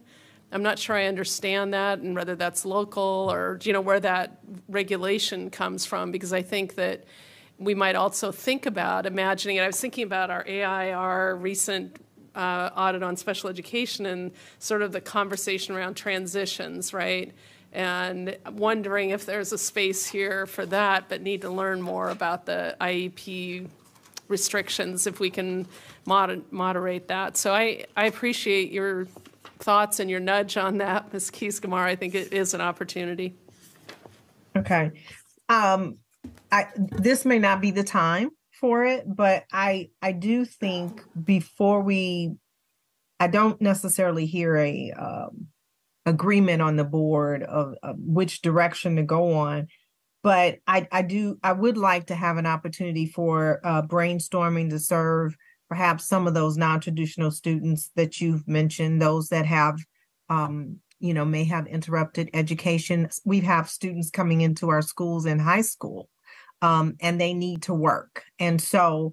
Uh, I wonder if this is just that opportunity to identify what those specific needs are, both in our schools and in our community, um, by reaching out, first of all, to the business community with respect to perhaps there are, you know, there are students that are college bound, and then there are students that need to work, and perhaps this can fill that gap. Um, so I, I I look forward to having that discussion and reimagining this program. Um, I think is perhaps the way that I see us moving forward. Um, I think that ACE has done some valuable things in the past, but I, I think that it can, um, in a one Fairfax way, address a number of concerns, but we have to step back and reimagine the program. So I think that's what I'd like to offer today. Thank you very much. Oops. I just had one thing to add to uh, what uh, Ms. Keys Gamarra was uh, talking about. We uh, we have started to have these conversations now that my uh, position is um, is started this year around some of the ways that we might be able to take advantage of the things that all three of our different programs do. For instance, if there is a um, an, an adult ESOL language program that is taught by a um, a uh, certified teacher, can that become a concurrent uh, credit for a student that might want to then approach adult high school because now they, you're right, they do come in, uh, Ms. Keys-Gamarra, they do come into our community needing to work and they're desperate for work and that makes, sometimes makes the second, the schedule that we have secondary to what their needs are. So if we can leverage what adult ed is able to do outside of what our K through 12 model looks like, but still give them credit so that they are gaining some educational momentum towards a diploma uh, program, then we want to be able to do that. The same thing is true with our ACE programming. Um, are there ways to uh, provide um, the types of uh, uh, educational opportunities that ACE has to engage our students in a more hands-on um, type of education that we know uh, prevents the dropout dropout risk with the hands-on education is a, is a great way to um, keep our students enrolled and keep them focused on a more post-secondary mindset. So we've talked about how we might be able to not only uh, bring the, enmesh those two prior to a student graduating, but also then how we can hand those students off a little more smoothly post-secondarily as well. So of the three programs that are represented here, we are actually now starting that conversation in order to um, be a little bit more efficient and effective with our service delivery. Thank you very much. Um, your time did expire, Ms. Um, Keys-Gamarra, unless you have something quick to share. Or you? No, I just look forward to that discussion. I think it's necessary. Thank you. Ms. Pekarsky, mm-hmm. followed by Ms. Derenak Kaufax. Thank you. Thank you. Thank you for this report. And I'm glad to be going after Ms. Keys Gamarra because I actually wanted to make some of the same points. And we have talked, Dr. Reid, I think you and I, in our many conversations about the need for something different for some of our kids. And, you know, the pressures that they have and the things that they have to do doesn't always lend itself to being successful in that, you know, eight to three, eight to four PM model. So I would be very interested to see what your thoughts are on this. It seems like the board needs to have the conversation because we are all over the place. And once the board has the conversation, I know we've been kind of hobbling along for years. Um, but we have the conversation, um, and you know, part of the strategic. It is the time right now to do this. And then I loved your idea, Ms. Omeish, about talking to the board of supervisors and trying to see where do we overlap, where can we be more efficient, how can we, um, you know, use resources in a more impactful way. And actually, when the um, Board of Supervisors did, the county did their strategic plan, one of their priorities was lifelong learning. So there is space, and I think it is the time. Uh, so I thank you, and I just lastly totally and fully agree that we've got to modernize, and, um, and it's a chicken and an egg kind of thing, right? Like, it, do people get on there? I've gotten on there. It is very difficult to use. It is not user friendly, and I think about you know that's me. What about people who do not even speak English? Um, how do they access uh, this site, and do they give up and say, you know, forget about it? So. Um, I think that's an investment that you will see return for. So thank you. Dr. Reid, did you just want to offer any more commentary? I just agree with Ms. Pekarsky, and we have had that conversation on several occasions. And I also wonder, I want to put something in this space for a minute, and I don't know if it's a fit or not a fit, but we're really wrestling with um, outpatient treatment availability also for our students with the current opioid issue. And I'm wondering, you know, I come from a division where we had outpatient services available on site. And I wonder, in terms of where that's available within the division, and we've been talking about that.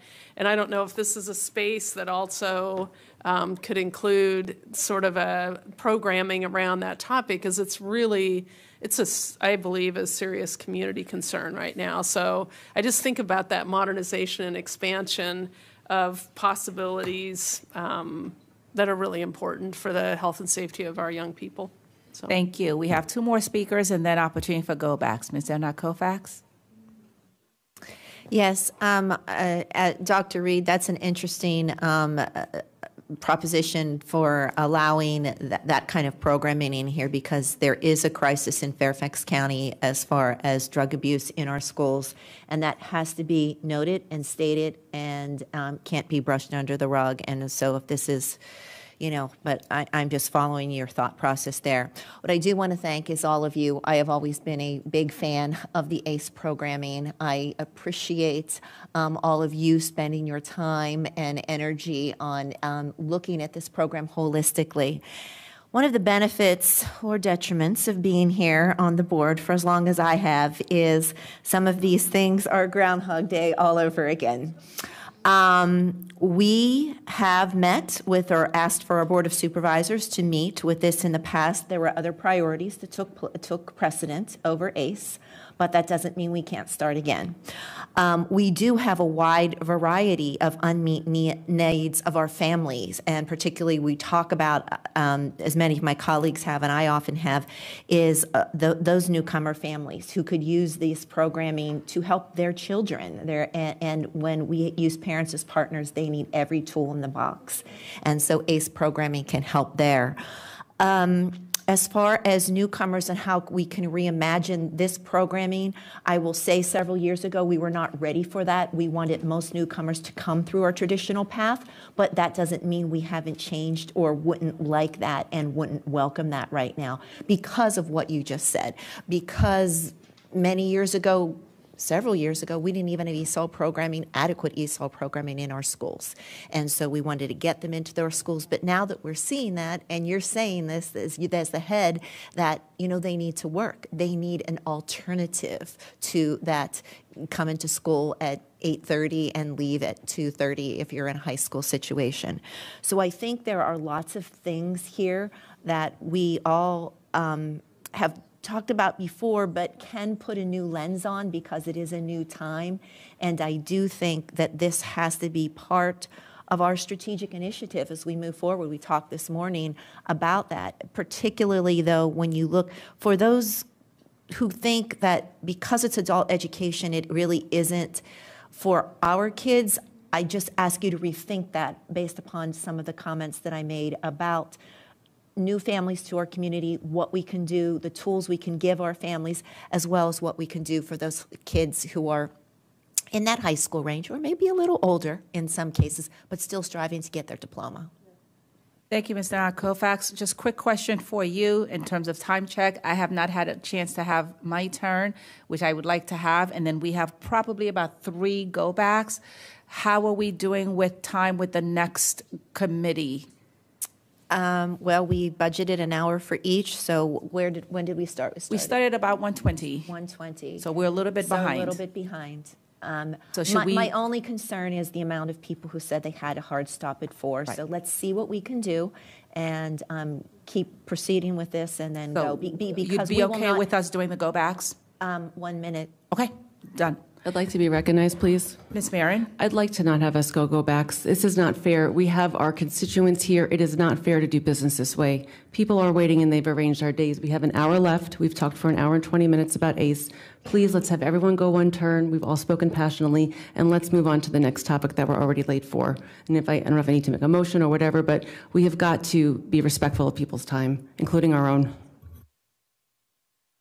Dr. Anderson, if you want to take a pulse of the board, I think that's okay. Well, Whatever. how about I have my turn before we get into all of that? And then we'll see you the take your timing, because I There- do have there some you go. questions You that do I not- want to get out You do not have your there. turn yet. Yeah, I have everybody not gets had one my turn, and then we could take a pulse of the board. Thank you. If we could start my three minutes. First of all, I do want to say I, I'm really supportive of Ms. Omeish's idea of having some sort of joint effort to communicate with the Board of Supervisors, w- you know, for parks, for all of these other ventures where there's a lot of overlap. I think there's some space there for us to do much good.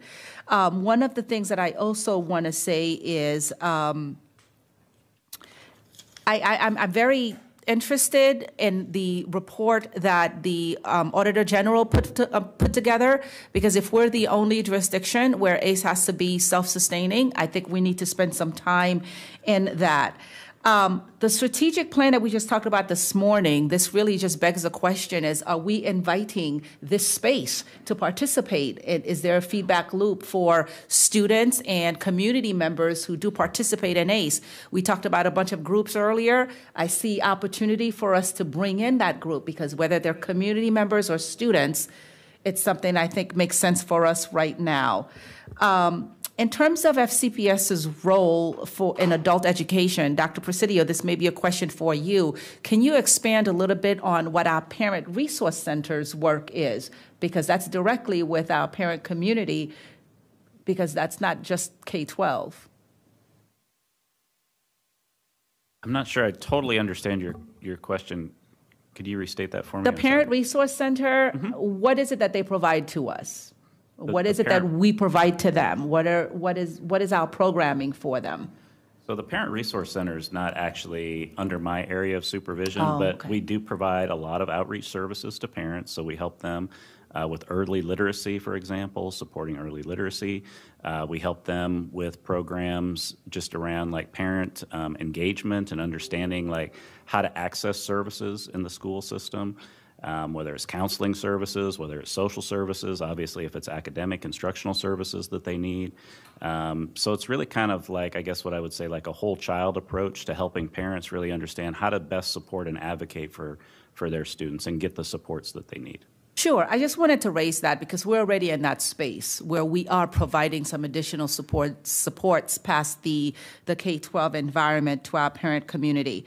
If someone on um, on staff can speak to for our students who currently participate in the adult high school um, component of ACE, where do they come from? That's the first part of that question. And secondarily, what conversations do we have with the high schools? And I'm not necessarily going to use the term recruit because I think it doesn't really lend there, but how do we collaborate and facilitate our students who may otherwise drop out in offering them this opportunity instead right now as it stands? Or are there no conversations? And Joe, before you answer that, could you make sure to try to draw the distinction between our alternative programs and the adult high school? Mhm. I think that, that distinction is pretty important.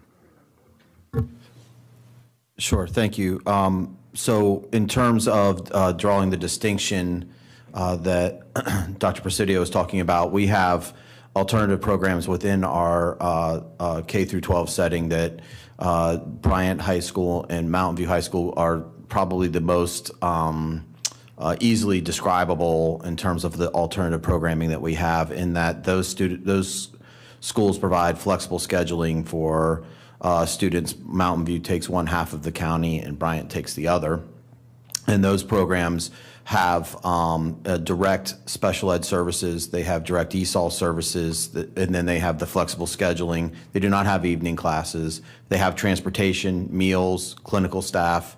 Um, They have uh, uh, counseling, uh, ESOL counseling. We have uh, school nurses, uh, all those things there. So it looks, it has very, very uh, many of the traditional school elements that you would expect to see.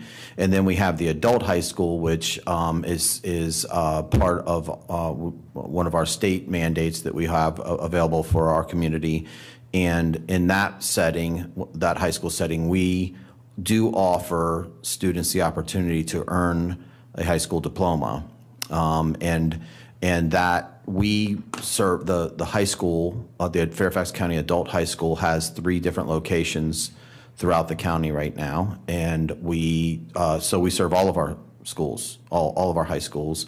And on top of that, any student who is of school age who registers into Fairfax County Central Registration past the age of 18 also has the opportunity to pursue the adult education model. So we communicate that to the new coming families over the age of 18 at, as, as one of their choices. They do, they do get to, to have some choices because uh, they're school aged. Uh, so they have their community school as a choice and they have adult education as a choice as well. So one, one additional distinction to think about, the students in the adult high school are over 18. Those are students who have left FCPS without completing a high school diploma, earning a high school diploma, that are now coming back to try to either get a diploma, certificate of completion, or a GED. We do have students over age 18 in our alternative schools that are still FCPS students working towards completion of their diploma. Um, and many of those students get ESOL services, special education services um, in, that, in that alternative setting. Sure. Um, just for the sake of time, I'm going to wrap up my comments because I get to work with this committee every month. I, I, just think there's an opportunity, there's a lot of opportunities here um, in terms of addressing some of the things that we have talked about. It sounds as if you're having the same conversations with multiple school board members about our students who are newcomers, who do need to work. There's I think the environment here is ripe for us to reimagine um, ACE in a way that we have not done before, in addition to what everyone has said. So I will yield my 35 seconds back to the group, and then we'll ask for the pulse of the board as required um, by one of our school board members. Can we, who would be okay with a one minute go back? And we have three people for that, and who thinks we need to just wrap this up and move on? So those are the two choices. So choice A, one minute go backs, please raise your hands. One, two, Thank you. Choice B, let's wrap this up. One, two, three, four, five, six. Where, what did you say? Abstain Okay, well, the bulk of the people who have voted think we need to wrap it up. So having said that, Mr. Balbuena, I will ask you to just kind of close out because you had a comment that you wanted to make, and then I will offer my thanks after you're done. I just want to say thank you very much again for the opportunity. I love being able to present to all of you. I love the questions, and thank you for challenging us a little bit. And we've definitely got some work ahead of us. Um, I'd like to thank Dr. Reid as well. So the it's great to hear you talking about ACE. I will say when we met one on one, she had a you know so me- meager level of understanding of ACE, but she left the meeting saying that she felt like an expert. So When proved on your grade, that's a great thing. yeah. Yes, And so- I, I will say that um, to to Ms. Meren's point, um, we have been talking about uh, discussing overlaps with CTE and what kind of opportunities for collaboration there are. So that actually is a priority for us this year. And I love the idea, Ms. Omeish. Um, thank you for um, suggesting that about meeting with the board of supervisors. All right, um, I'm looking forward to our meeting, which is tomorrow. Yes. 'Cause Since I'm continuing to work with this committee, there's a lot of opportunity here in terms of the next charge that I've heard in the conversation in this room. So thank you all for your assistance, and thank you for your questions, and thank you all for all of your work. Big job to ACE.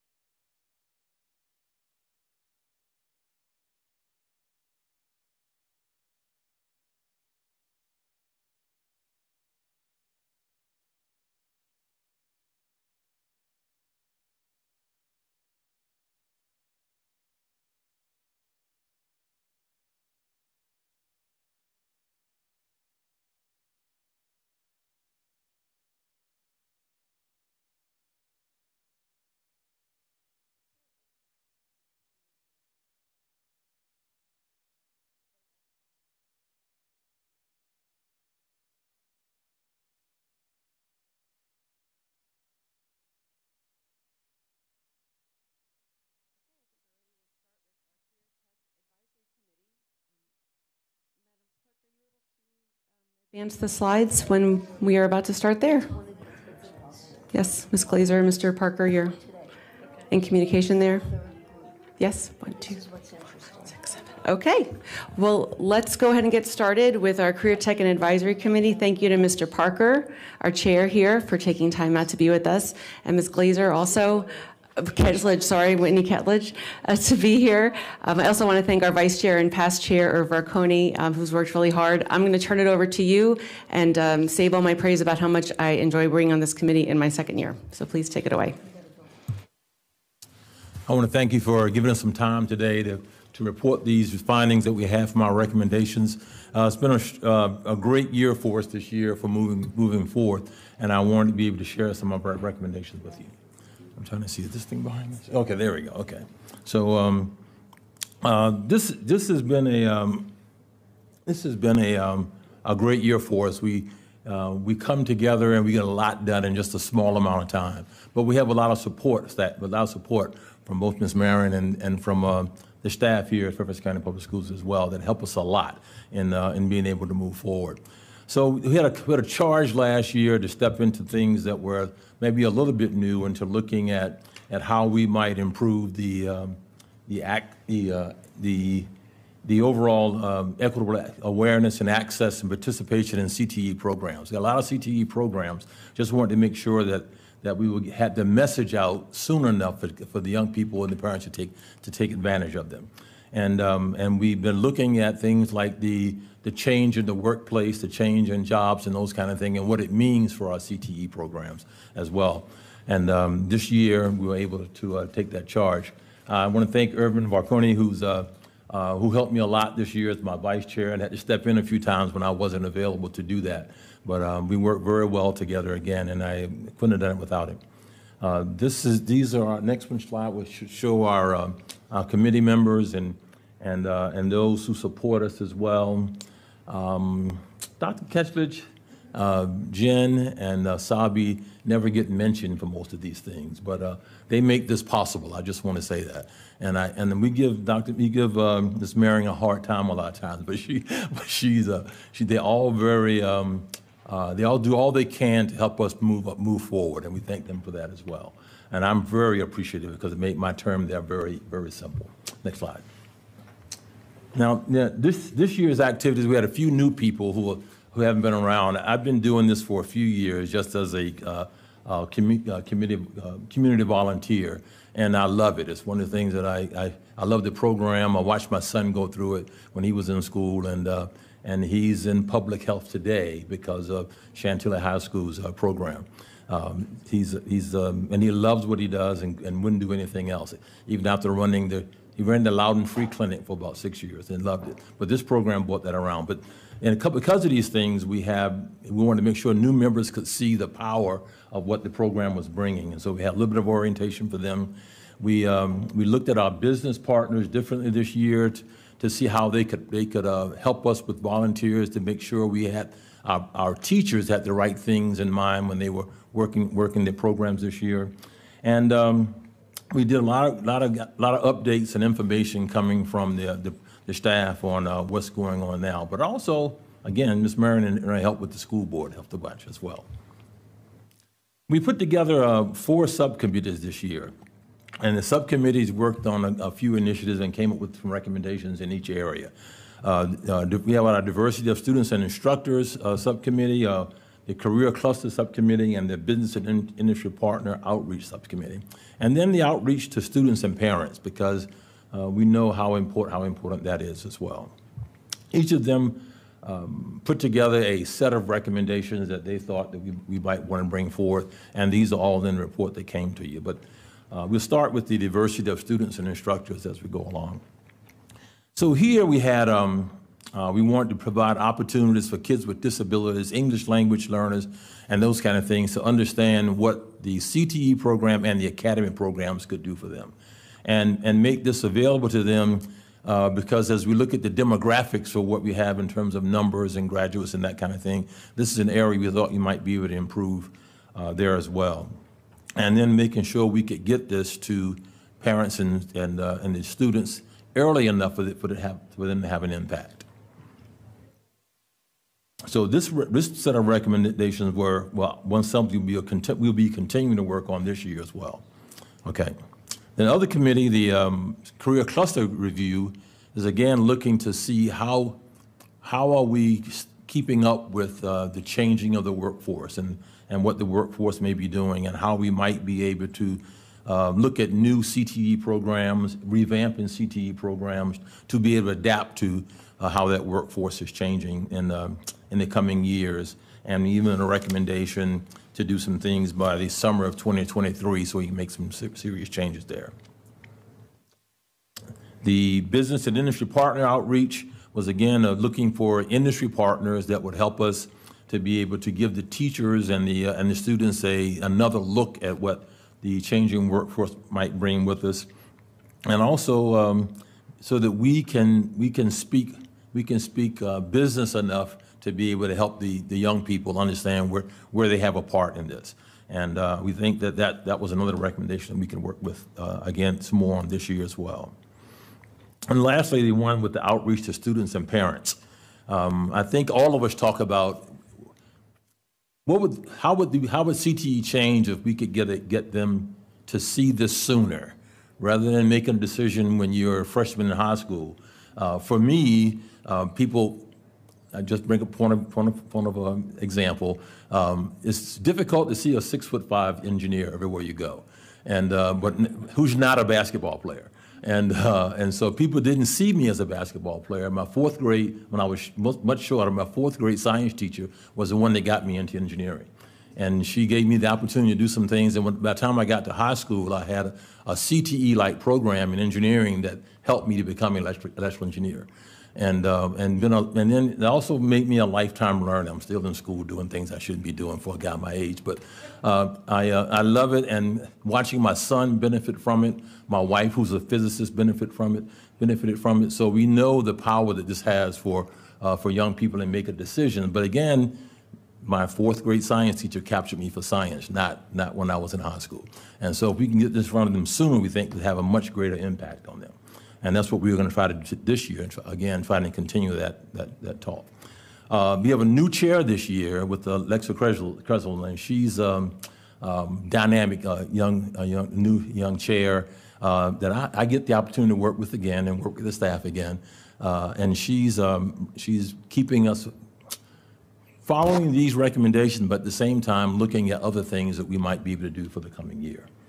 And um, that's where we are this year, and that's what we uh, like to present to you. I try to make it, I know you're running behind, I try to make it as fast as I can, but I also want to be able to answer all your questions if you have any.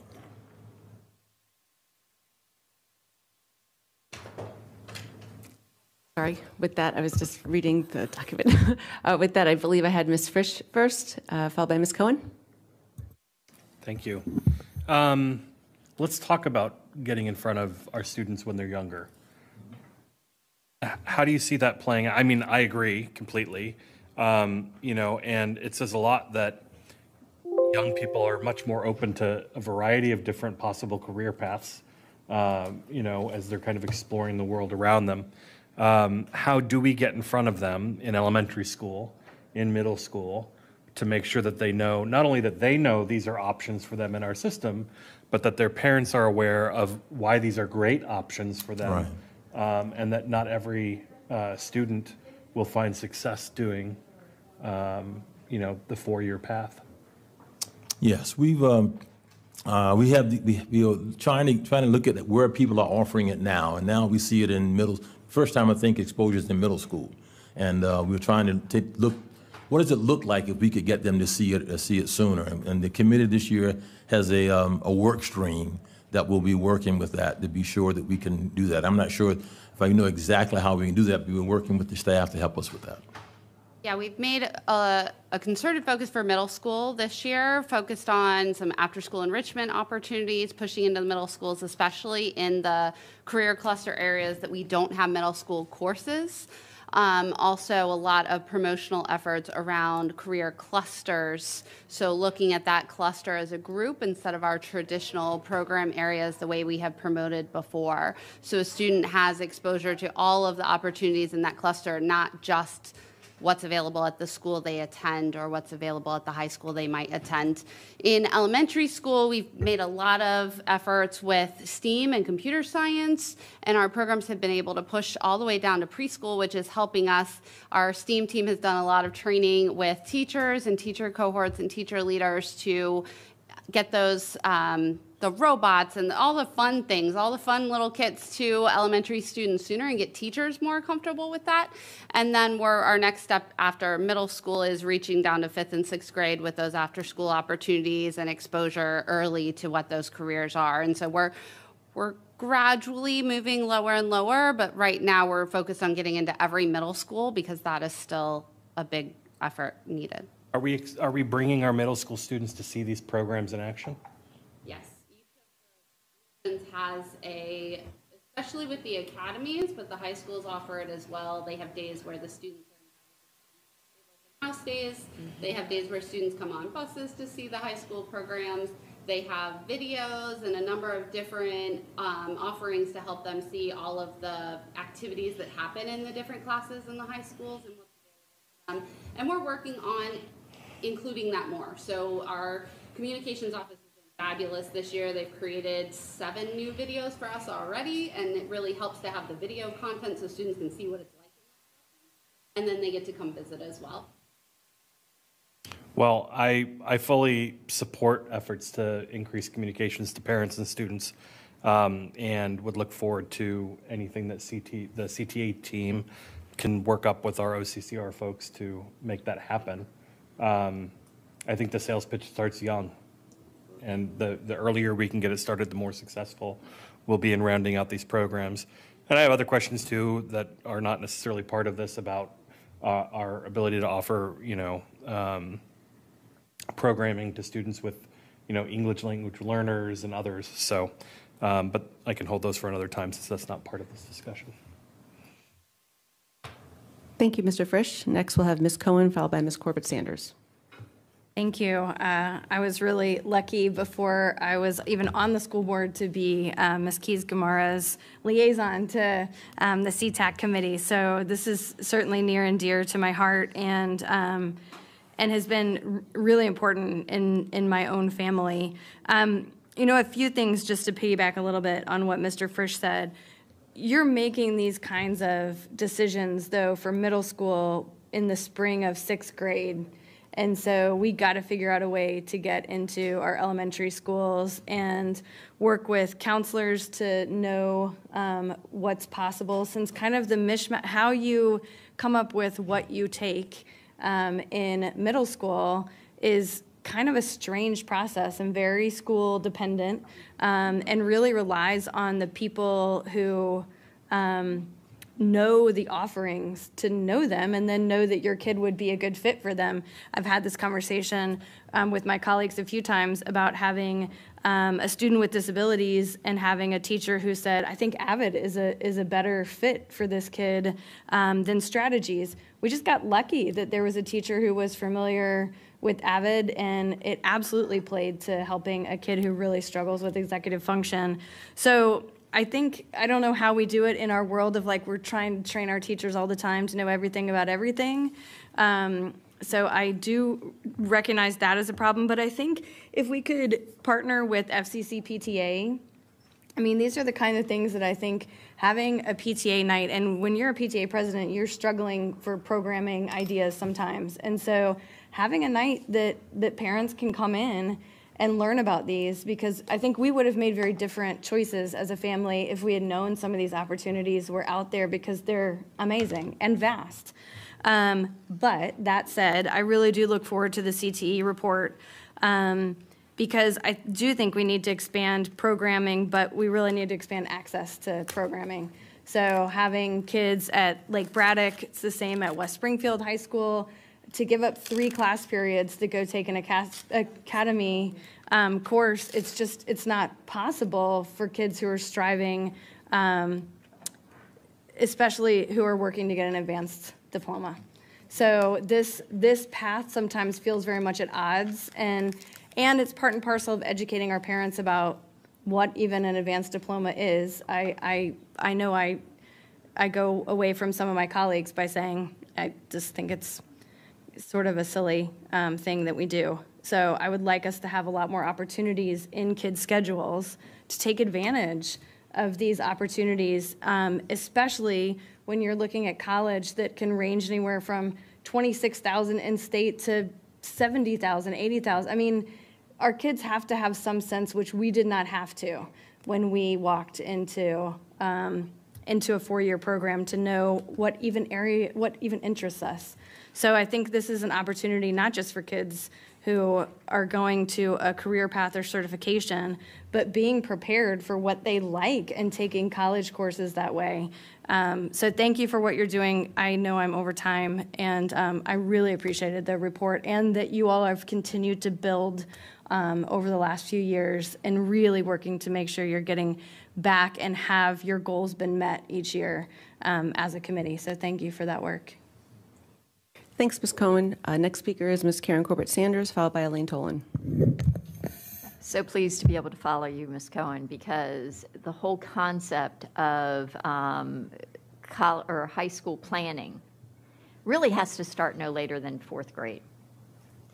And that seems really young, but it is the reality in which we face life because it goes to whether or not a child takes advanced math early on to be able to take algebra, which then allows them to go um, get all of their math completed at an earlier stage, frees up parts of their, um, their schedule. The other thing that is so important is exactly what Ms. Cohen said about um, people not necessarily knowing everything about our school system. And I'm a bit unique in that I've been affiliated with the school system for 53 years, 54 years. Um, as a student, and then as a parent, and as an advocate. Um, and so and I don't know everything about the school system. But one thing that is really important is that we need to, when we hire people, to have something like an FCPS boot camp, which introduces people to our school system and talks about all of the different opportunities, but also um, it, it empowers our staff to better understand how they can best support kids and that our kids aren't widgets they each have unique needs, and there are unique programs in this system to allow them to meet those needs. Now, I'm going to pivot a little because um, I'm also worried about our own workforce for tomorrow. And many of us have heard that there have been some funding cuts and some challenges with our workforce um, for tomorrow, the trades for tomorrow, and our teachers for tomorrow. And I would like to understand um, how we are going to address those unique needs because for selfish reasons, I feel like we just need to have a fully staffed and functioning um, school system that allows everybody to flourish. Um, and then, secondly, I would like, I was so glad you mentioned your um, son's pathway because you went beyond STEAM. And so often we have this oh, everything's cyber, everything's IT. And it's not. What we need is to introduce kids early on to the abundance of careers. When I was a kid, we used to have um, career day in elementary school so people could imagine where they would be. Um, by the way, there was nobody who actually said canon law, which is what I ended up wanting to be. Um, but we need to reimagine how we introduce kids early on and then ha- give them the confidence to know that even if they pursue one career path, they will probably have four to six career paths during their lifespan. Anyone want to comment on anything I said? Well, real briefly, I, I would just say before Whitney maybe comments that um, we did learn earlier this week, and board members brought it to our attention, so we appreciate that, that there were some challenges with the Trades for Tomorrow program funding, and um, so we're working to get that addressed. Staff was not aware of that. Um, that's in the facilities department, so Marty is working on that. Um, I'm working with him on that as well. And I would say to your larger point, though, it's interesting that I think there's a lot of synergies between uh, the ACE report that we just had in, in, this report, in that ACE actually is working on developing an accelerated workforce um, development program that would increase the amount of opportunities that students have, current FCPS students, um, to try to um, widen that pipeline um, in terms of career opportunities within FCPS that might exist. So they're really working to create more, trying to create more of those apprenticeship opportunities, those internship opportunities um, outside of even just the trades program. So um, we do have ideas and um, we're working on trying to get some of that new programming in place for next year. Yeah, and I can just add, and we late breaking news while I was sitting over there. They did figure out a, a short term funding solution for Trades for Tomorrow. Our, we never had any intention of closing the program. What happened was actually the result of a good thing is that our enrollment jumped so quickly that we weren't prepared for that amount of students to participate in a paid apprenticeship for that amount of time. So it is being addressed and it is a program that we definitely want to continue to grow and increase our partnership with facilities and help fill those positions along with our Teachers for Tomorrow program as well. Great, thank you. That's exciting news. Uh, Ms. Tholen? Thank you. Great news. Thanks for the breaking news. Um, a couple of things. I um, I have a son who became an engineer despite not participating in um, CTE programs available at, in, in our case, Marshall High School. Um, for exactly what Ms. Cohen was talking about, it, his you know counselor talked him out of doing it because he would miss so much time you know at his home high school Langley. So um, I think it would have been an amazing opportunity for him. Um, so I'm really interested in just you know conversations around how do we make some of these things more available for students at some of these farther away high schools? Do we do mini academies? You know, I know they take a lot of space depending upon um, what kind of program it is, but you know, how can we get um, students that are in sort of in these far corners of the county, not close to where any academies are right now? How do we have things available for them? So very interested in that. And then um, I know we have a like a review of the CTE program that was done. Um, and so I'm wondering, will your committee be, re- is that part of your charge this year, is to really look at that? Dance, get some music. um, I'm wondering if your committee will be looking at that report and reviewing it and the recommendations out of that report. So the uh, consultant is still finalizing that report, and you know, um, once that's available, obviously we'll be scheduling a work session at the board's convenience to review that. But yeah, the committee will have an opportunity to review those recommendations, give additional feedback um, to really inform our policy, you know, decisions moving forward about, you know, how we might make programmatic changes. Yep. Thank you. Yeah. Thanks. Thanks. Mr. Derenak Kaufax? Yes, thank you for this report. I, I appreciate it. I, I guess I have a question, and I know it wasn't really on your agenda this year, but as far because what what caught my eye when you talked about career cluster review, um, can you talk to me a little bit about what that that looks like when you talk about career clusters? Because I was thinking something else and then I want to follow up on a, on, I have a question based upon my thought process as far as, but tell me how you're defining that right now.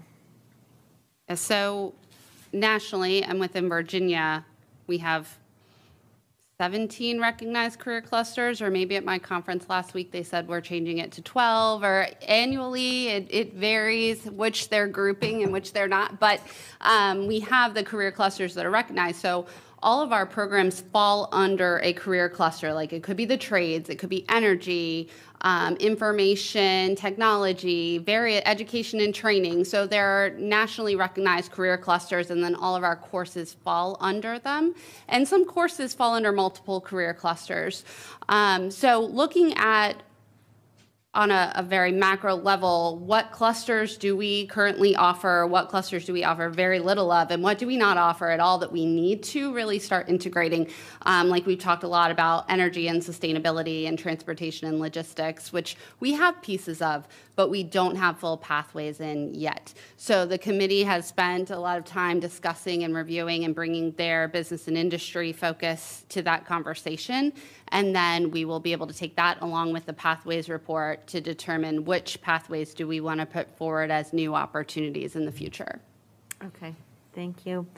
Um, so the ones you mentioned, and that's what I was thinking.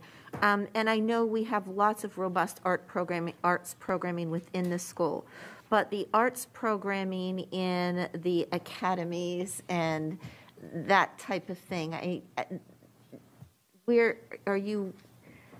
I guess because if you look at the career and technical training and the space that they take, how are you working with the, with, with any of the arts pathways? I guess that's, Yeah, so there's a career cluster that includes a lot of fine and performing arts classes, and we find that there are a lot of overlap.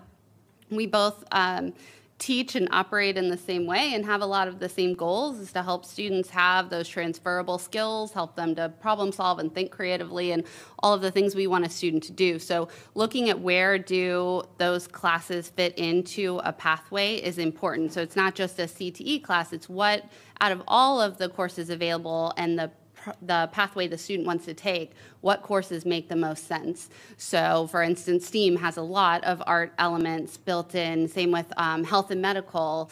You'll see it on the news, and I just tweeted it. A health, the new mobile lab was at West Potomac Academy this morning, which has all this virtual reality avail- ability for students to go in and play with and learn from. And that takes a lot of graphic designing and art and creative thinking. So all of these pathways work together. So finding ways to integrate that into our career pathways is important as well. I, I, appreciate that because I, and my thought process though is what Ms. Tholen had just spoke about. There are only certain, there, I, I guess what we, uh, what I would like to, when I thought, oh, career clusters, they're going to ensure, and I think at some point, we have to look at, at what is, atta- that there is something attainable in each, as many of the career clusters as you can, or in multiple of the career clusters for each of our students, because as another colleague mentioned, sometimes you can't afford to take three periods away from your class to get there. And that has been a perennial problem with us. We all believe in this so much.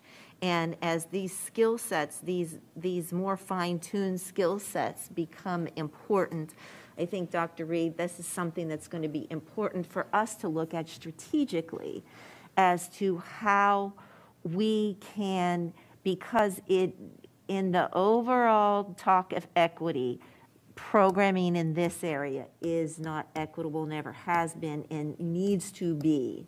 Um, I'm not saying it's going to happen all at once, but it has to it's been languishing for a long time. You can't get to certain things from certain parts of the county, no matter how hard you try.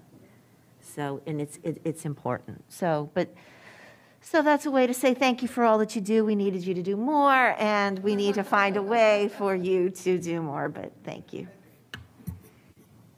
Thank you, Ms. McLaughlin. Great. Um, I, I really do again appreciate uh, the service of the committee volunteers and uh, the report, the recommendations that were brought. Um, I think they're all um, extremely important and reflect certainly what I've seen during my tenure and uh, what we continue to hear from our families.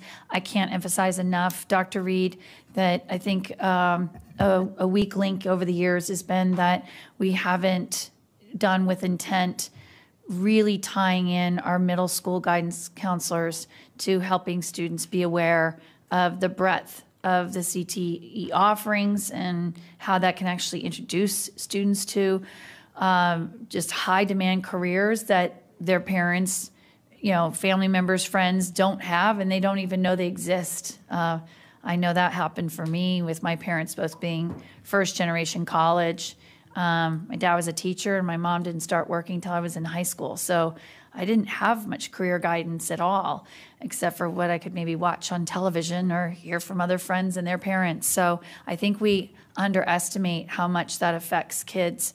Um, you know, the, the other thing that I noted from this report, I'm really glad you included in there, was recommendation three from your prior report, the year prior, about the four points educational partners and how they were doing a review of our career pathways and making recommendations for equity and access to these career pathways. It says in here that the board was going to be presented that in August 22. I don't know if that hasn't happened yet. Right, so that's the report that I was referring to earlier. There were some issues that the consultants uh, ran into, so that report was delayed, and, and we're working with them on that, and I uh, hope to have that finished up this fall. Wonderful. I, I, I appreciate that. Um, as board members, we sometimes have so much coming at us. I thought, how did I miss that one? Um, you know, I really will say as well that I hope maybe CTE can continue to help us leverage again um, the fact that Fairfax County is home to some of the largest corporations in the United States. And uh, we know that there is, uh, especially in the tech world, so many hard to fill positions. And uh, not all of them require that you go on to get a bachelor's degree, but you can have an amazing lifelong career. Um, and so I would really like to see us, you know, think about that going forward for next year, a, a, very you know, intentional focus on how we're going to bring in our business community to do more of that. Um, I know Ms. Corbett Sanders had to leave, and so I really want to emphasize what she's been saying all day long, which is, you know, workforce development is enormously important when we're talking about educating the whole child. And so I see CTE as playing a critical role. And in my final few seconds, I'll say anything we can do to, again, identify our most um, high demand CTE courses and get them back in our base schools. My children's, um, you know, extracurricular, um, or what am I thinking of? Their electives. Their elective choices were kind of limited. And I think it's because they're off in academies, and a lot of our high performing kids can't take up that time. Ms. Omeish. Yeah, I just have three questions. Um, one, I- I'm wondering, I guess you guys were in the audience when the ACE conversation was happening, and I'm wondering if you saw any natural connections or potential overlaps, because I know some of my colleagues were sharing that we should be thinking of them in parallel. Ab- Absolutely, we're, we're talking about that, and uh, we we know they they may while they may serve a um, um, a different section or something or age group and those kind of things. It gives them exposure to things that they may not see otherwise, and so sometimes you, if we could give them that exposure before they win a position when they would be outside of the school system and, have to come back in uh, then there, there may be an, an attraction that holds them there. But also, but these these just the just being exposed to the availability of these courses may be uh, something that might be an attraction. And even for those who are, um, uh, we we talked a little bit about the. Um, the small percentage of people that do not graduate sometime, and how do we how do we is there a way that CTE can be a can be a, a way to capture those folks, those young people as well, and just give them an alternative before you decide to quit. Take a look at this and uh, and see so they can see themselves in doing something that they love to do and don't know about it yet. I'll let you take a look at that. Yeah, and I'll just add, we do collaborate with ACE in our alternative programs frequently. We offer CTE courses in our alternative programs. Um, and ACE and, and Paul and I, our, our kids do scouts together. We know each other. We sit at meetings at night talking about these things. But um, we, we collaborate on having students exposed to what opportunities ACE can help them continue. If you started a program in high school, you can continue that with ACE. Um, we also have worked to collaborate on sharing space and sharing instructors who can be incredibly difficult to find um, and equipment. And we're working on trying to do more of that. And there's certainly a lot of room for us to collaborate more frequently, but we have been engaging in those conversations. Thank you. Yeah, I don't know, Sloan, is that something we've considered in the past, or what the overlaps between ACE and CTE as instructional opportunities or opportunities for these kids? Yeah, so, I mean, again, I think it's an area of, of opportunity for us for sure. So, like I was sharing earlier, you know, the teams, and, and Whitney was just saying it as well, right? The teams have been working together and we've done some collaboration, but I think there's room for us to grow a lot. So, one example is the ACE team right now has developed this proposal for next year for accelerated workforce development to take some of our students who are in alternative programs or even in base schools, but maybe are a little bit at risk, need some additional exposure to you know career opportunities, not just the coursework, but internships or paid work-based learning, right? Um, to help them keep that connection and that motivation to finish and complete their you know high school degree with us. So, you know, we're trying to look at more opportunities like that. And, you know, having Joe Thompson, um, and I don't know if you'd met Joe before or worked with Joe before, but you know he's coming out of um, Mountain View Alternative High School as the principal, and he's in a special projects administrative position that we created this year to really look at restructuring what we're doing in our alternative um, high school space to provide um, you know accelerated opportunities to, to earn your high school diploma as well as a real focus on career um, development opportunities. So we're positioned, I think, well at this point to do a lot more collaboration than we've done in the past. Doesn't mean that we weren't collaborating in the past, but we've got some new opportunities, I would say, now to do some some interesting things. Yeah, no, that's the shift in his role, right? Yeah, Yeah. I, I am aware of that. Yeah, I met him when we visited Mountain View, and then heard from Mark Greenfelder that this is what's happening. So that's great. Um, so that's encouraging. Hopefully, we'll see where that goes, and then you all, in overseeing that, can recommend something next year depending on where it goes. Yeah. Um, okay, great. Thank you. And uh, on that note, um, I'm curious if, from your perspectives, you can immediately identify possible biases that we should be aware of and, and take into consideration in how we think about programming around this. Uh, and I'll tell you why I'm asking. My hunch has kind of been that, you know, we, for certain segments of the population, we kind of just have this idea in our minds that th- rather than the traditional route, they have certain other opportunities that are better for them, that work better for a certain type of people. Um, and I have a problem with that because it, it implies that they're not able to succeed in the other possi- you know opportunities that we have in normal school, quote unquote, normal school. Um, so I just I kind of want to give you guys the opportunity to just give us some reflections around that to help us try to deconstruct our own assumptions around this population. And keep it real. I'm giving you the chance. Okay, I was going to hope I was hoping that Whitney would ask that question because uh, it is something that we talk about a lot, and and and and just how do we do that? Uh, you know, um, in my other job, even though I own a company, my other job, I'm a high school Sunday school teacher. That's what I do for a living, and uh, so I end up talking to parents and students about what they're doing all the time, and um, uh, so I see parents who who look away from CTE courses because they are not they're they're not on the college realm. They're not Mhm. they don't allow them to. They think about they doing. I have to do the IB IB uh, intellectual baccalaureate diploma, advanced diploma, whatever those things are. Those are more important than giving your child a chance to be able to see what a career path looks like. I don't think there. I don't think there should be a distinction for him. I think every child would, benefit from knowing uh, what it mean, what it means to be an engineer before you before you get to college. When you get to college, you're not going to learn until you're a sophomore, and the rest of the time you can be doing a bunch of math that you don't have any idea what it means. But as soon as you see that, but if you've done that before someplace where you applied physics to a problem, all of a sudden the engineering becomes simple for you. That's my, that was me, and uh, and it became became something I could see, and uh, and I, I know that other students are having the same issues. Uh, I've, I've watched automotive uh, young people who have taken automotive classes.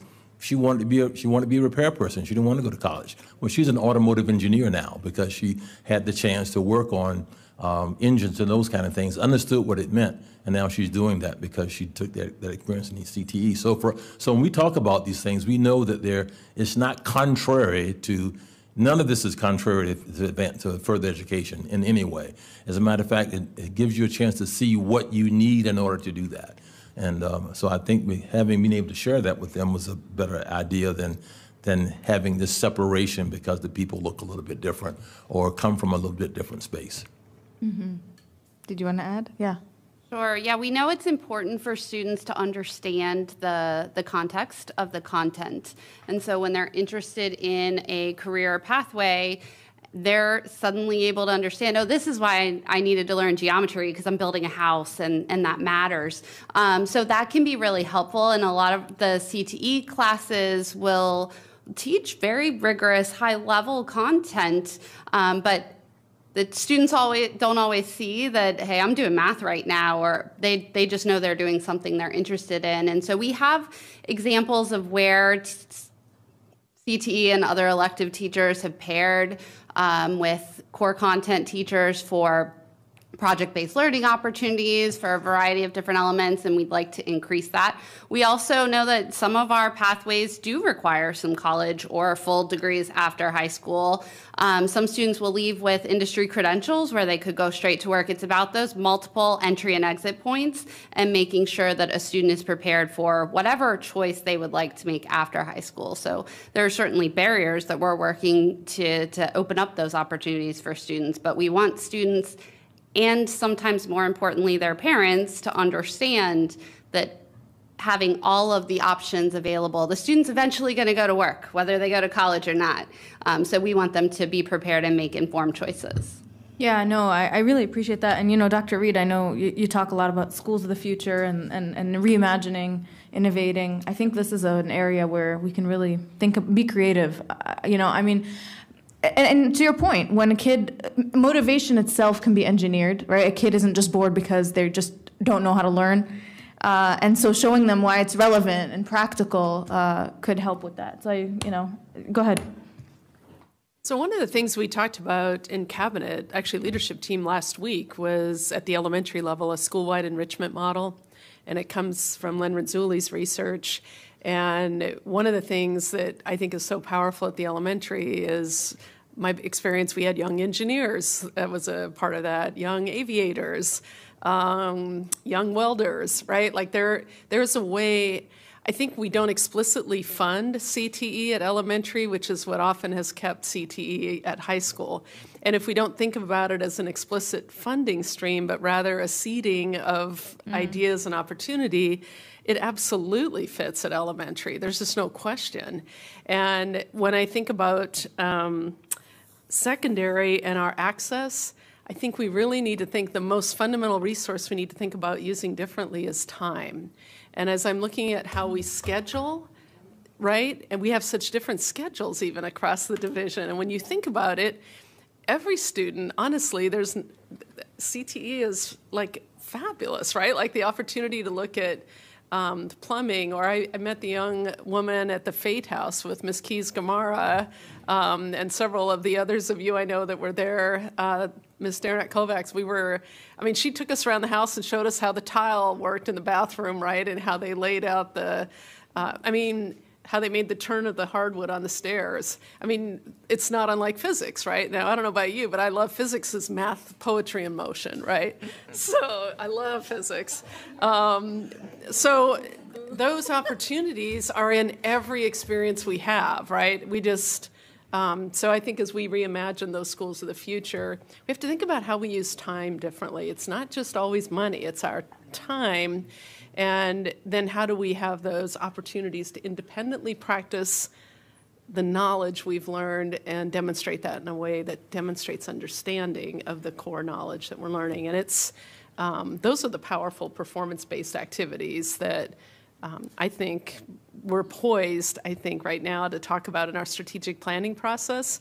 I believe our community will come around that and we can align our efforts to get there. So I'm excited about it. Okay, great. So we'll see where that unfolds in the strategic plan process and hope that CTEC is part of those town halls and, you know, community collaborations that are going to unfold. We were just talking about this in the morning. Um, so y'all watch out for that schedule to just be a voice in that conversation. Um, great. And then the last set of questions, I mean, just one question I had was relatedly, so what have been the biggest blockers and barriers? So right now we're imagining the strategic plan, we're trying to build it you know, Sloan shared with us that we have uh, Joe Thompson who's going to be kind of looking at the overlaps. But I, you had a long list of recommendations in every different dimension. Um, you know, uh, it's God help us to get there, but assuming you know, knowing how the pace of our system, I, I, am I am wondering what you guys have identified to be maybe the top one to three blockers in doing this work that we can help try to address.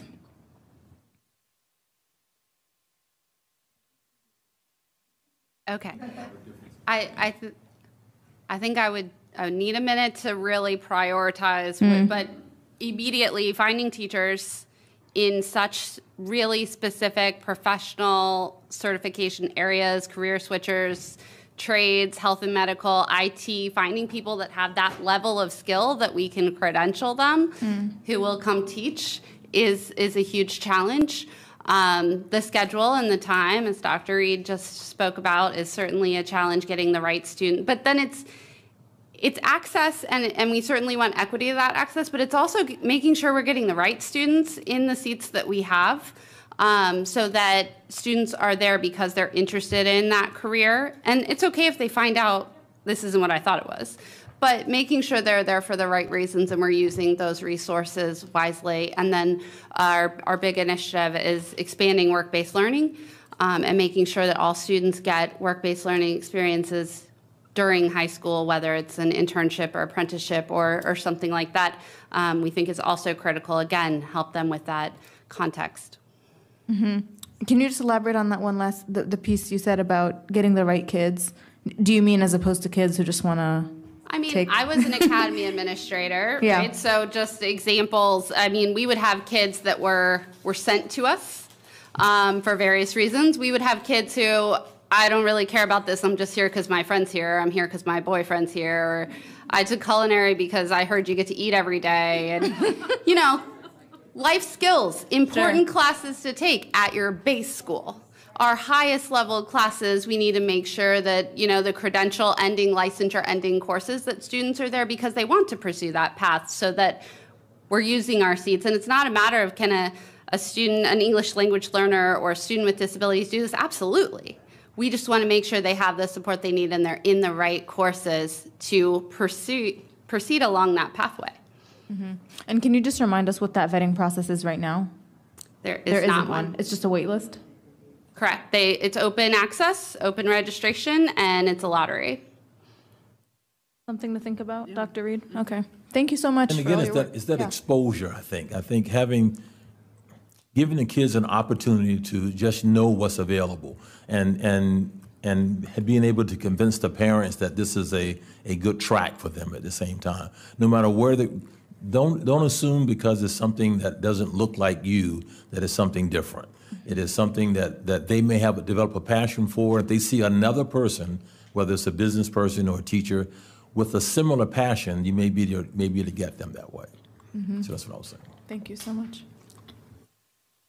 Okay, seeing no other first-time comments, I'll take my comment, and that will leave us just about at the end of the meeting. So I think it would be really helpful for our career and tech ed um, staff and committee to help us redefine what career preparedness and success means. And so a lot of times, you know, we're talking about the diplomas and those career pathways and this is something you know that you were talking about dr Reid when you first came on board is what are the like, can we back map what it takes to get to that endpoint and how are we educating our students and families about that pathway? So i think if you could really educate us around you know what is it going to take to get a student to a certain diploma and that all the diplomas are valid and have value that would be really great. I think it's interesting that we're talking about getting earlier exposure. I would argue that we do some of that in different ways. I mean, honestly, even testing for our advanced academic programs in second grade is a way that we are creating pathways for some students and some not for some students. So I think that that practice is already there. It's just how can we make it more open and expanded? I think the trades for tomorrow, I would love to see us prioritize that. I mean, there are jobs available right here where students live. So, how can we? I mean, sounds like we're on the way with Teach for Tomorrow, which is great.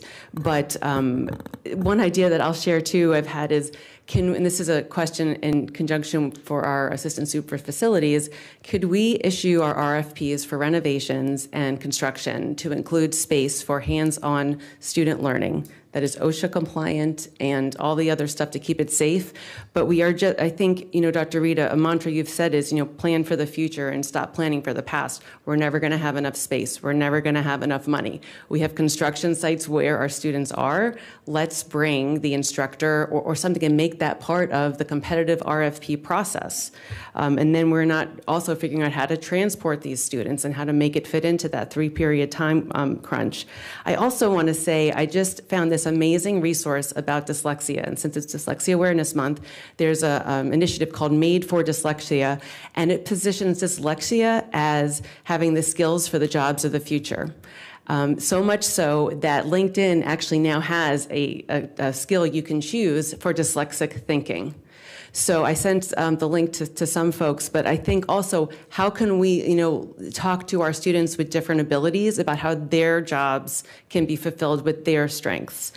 Um, I would love, you know, the committee did a great, um, included with the previous report, the breadth of all the programs, and that, that chart was so helpful because it did show the disparities in access. So um, I hope that Dr. Reid, you can look at that again.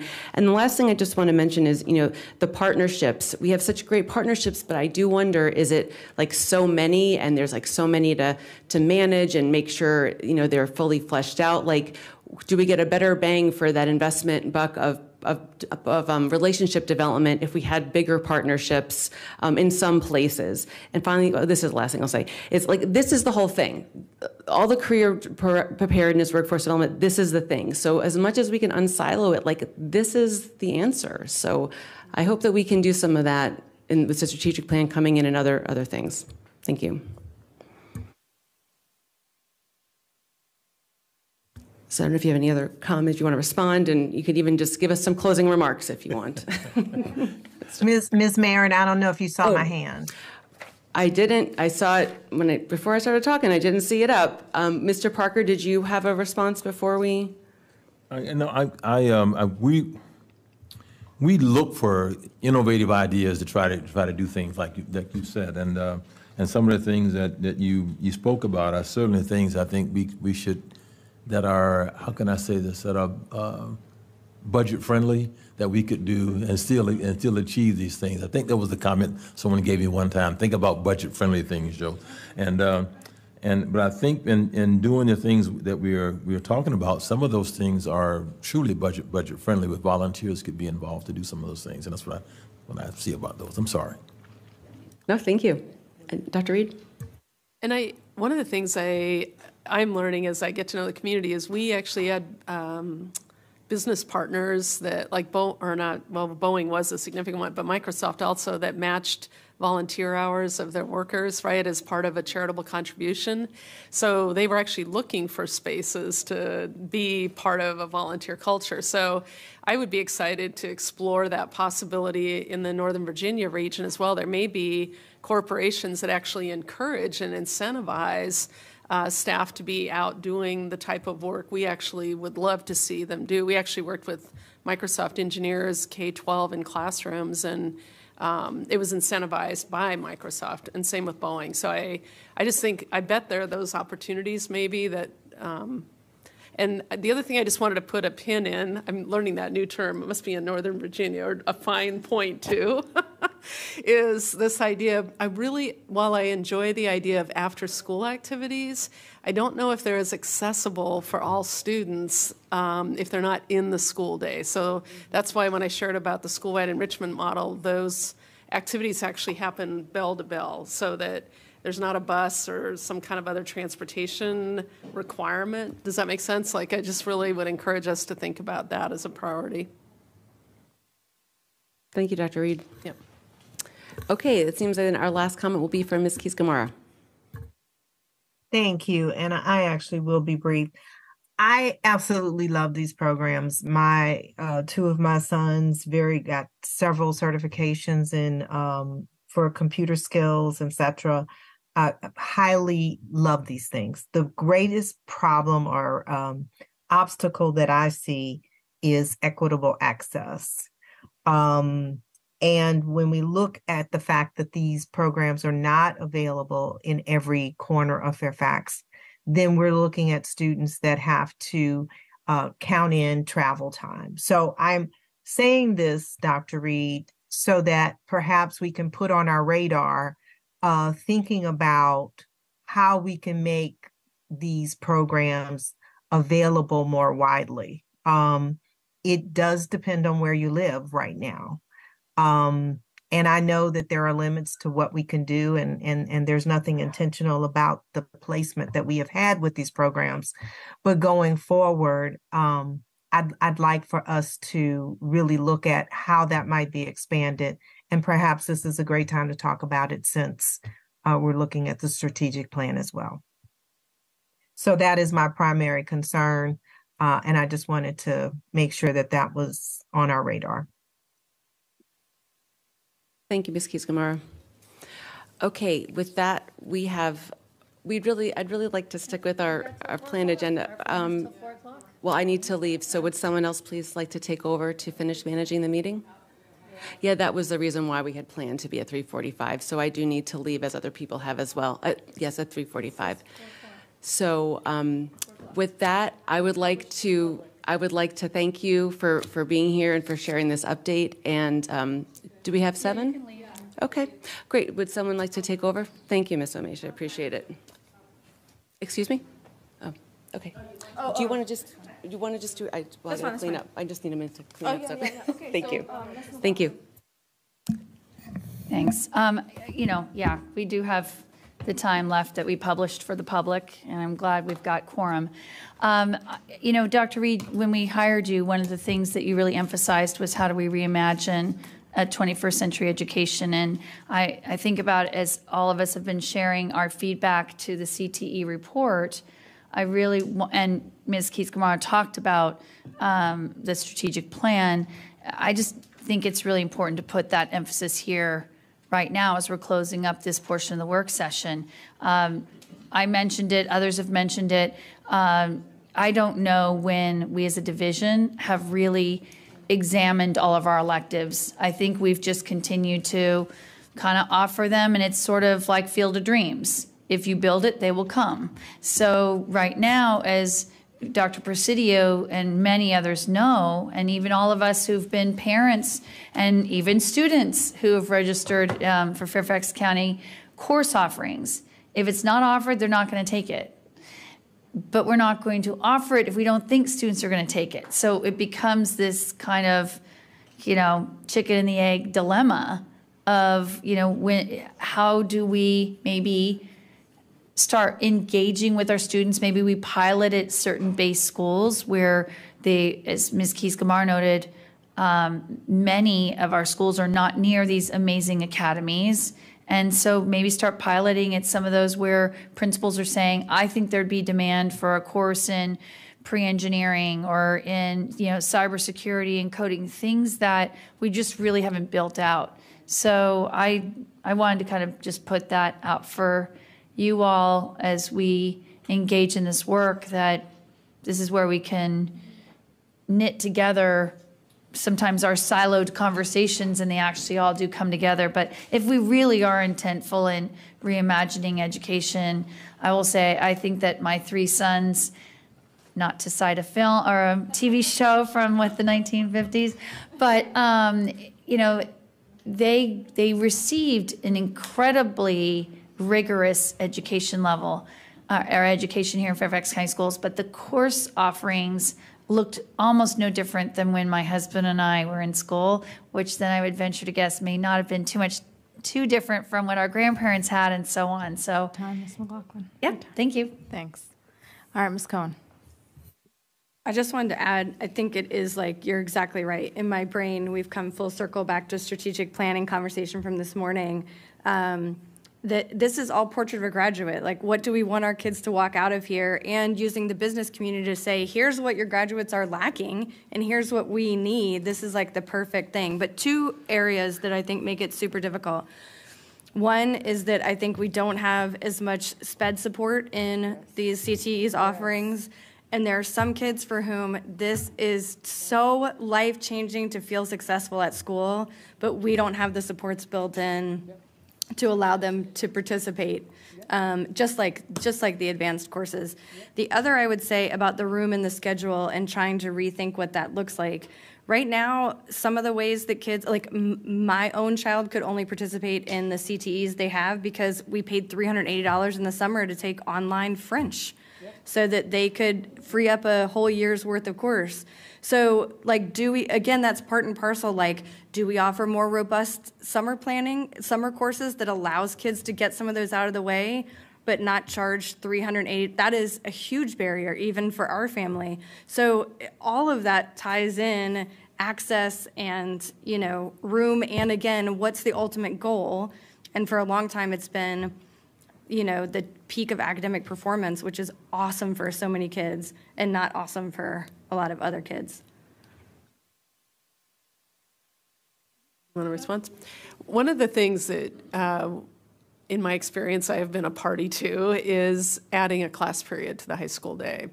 Um, because often you're able then to take a CTE course or that advanced the fourth year French course and your music course. Um, because sometimes if you have a forced choice, um, students don't always get to take their passion course, if that makes sense. And I think if we're talking about well rounded students, and we're talking about the opportunity within Bell to Bell to take those um, elective courses that really feed their soul and have um, an experience that really influences their life course.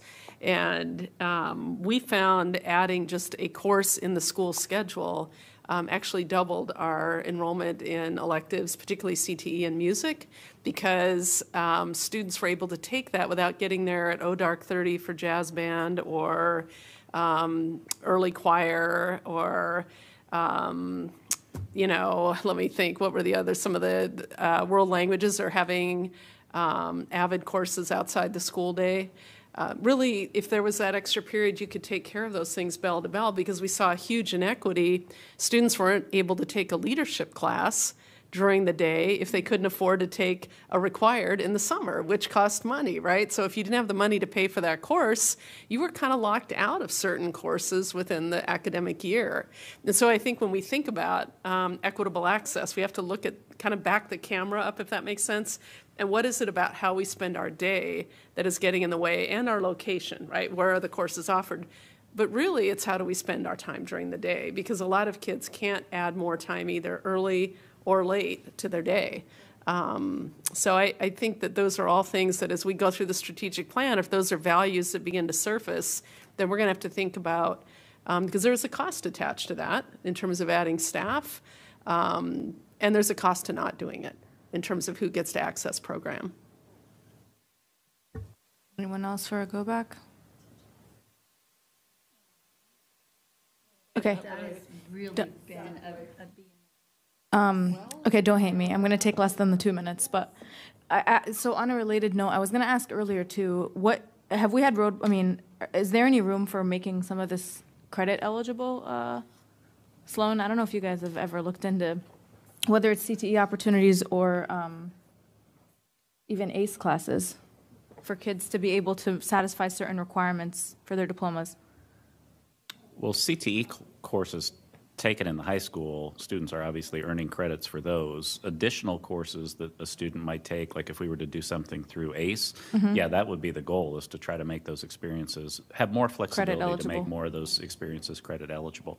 Just like work-based learning, right? Again, experiential learning, trying to get students real-world, hands-on experience and giving students, you know, course credit for that. But I'm even thinking like, say that a kid takes an engineering CTE opportunity, Mhm. could that satisfy like a science requirement? It would depend on the level of course. So, I mean, there's a whole like set of criteria that we have to go through um, to make sure, based on the state standards of quality, that we can assign graduation credit requirements to courses based Okay. on what's taught, course content. But yes, for some courses it could. Okay, but we don't, right? Like a, across disciplines like that. For for example, if a kid wants to earn the advanced diploma and they're in this bind that was just being described, right? I, I mean, yes, we do have some classes like that. I mean, I'd have to. Yeah. I, I wasn't following necessarily this specific example, so I don't know off the top of my head if, if you know, No we could fix yeah. if we could fix that particular problem. Yeah. Okay. Yeah, that that might be another area just to look at. Mm-hmm. What's the furthest, mo- you know, fur, further furthest most point we can reach that is Right. inclusive of these opportunities? Right, right. Yeah, no, we want to provide as much flexibility for students as possible to meet graduation requirements based on courses that they're interested in taking, right? Yeah. And then what's the barrier to the ACE courses counting for credit? Well, it's going to be seat time hours is going to be one of the issues, right? So, yeah, licensed staff, so. Okay. I think that's something to explore to the points that were just raised. Mhm. But Yeah, absolutely. All right, guys, I'll leave you. That's it. So we're three minutes until four. Uh, thank you, guys. This meeting's adjourned. Thank you, Abrar. Thank you, everyone.